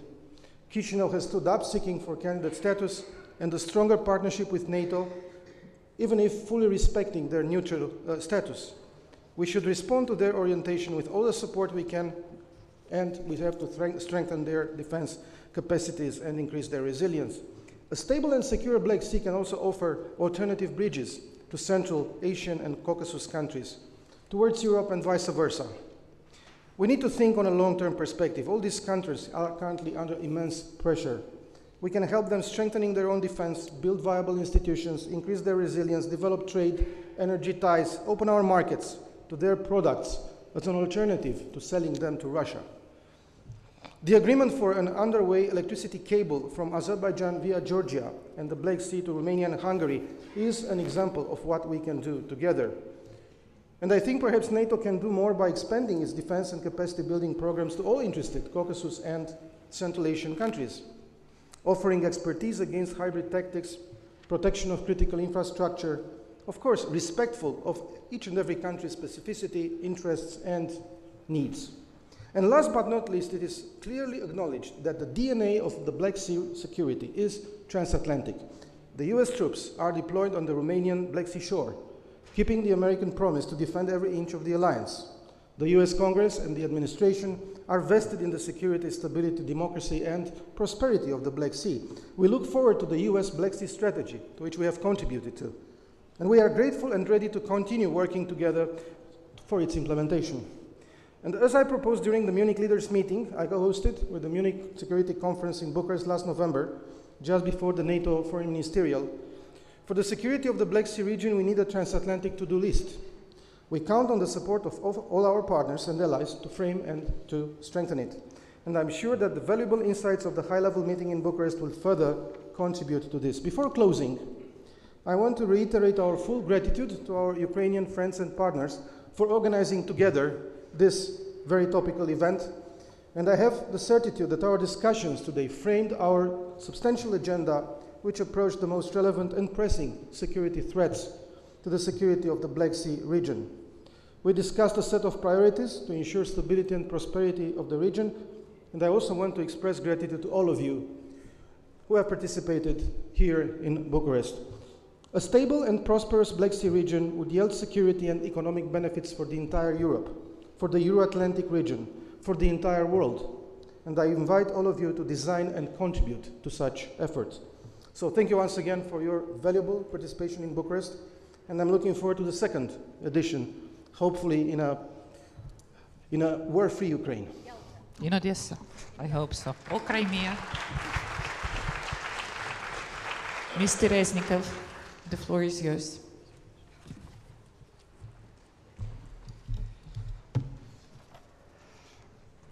Dear ministers, deputy ministers, deputy ministers, colleagues, uh, in order to discuss the future, we should first emphasize where we stand now from the point of view of security architecture. We are facing a completely new reality in this, in this reality.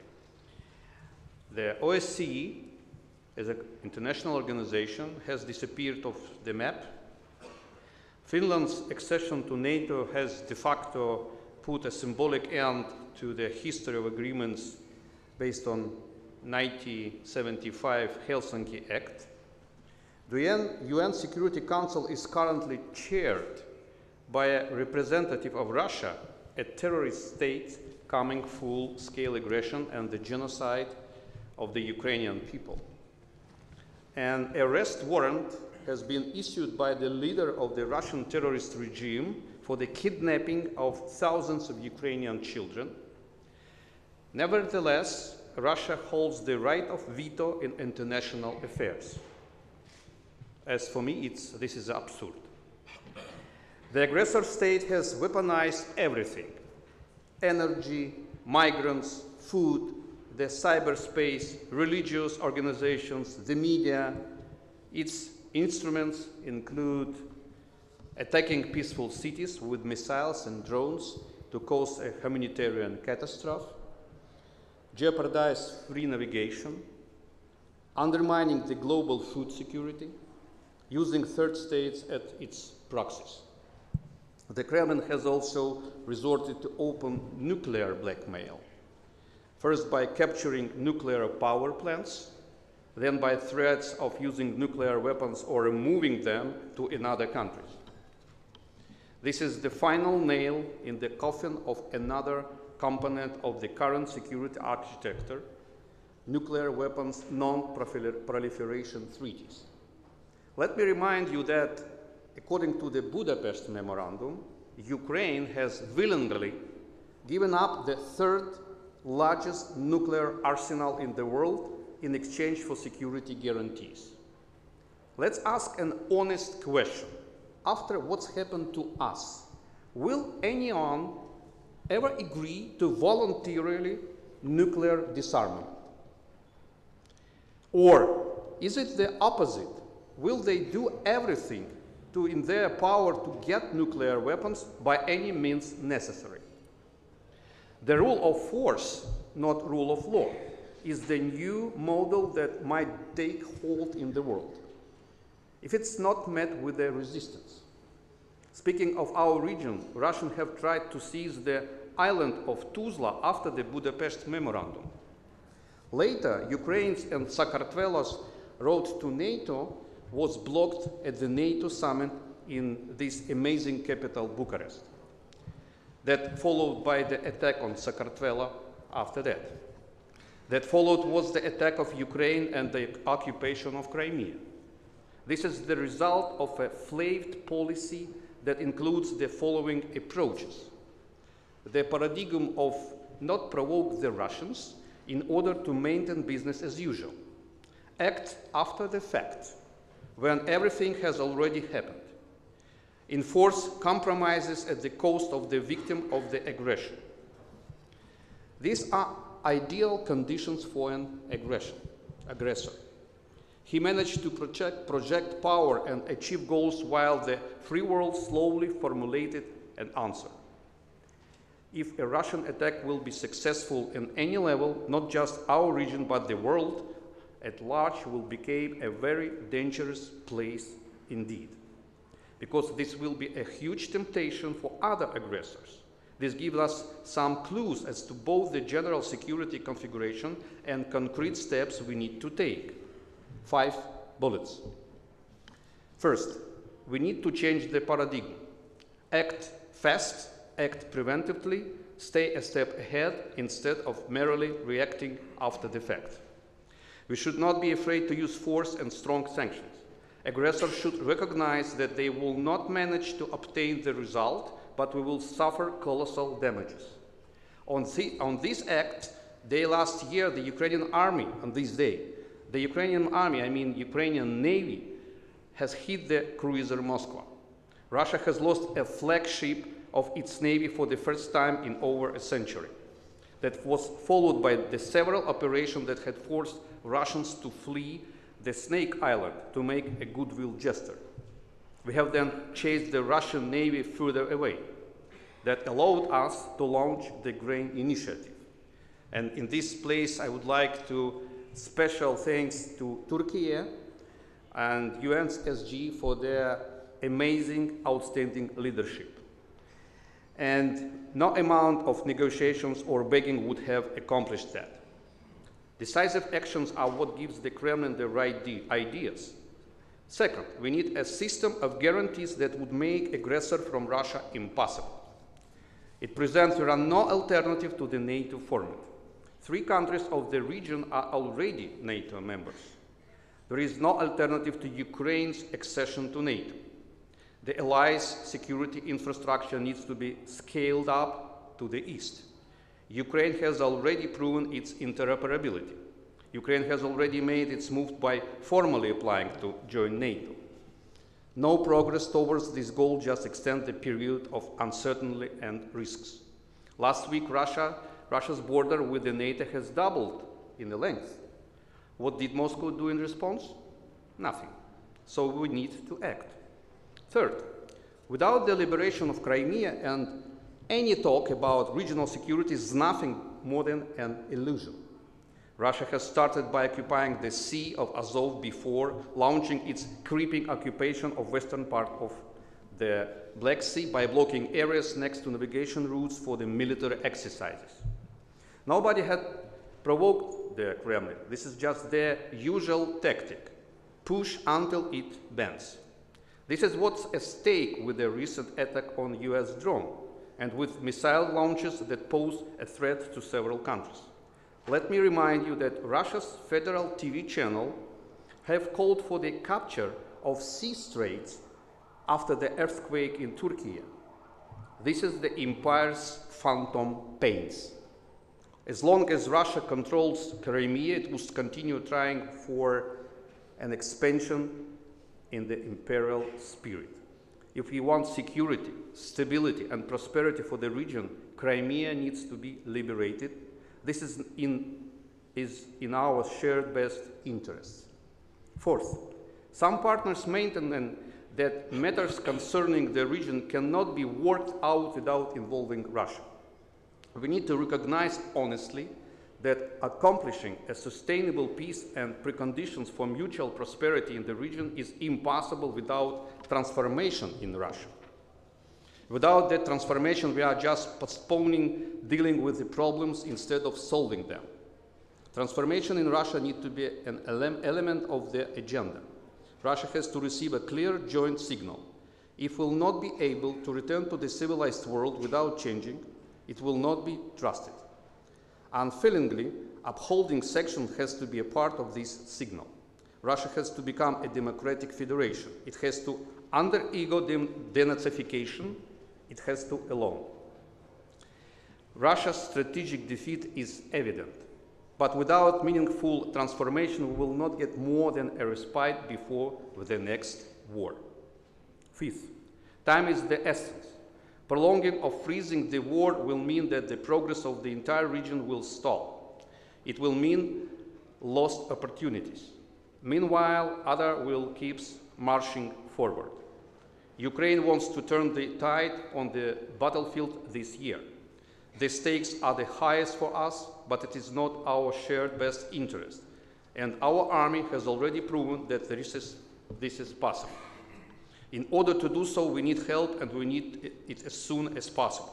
Such a support has to include delivery of weapons and ammunition of diverse types, development of resistance sustainment system for Western types equipment, training of Ukrainian military units, increasing the level of exchanging of information on the development of the situation in the region, in the sky and in the sea, strengthening and control of the sanctions regime against the Russians, deepening the operational interoperability of the military units of Ukraine and partners countries. This is the general framework. framework.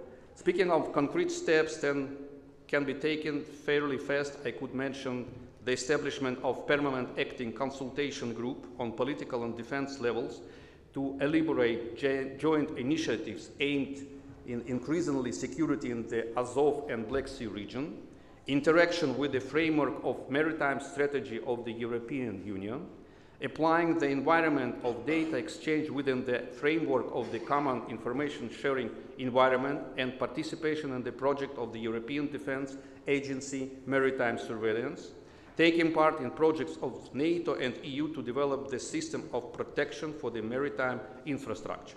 Years ago, many believed that Kiev would fall within three days, followed by Ukraine within a couple of weeks.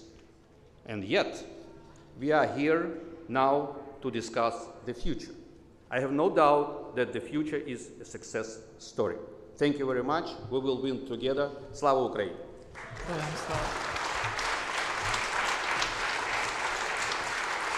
Mr. Tilvar, the floor is yours.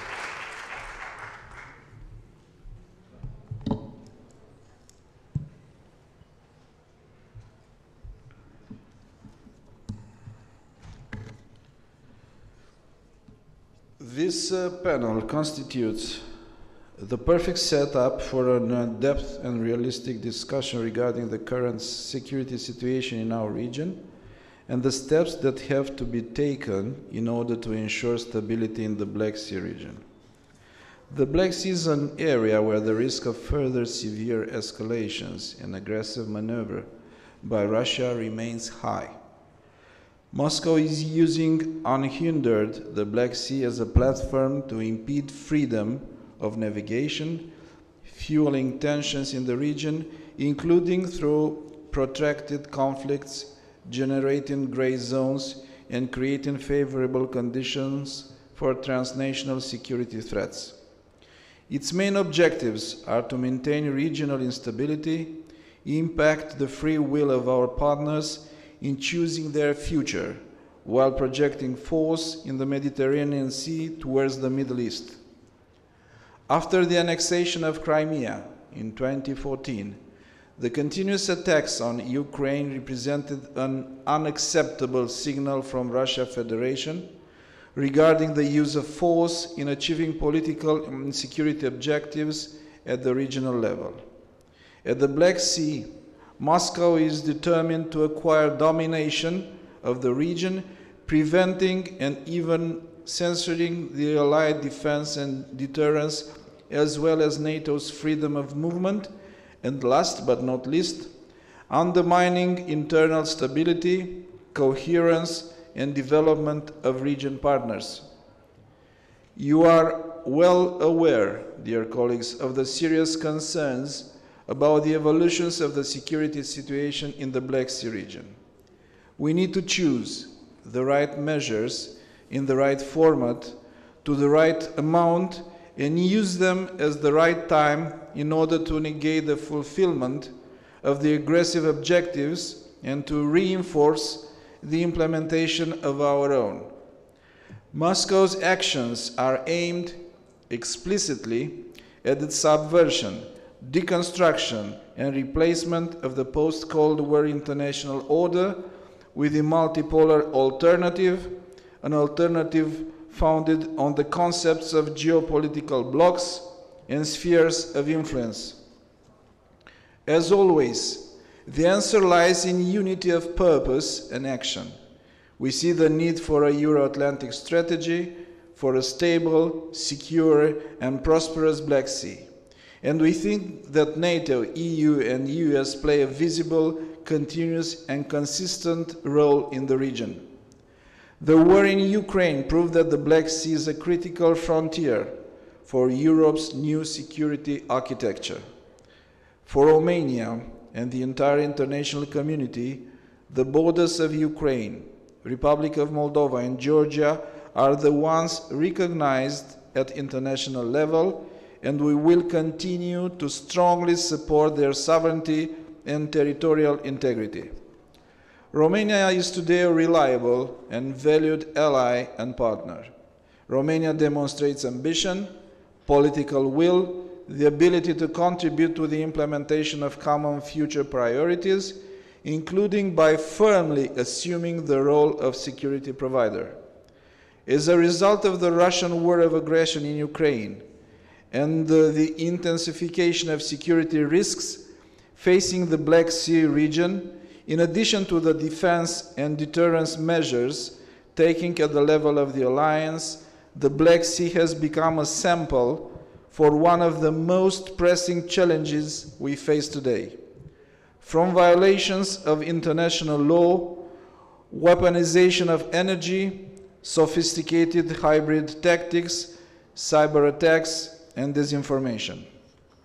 Having in mind the strategic importance of the region, as it was recognized in the NATO strategic concept and EU strategic compass, it is imperative to ensure a more structured approach with respect to the projects and initiatives in support of security of the region. The current security evolutions have once again showed tremendous importance of the Atla transatlantic relationship, a, a, relationship we have put it at the foundation of our nation's security and defense architecture. It has been a key factor in shaping the modern international system and it remains a vital source of stability and security today. To manage these systemic challenges, we should improve our shared awareness and understanding, boost our resilience and preparedness, and protect our shared values and the rules-based international order. The Black Sea region has been marked by protracted conflicts as well as by risks and challenges of security and economic nature for three decades. The region also holds significant economic potential as the east-west corridor between Europe and Eurasia. That is why Romania and the other stakeholders, including US, should work together to ensure that the Black Sea evolves from an area of conflict and tension into an area of peace, security, cooperation, and economic prosperity. We need a sustainable combat-ready land presence along NATO's eastern flank, as well as a solid presence of military aircrafts of allied countries patrolling the skies of the Black Sea and ensuring the security of our air airspace. Currently, there are 5,000 troops deployed in Romania under NATO or bilateral arrangements. So, Romania is doing its part for the security of the eastern flank and the Black Sea, and we are steadfast in our commitments and contributions, and we support that uh, the major decisions our leaders took last year in Madrid to achieve its full potential. Thank you very much.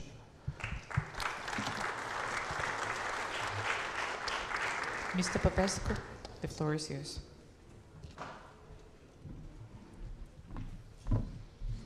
Thank you very much. It's a great pleasure to be here. I'm probably speaking the 20th time in my life at the National Military Circle, and that's really a, a, great pleasure. And here I am today for the trilateral meeting of Moldova, Ukraine, and Romania. We've been coordinating and working closely on a lot of issues on the diplomatic front, on security and defense cooperation, on energy, and I cannot keep but uh, uh, remind myself today that the last time we met in the trilateral format was in uh, Odessa in September, and our joint press conference with Bogdan and Dmytro ended under uh, air sirens because there was an impending attack. I think we, we had around 10-15 minutes of our press conference under air sirens, and I remember looking at Dmytro, and as long as he was calm, I was calm, and Bogdan was calm. But then the true depression and concern hit me when Bogdan and I started driving back to Moldova and we knew that our friends and partners and Dmytro and his colleagues had to stay under air sirens, under bombings, and that's truly something that we uh, all feel uh, very uh, closely to our hearts. And uh, by starting this, I can tell you, and even this small um, instance of our trilateral dialogue also reminds us that uh, what Ukraine is going through is an incredible tragedy of enormous proportions, and nothing compares to that. Uh, but Moldova, as a country next to Ukraine, with not a lot of capabilities, uh, has been there uh, severely affected by this war and after Ukraine being one of the countries where the impact of the war has been the most dramatic on our country's security, on our country's economy, on our country's energy security, on our cyber security, on our everything. Every single domain in Moldova has been negatively affected by this war, and every single person living on the territory of Moldova has been negatively affected by this war. Uh, However, we have managed to cope reasonably well given the circumstances with the last year and you know, the list of the negative impact of the war on Moldova is, is very long. I can give you numbers upon numbers. We've had 30 plus percent inflation, the gas prices for the population went up seven times, electricity prices went up four times, etc., etc. But we did manage to cope. With the last year, we have managed to keep stability and calm and uh, the economic resilience of our country has been reasonably good despite these shocks. And that we have managed to do primarily thanks to Ukraine. As we speak today, Moldova is not facing immediate military risks, and this is because of Ukraine. It's because of the Ukrainian people, it's because of the Ukrainian army, it's because of the Ukrainian society and political system, which have kept the Russian tanks away from our border and has allowed Moldova to benefit from peace, calm, and stability, and a certain ability to deal with the other threats we're facing. And of course, in this series of threats, Moldova has long been a primary target of Russian hybrid war tactics deployed against Moldova. Uh, some of them have been started to being deployed even before our independence. Russian uh, support for separatism, uh, you know, a Russian TV program about Moldova in 1990 or 91 is roughly has the same tone and the same amount of toxic propaganda against us as you would have today on Russian TV. So some of those tactics we have been living on with for a long time. But of course, in the last year, they have increased uh, exponentially. Uh, as I said, though, we have managed to keep violence away from our streets. Our uh, intelligence services, police, the defense ministry has worked uh, incredibly well to make sure that violence is kept away from uh, Moldova, that our functionality as a country, as a society, as an economy stays um, solid and that is something which also allowed us to concentrate and together with Ukraine to engage in this deepening and accelerated uh, road of accession to the European Union.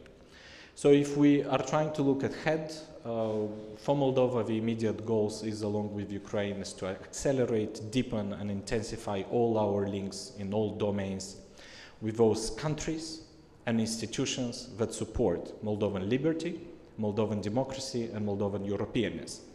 And here, of course, I mean, Romania, first and foremost, you know that we share a culture, a history, a language, and a common future in the European family.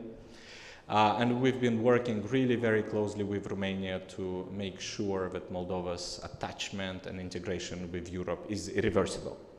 But besides Romania, of course, we've been very closely working with all the countries, as I said, that support us and institutions. And that includes the European Union, NATO, who have really done an amazing job in supporting us through this last year. And here, Mircea Geoană and I are also re regularly meeting on all kinds of platforms in Brussels and other cities to make sure that we deepen our cooperation.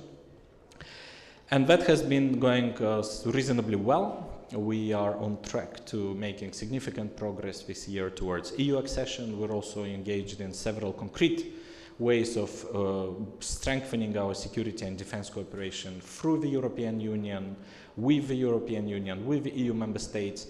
Just in the next few weeks, we will have uh, several announcements becoming finalized in public. In a few weeks, the European Union will launch a CSDP civilian mission to Moldova.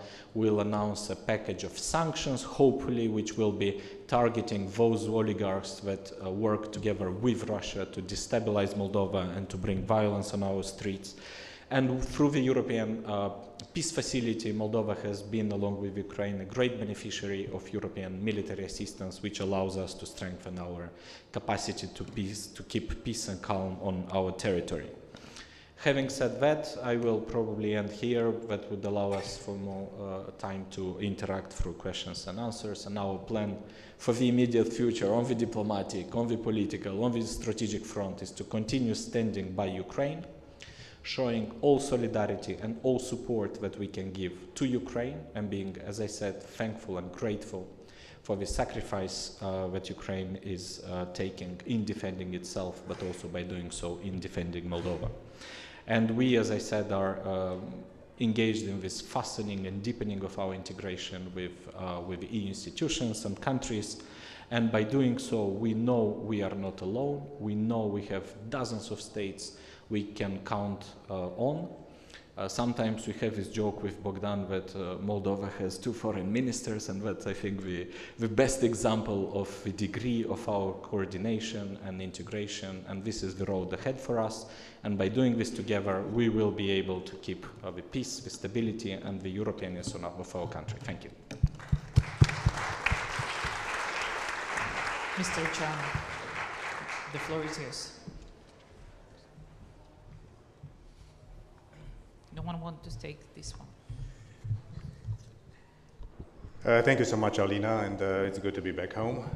This place that symbolizes Romania's national identity and, and the sacrifice over generations and historical periods to be finally part of the West.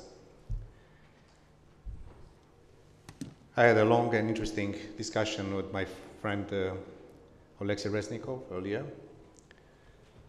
And I also uh, was a physical participant and contributor to the launch of the Crimean platform in August 2021 in Kiev. And I was a little bit puzzled why I was invited as uh, NATO representative to speak last. And I asked President Zelensky and Dmytro Kuleba, why did we invite NATO to speak last? Is that a message? And with his uh, exceptional humor and wisdom, the president, the foreign minister, told me the guy that speaks last will have the most lasting impact on the audience. Let's hope this will be the case also in Bucharest. The day after the Crimean platform launch, and by the way, I was impressed by the leader of the Crimean Tartars, an old gentleman, dignified and heroic, and also telling us that if we allow an imperialistic power to grab by force territory from an independent nation, we are doomed for this scenario to happen not only in Europe but elsewhere. What happens in Europe can also happen in Asia. What happens in the Black Sea could happen tomorrow if we don't do things right now and here in another sea and ocean, in the Pacific, or wherever else. The day after the Crimean platform launch, I attended the 30th anniversary of the independence of Ukraine. I really remember the big square, and also men were wearing E, as we said them in Romanian. And I asked the day before President Zelensky, said, Mr. President, when are you going to respond to the infamous long essay by President Putin? I think that is still on the website of the Kremlin. In basically, he denies the national identity and culture of Ukraine. And he smiled and he said, Listen to my speech tomorrow. I listened to his speech on the 30th anniversary of Ukraine. And I heard a leader of a proud nation anticipating probably trouble to come with a sense of national identity and resilience and hunger for a better future that is probably the explanation of the heroism that we see with our Ukrainian friends in this difficult, difficult, barbaric war. We are living in a world which is competitive and dangerous. And this is not only because of this war, it's also because of the global shift and great power competition. A competition defined by a fight between democracies and authoritarian regimes. The Black Sea region is at the heart of today's discussion. And as a Romanian, I also know and I feel that this is a region which is strategically important area for Euro-Atlantic security. Of course, for the riparian states, but also as a platform, a springboard for Russia to project power to Africa, to the Middle East, in what we call in NATO a 360 degree approach. So what happens in the Black Sea is not only for the Black Sea only, is also for the Mediterranean Sea, for the Adriatic Sea, for the Indian Ocean, and beyond. The Black Sea region has been the focus of Russia's aggressive buildup and actions for more than two decades now. And the illegal annexation of Crimea in 2014 and the portions of the Donbass were just, if you want, a startup.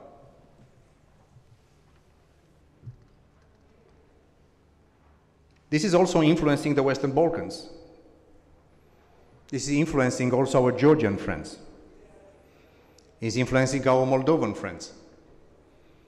It's influencing our friends in Bosnia and Herzegovina.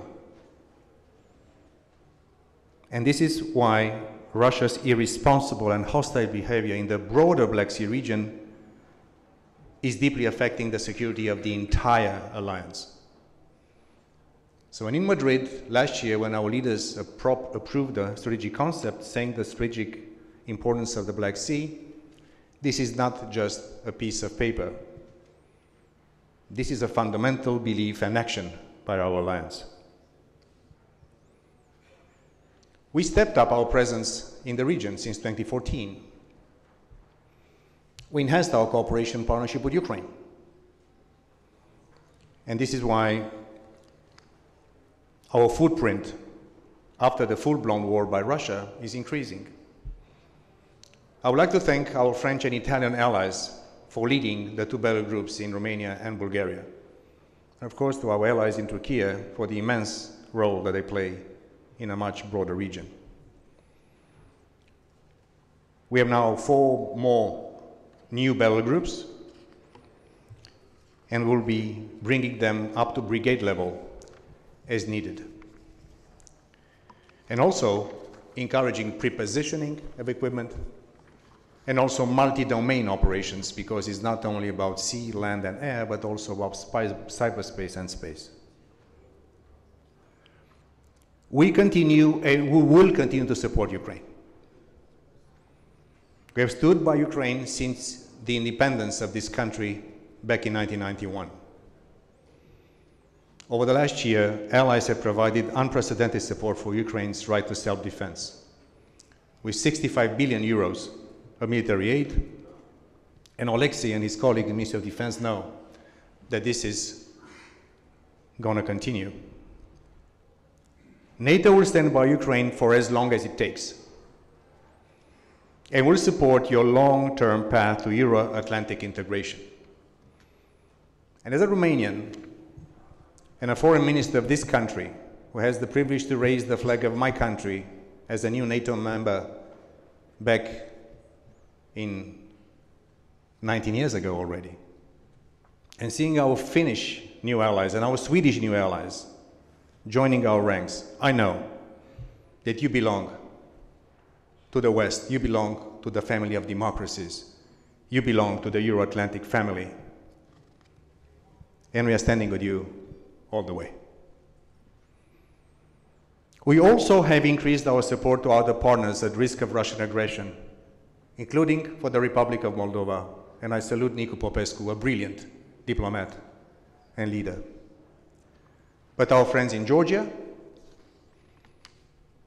they are an enhanced opportunity partner to NATO, and we are looking forward to continuing to invest in our partnership.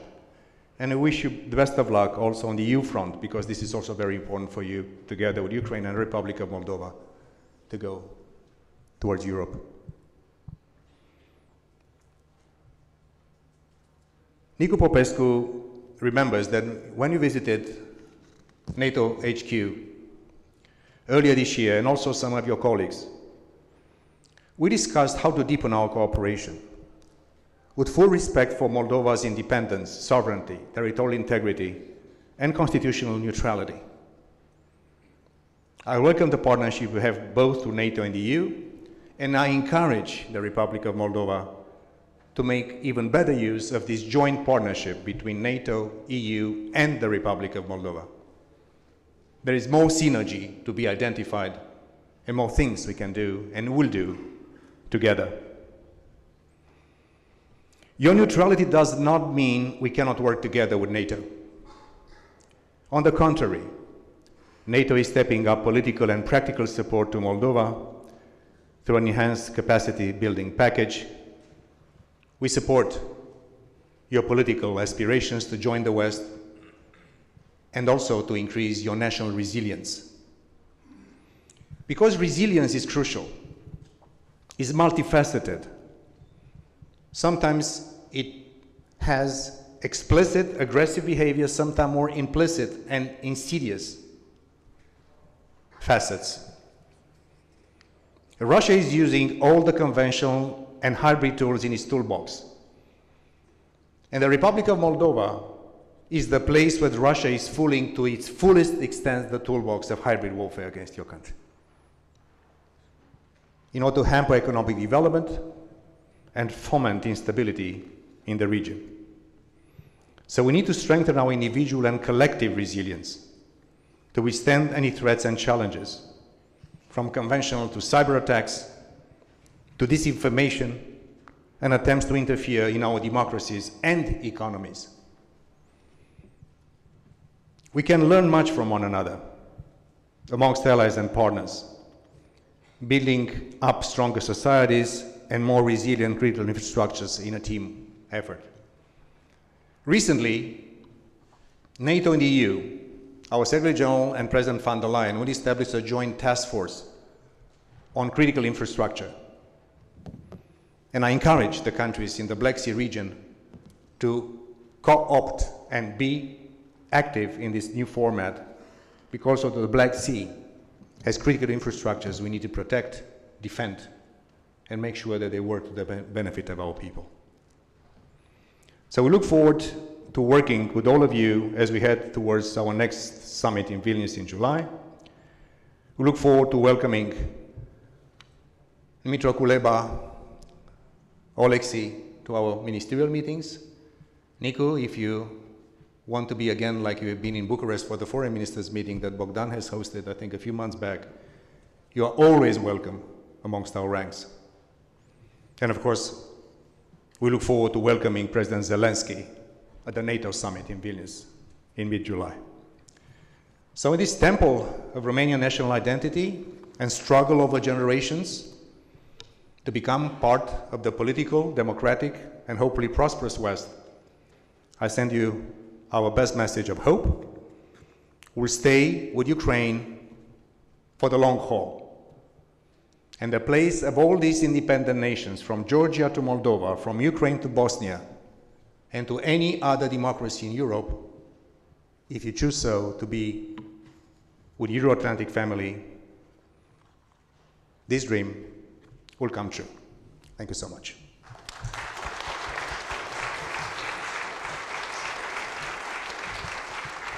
Thank you.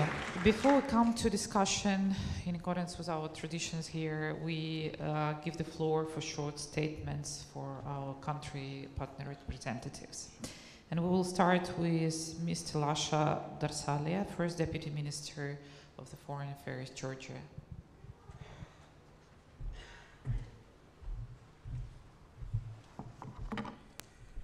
Thank you, Your Excellencies, uh, dear ministers, dear colleagues, distinguished attendees, ladies and gentlemen. It is an honor of mine to address the first Sea Security Conference in the framework of Crimea Platform. I express my sincere gratitude to His Excellency Foreign Minister Kuleba and His Excellency Foreign Minister Aurescu for this important initiative, which is extremely timely in such extraordinary circumstances for Euro-Atlantic security. For more than a year now, we have been witnessing Russia's unprovoked and unjustified war of aggression against Ukraine. The scale and devastation of the war we have severe uh, war have severely impacted nearly all aspects of foreign secu- uh, of regional security. A terrible year of brutal hostilities has taught us many invaluable lessons we are obliged to learn carefully. The war in Ukraine has demonstrated the necessity of having a firm and consistent strategy on the wider Black Sea security. Bearing in mind the strategic significance of the Black Sea region, for years we had been advocating for enhanced Western engagement in the region and the development of a consistent strategic approach towards this contested flank of Euro-Atlantic space. Accordingly, we welcome the bolstered NATO and US presence in the region and the Allied decision to recognize the Black Sea as a strategically important region for the Alliance in NATO Strategic Concept 2022. However, more has to be done. The time is now for NATO to make a long delayed decision and adopt a comprehensive strategy for the wider Black Sea region. The strategy should address regional security in all the relevant domains and envisage concrete actions. We believe that strategy should aim to develop joint mechanisms for the effective tackling of disinformation campaigns, strengthening national cyber security systems, improving communication and transportation systems, and protecting critical infrastructure. At the same time, the EU needs to address the wider Black Sea region uh, from the economic and energy security perspective. Today, Europe is in urgent need of the diversification of economic and energy sources. And since the Black Sea region represents a historic transit route between Europe and Asia, it has to be transformed into a major transit hub for supply from Central Asia to Europe. Ladies and gentlemen, the strengthened security of the, Black, uh, of the wider Black Sea region is a guarantee of peace and stability in the whole Euro-Atlantic area. We should spare no effort to make the region functional again. In the new security architecture that shall be created after the restoration of territorial integrity of U Ukraine and other regional states, the wider Black Sea region should be acknowledged under the common security umbrella of the international, uh, international uh, liberal Western order. Another major lesson uh, the recent history has taught us is that peace and security in our region are achievable only under the collective defense umbrella. Therefore, the best policy to ensure persistent deterrence and defense in the entire Euro-Atlantic area, including the Black Sea region, is full political integration of countries like Georgia, Ukraine, and Moldova, genuinely European nations, into European and respectively into Euro-Atlantic family. And finally, let me express my sincere gratitude to Romanian side for hosting us today and Ukrainian side as a co-hosts. Uh, co-hosts. Thank you very much and Slava Ukraini. Thank you. Slava, дякую.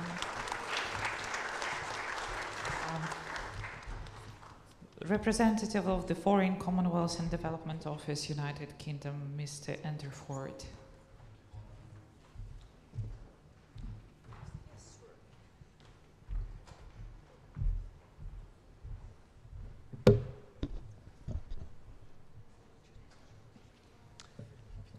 Good afternoon, Excellencies, Ministers, Representatives. It's a great honour and pleasure to be here on behalf of the United Kingdom. We are very grateful to Ukraine and Romania for organising and hosting this conference. And we welcome the chance to join colleagues today for this important discussion. The UK, the UK stands with Ukraine and will continue to do so for as long as it takes. for Ukraine to prevail against Russia's assault on their sovereignty and territorial integrity. We'll do it with continuing military aid, training, humanitarian assistance, political support, and by helping mobilize the international community. For the UK and the international community must and do stand against Russia's naked aggression and for freedom, democracy, and the sovereignty of nations around the world in compliance with the UN Charter and the rules based international system. We are learning lessons at a national level. and want to take every opportunity, such as this, to learn internationally along with our allies, partners, and friends. The UK government has recently updated its international strategy to take account of Russia's latest invasion of Ukraine and of an increasingly contested wider world. The review confirms that our most pressing foreign policy priority is indeed to address the threat posed by Russia to European security. Our conclusion is that democracies like ours must go further together to out cooperate and out compete states that are driving instability in order to uphold the stability, security, and prosperity of our continent and the Euro Atlantic area as a whole. The UK is proud of the support we have given Ukraine, but military assistance, sanctions, and humanitarian aid are not enough. For when this war is over, we must never again allow Ukraine to be left vulnerable to attack. We must together make sure that Ukraine, its regional neighbourhood, and all countries in the Euro Atlantic area are safe and secure and able to thrive economically. That is why, for example, among other things, the UK is already supporting Ukrainian capacity building in maritime demining. That is why the UK is pleased to co host the Ukraine Recovery Conference in London in June of this year to mobilise the combined might of public and private finance to ensure that Ukraine gets the reconstruction investment that it needs. Beyond the NATO framework, the UK is also privileged to enjoy strategic partnerships with many countries represented here from around the Black Sea region. We will continue to deepen these partnerships, refreshing and updating those that we have and seeking opportunities to form new ones. Our first task is to support Ukraine to win the war and to recover from it. But thereafter, we must be ready, with allies and partners, to help modernise, maintain, and support future Euro Atlantic security into the longer term. While delivering significant support to Ukraine and bilaterally and via NATO tailored support packages to other countries in the Black Sea region affected by Russia's aggression, we also have much to learn from our partners, especially about national resilience. To close, let me return to lessons we're all already learning many political, economic, energy security, and wider security lessons from this conflict, and will be doubtless doing so for years to come as a future European security order becomes clearer. This conference is visible public acknowledgement of that. The breadth, depth, and ingenuity of ideas and proposals that we've heard today enriches that learning process and offers much food for further thought. However, the biggest lesson, surely, must be for the Kremlin. We must all do what we can for as long as necessary for Russia to learn that mounting an unprovoked, premeditated, illegal, and barbaric assault against a sovereign democratic state was wrong.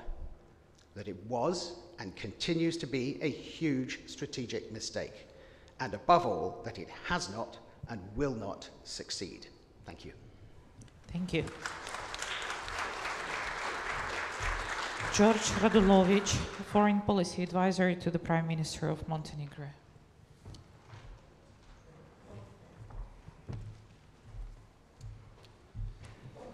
Thank you. Thank you very much. Before I start, I would like to say how thankful we are for organizing to the ministries of defense and foreign affairs of Romania and Ukraine for organizing this important event dealing with Black Sea region security that has enormous importance also far beyond this region and even in the Western Balkans. So more than a year has passed since the beginning of the relentless Russian aggression against Ukraine. One year since the Ukrainian people started a decisive struggle for the defense of its country and showed the strength of, of their courage and heroic fight to preserve the dignity of the country, the peace and freedom of Europe, the unity of the democratic world, and the values we strive for together. The security of the Black Sea is an issue that concerns not only coastal countries, riparian states, but the whole world. Thus, the Black Sea enhances geopolitical and economic competition at a global level and also adds a new dimension to the Euro-Atlantic security system. The situation in the Black Sea did not change overnight. For many years, Russia has been trying to stir up and to militarize this region. The Russian occupation of Crimea and full-scale invasion of Ukraine only exacerbated this threat. Russia's continued activities in this region have serious implications for European security. In response, the West, political West, we must develop a comprehensive strategy to secure the long-term future of the Black Sea region. In the light of Russian aggression against Ukraine, we have an obligation as a partner countries to coordinate and contribute to the defense of Ukraine's internationally recognized rights and not allow Russia to continue abusing the Black Sea region by its illegitimate actions. Russia has been trying from the very beginning of its aggression to reduce NATO's presence on its eastern borders. But on the other hand, NATO has shown the strengthening of its role and the creation of a new sense of the alliance existence. This is evidenced also by the decision of Sweden and Finland to join the alliance, as well as Ukraine's application for accelerated membership. Through such events, the recognized need to preserve and build reliable and safe architecture of the future world is clearly visible. Today at this conference, Montenegro confirms its unequivocal support for Ukraine in its struggle to secure its integrity and sovereignty. This is an obligation for all of us. Not only that, it's our moral responsibility and the proof of our full dedication to reaching these goals. From the very beginning of the Russian invasion to Ukraine, Montenegro has shown solidarity with Ukraine and its people in the fight to defend the highest postulates of international law, both bilaterally by sending military, humanitarian, and material aid, aid and internationally condemning by condemning all actions of Russia that in any way encroach on the sovereignty and integrity of this country.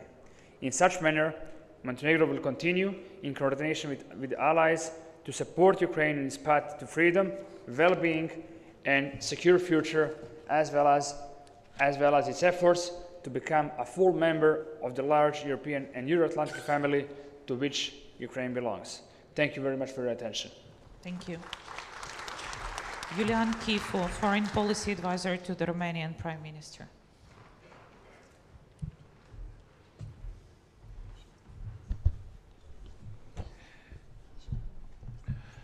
Ministers, ladies and gentlemen, dear ambassadors, Thank you very much first for inviting me here at the conference and allow me uh, to congratulate in the name of the Romanian Prime Minister, the Minister of Foreign Affairs, the Minister of Defense, my good friend Alina Frolova for putting together this conference uh, based on uh, Crimea platform.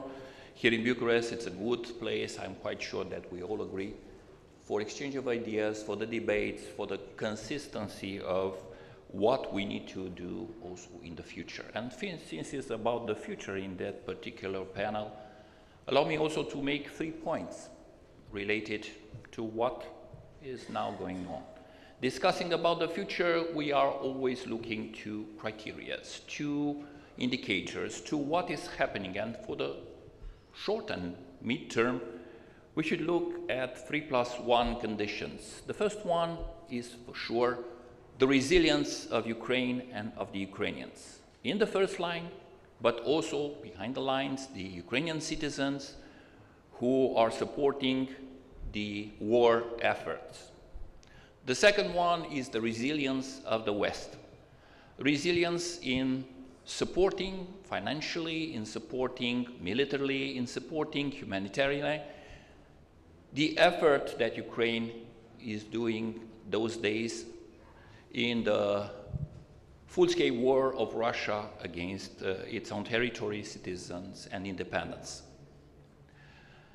The third point would be the capacity of Ukraine to absorb, actually, the, let's call it the spring attack of the Russians, and to reply, because actually it needs to have its own counter uh, offensive. As we are seeing up to today, they are managing quite well, and we are looking forward to see the evolutions in the next month to come.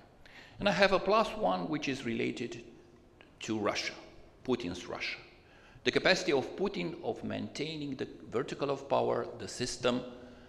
We all know that in an autocracy, any little trigger can, can bring down, can lead to the implosion of such an actor. The second point is about the end of the war, actually about the condition, the conditions at the end of the war. So we have a first condition, which is that Ukraine should win, Russia should lose. If not, we are creating a precedent how a country can take parts of the territory of its neighbor. The second point is the fact that Russia needs to pay. It needs to pay in terms of creating the war, destruction, so needs to, the, the whole Ukraine needs to be rebuilt. It needs to pay in terms of war crimes. It needs to pay also and we already learned the lessons after the Second World War in terms of never coming back to use the war in solving international relations, objectives, or excessive levels of ambition. And the third point comes for our citizens. All our citizens have made an extreme effort to support the war in terms of prices, inflation, support for the war in Ukraine. And it happens so because all of us, we would like to have our children, grandchildren, living in such, well, unprofessional uh, democracy, but to have a choice, not to live under a type of Putin that tells them what to do. But it comes with costs, costs for the officials, for the decision makers. It comes with the cost that all people, companies, countries that are helping now Russia to avoid the sanction should pay. My third point is about what we already know that will happen after the war. First, Crimea platform. I think that we already have the symbol for a platform for all Russian illegally annexed territories because it's not only about Crimea nowadays, unfortunately. The second point, what you are seeing is the fact that the weight the strategic weight moves in Europe eastern. And it will happen for the foreseeable future since the security in Europe is not settled. And the third point, after the lessons learned of the Budapest Memorandum, actually, I don't think that we can think at any other type of guarantee for Ukraine, for Ukraine's security, territorial integrity, sovereignty, independence, except NATO accession. So these are facts. Thank you very much, and uh, I wish you also the best on your return home. Thank you. Thank you. Ambassador of Italy, Alfredo Maria Durante Mangoni.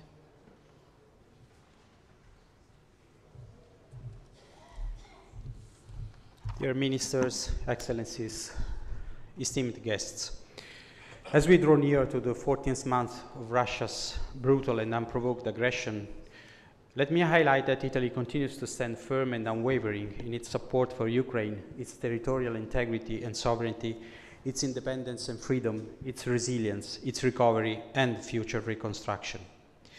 Let me also highlight in the strongest, clearest possible terms Crimea is Ukraine. The Russian Federation's illegal annexation of the peninsula in March 2014 remains a grave and unacceptable violation of key and universal principles of international law that underpin the peaceful coexistence among states and peoples. Since then, Italy, in close coordination with all partners and allies, continues to constantly and consistently condemn Russia's illegal actions in all possible occasions and relevant fora, while reasserting our shared non recognition policy and any related measures. Our Ukrainian friends and partners can continue to count on us and on our vocal action in this regard including through our support for multilateral resolutions concerning the status of Crimea and the situation of its inhabitants. Let me stress our deep concern for the dire situation of human rights in the peninsula under Russian control, with continued reports of violations perpetrated also against the Crimean Tatar community. Moreover, Crimea and its facilities were used and continue to serve its offensive actions, including against critical infrastructures. Dear guests, rest assured that Italy will remain committed to supporting your country's territorial integrity within its internationally recognized borders, its full sovereignty and political independence and freedom, as well as to contribute to address the security concerns of Romania and of the Republic of Moldova through our air policing mission and acknowledge the strategic relevance of the Black Sea as a hotspot for the Atlantic Alliance. With regard to such commitments, talking, talking, about the future configuration of a prosperous and secure Black Sea region, in the next few days, uh, uh, Deputy Prime Minister and Foreign Minister Antonio Tajani on the 26th of April will host in Rome a, bilateral high-level event about the contribution that Italy can provide to the resilience and reconstruction of Ukraine. Both governments, including the international financial institutions and business companies, will be involved since, as already mentioned, winning the war is the priority of today. Winning the peace must and will be the common challenge and duty of tomorrow. Thank you very much.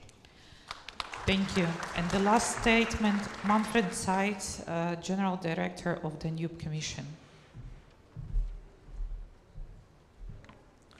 Excellencies, uh, ladies and gentlemen, it's an honor uh, to, for me to address this conference on behalf of the Danube Commission, which uh, safeguards uh, the Danube Convention and uh, thus ensures free and non-discriminatory navigation on one of the most important European waterway corridors. As a result of the Russian Federation's aggression against Ukraine, the member states of the Danube Commission excluded in March uh, 2022 the Russian Federation from all its uh, working groups and expressed a strong will to work on a new agreement that limits future membership to the uh, Danube riparian states. Since May 2022, uh, the Danube Commission supports uh, the European Commission in implementing the EU-Ukraine Solidarity Lane Action Plan to facilitate Ukraine's uh, agricultural exports and bilateral trade with the European Union. Working jointly uh, together, uh, Danube Commission and European Commission support Ukraine and the Romanian authorities as well as businesses uh, in increasing the flow of goods through the Danube ports. And I might say that our joint work can be considered very successful. Since the beginning of the war, the Danube ports have handled more than 22 million tons of cargo, to a large extent uh, agricultural products. The Ukrainian Danube ports alone offer now a daily transshipment capacity of up to 100,000 uh, tons per day. 50% of the goods are transported by sea vessel, as the Danube guarantees uh, water depths of 7.3 meters on the Sulina Canal, and 50% uh, of the cargo uh, is transported by inland vessels, mainly to the port of Constanza, where almost 5 million tons of goods from Ukraine were handled. The importance of the Danube waterway in the Danube ports uh, is reflected uh, in the 25% share of all Solidarity Lanes freight flows and comes quite close to the 28 million tons of the Black Sea Grain Initiative. So uh, a lot has been achieved, but a lot still has to be done. Further investment in the ports uh, and in the hinterland connection is needed, uh, as well as in the border crossing points. And uh, we also uh, still have uh, to increase the traffic capacity on the Sulina Canal. We think that uh, this investment is a good investment, is a good decision, because we believe that the Danube waterway and its ports will continue to play an important role in the phase of reconstruction of Ukraine. As Ukraine and Moldova are now EU accession candidates, the expansion of EU transport corridors will certainly have to include the solidarity lanes uh, and thus the Danube and its ports. The border area of Ukraine, Moldova, and Romania has not only a huge potential for agricultural uh, goods and uh, is an important logistic hub, but also offers high economic potentials for re renewable energy production. This is already reflected in Ukraine's hydrogen strategy, for example. Therefore, the Danube and the Danube ports are indispensable elements now and in the future of a prospering Ukraine. A great opportunity for sustainable transport in the region, and they can offer via short sea shipping services important trade connections to the Black Sea countries of highest geopolitical importance, such as, uh, such as uh, Turkey uh, and Georgia. The Danube Commission will therefore continue to support the European Commission uh, in its efforts uh, for a secure and proper, uh, prosperous region with the Danube as a core transport uh, corridor and the gateway to the Black Sea. Thank you very much for your attention. Thank you. Um, unfortunately, I was signaled by the organizers that we need to complete earlier because of the different plans of the ministry. So I uh, really thank you uh, for your participation. I really thank you for everyone being here for this, I believe, just the beginning of the discussion about the future of our Black Sea region. And I hope to see all of you next year on the Black Sea coast in Ukraine. Thank you.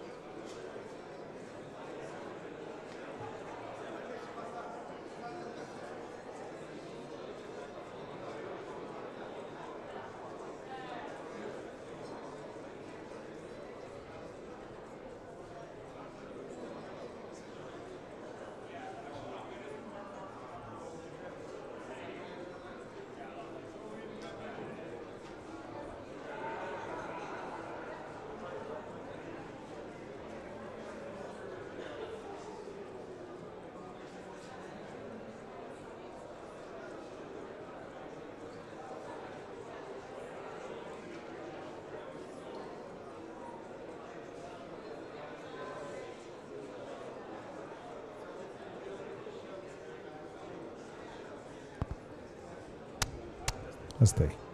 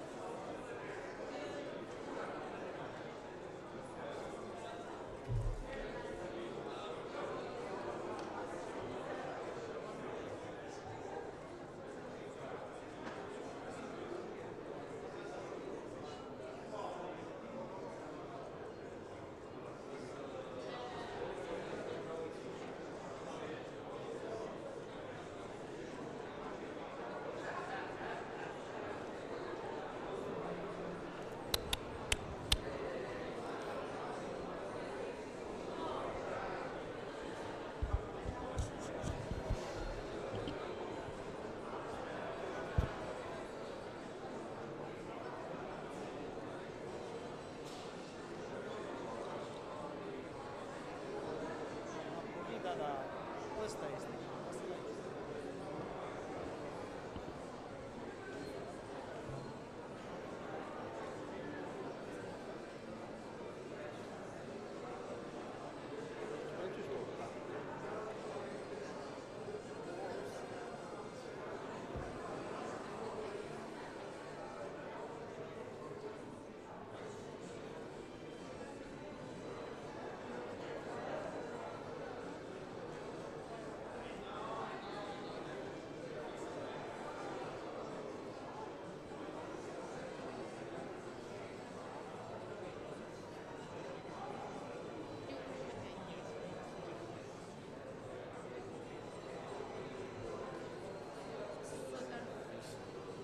შეგვეძლო. აა ხო.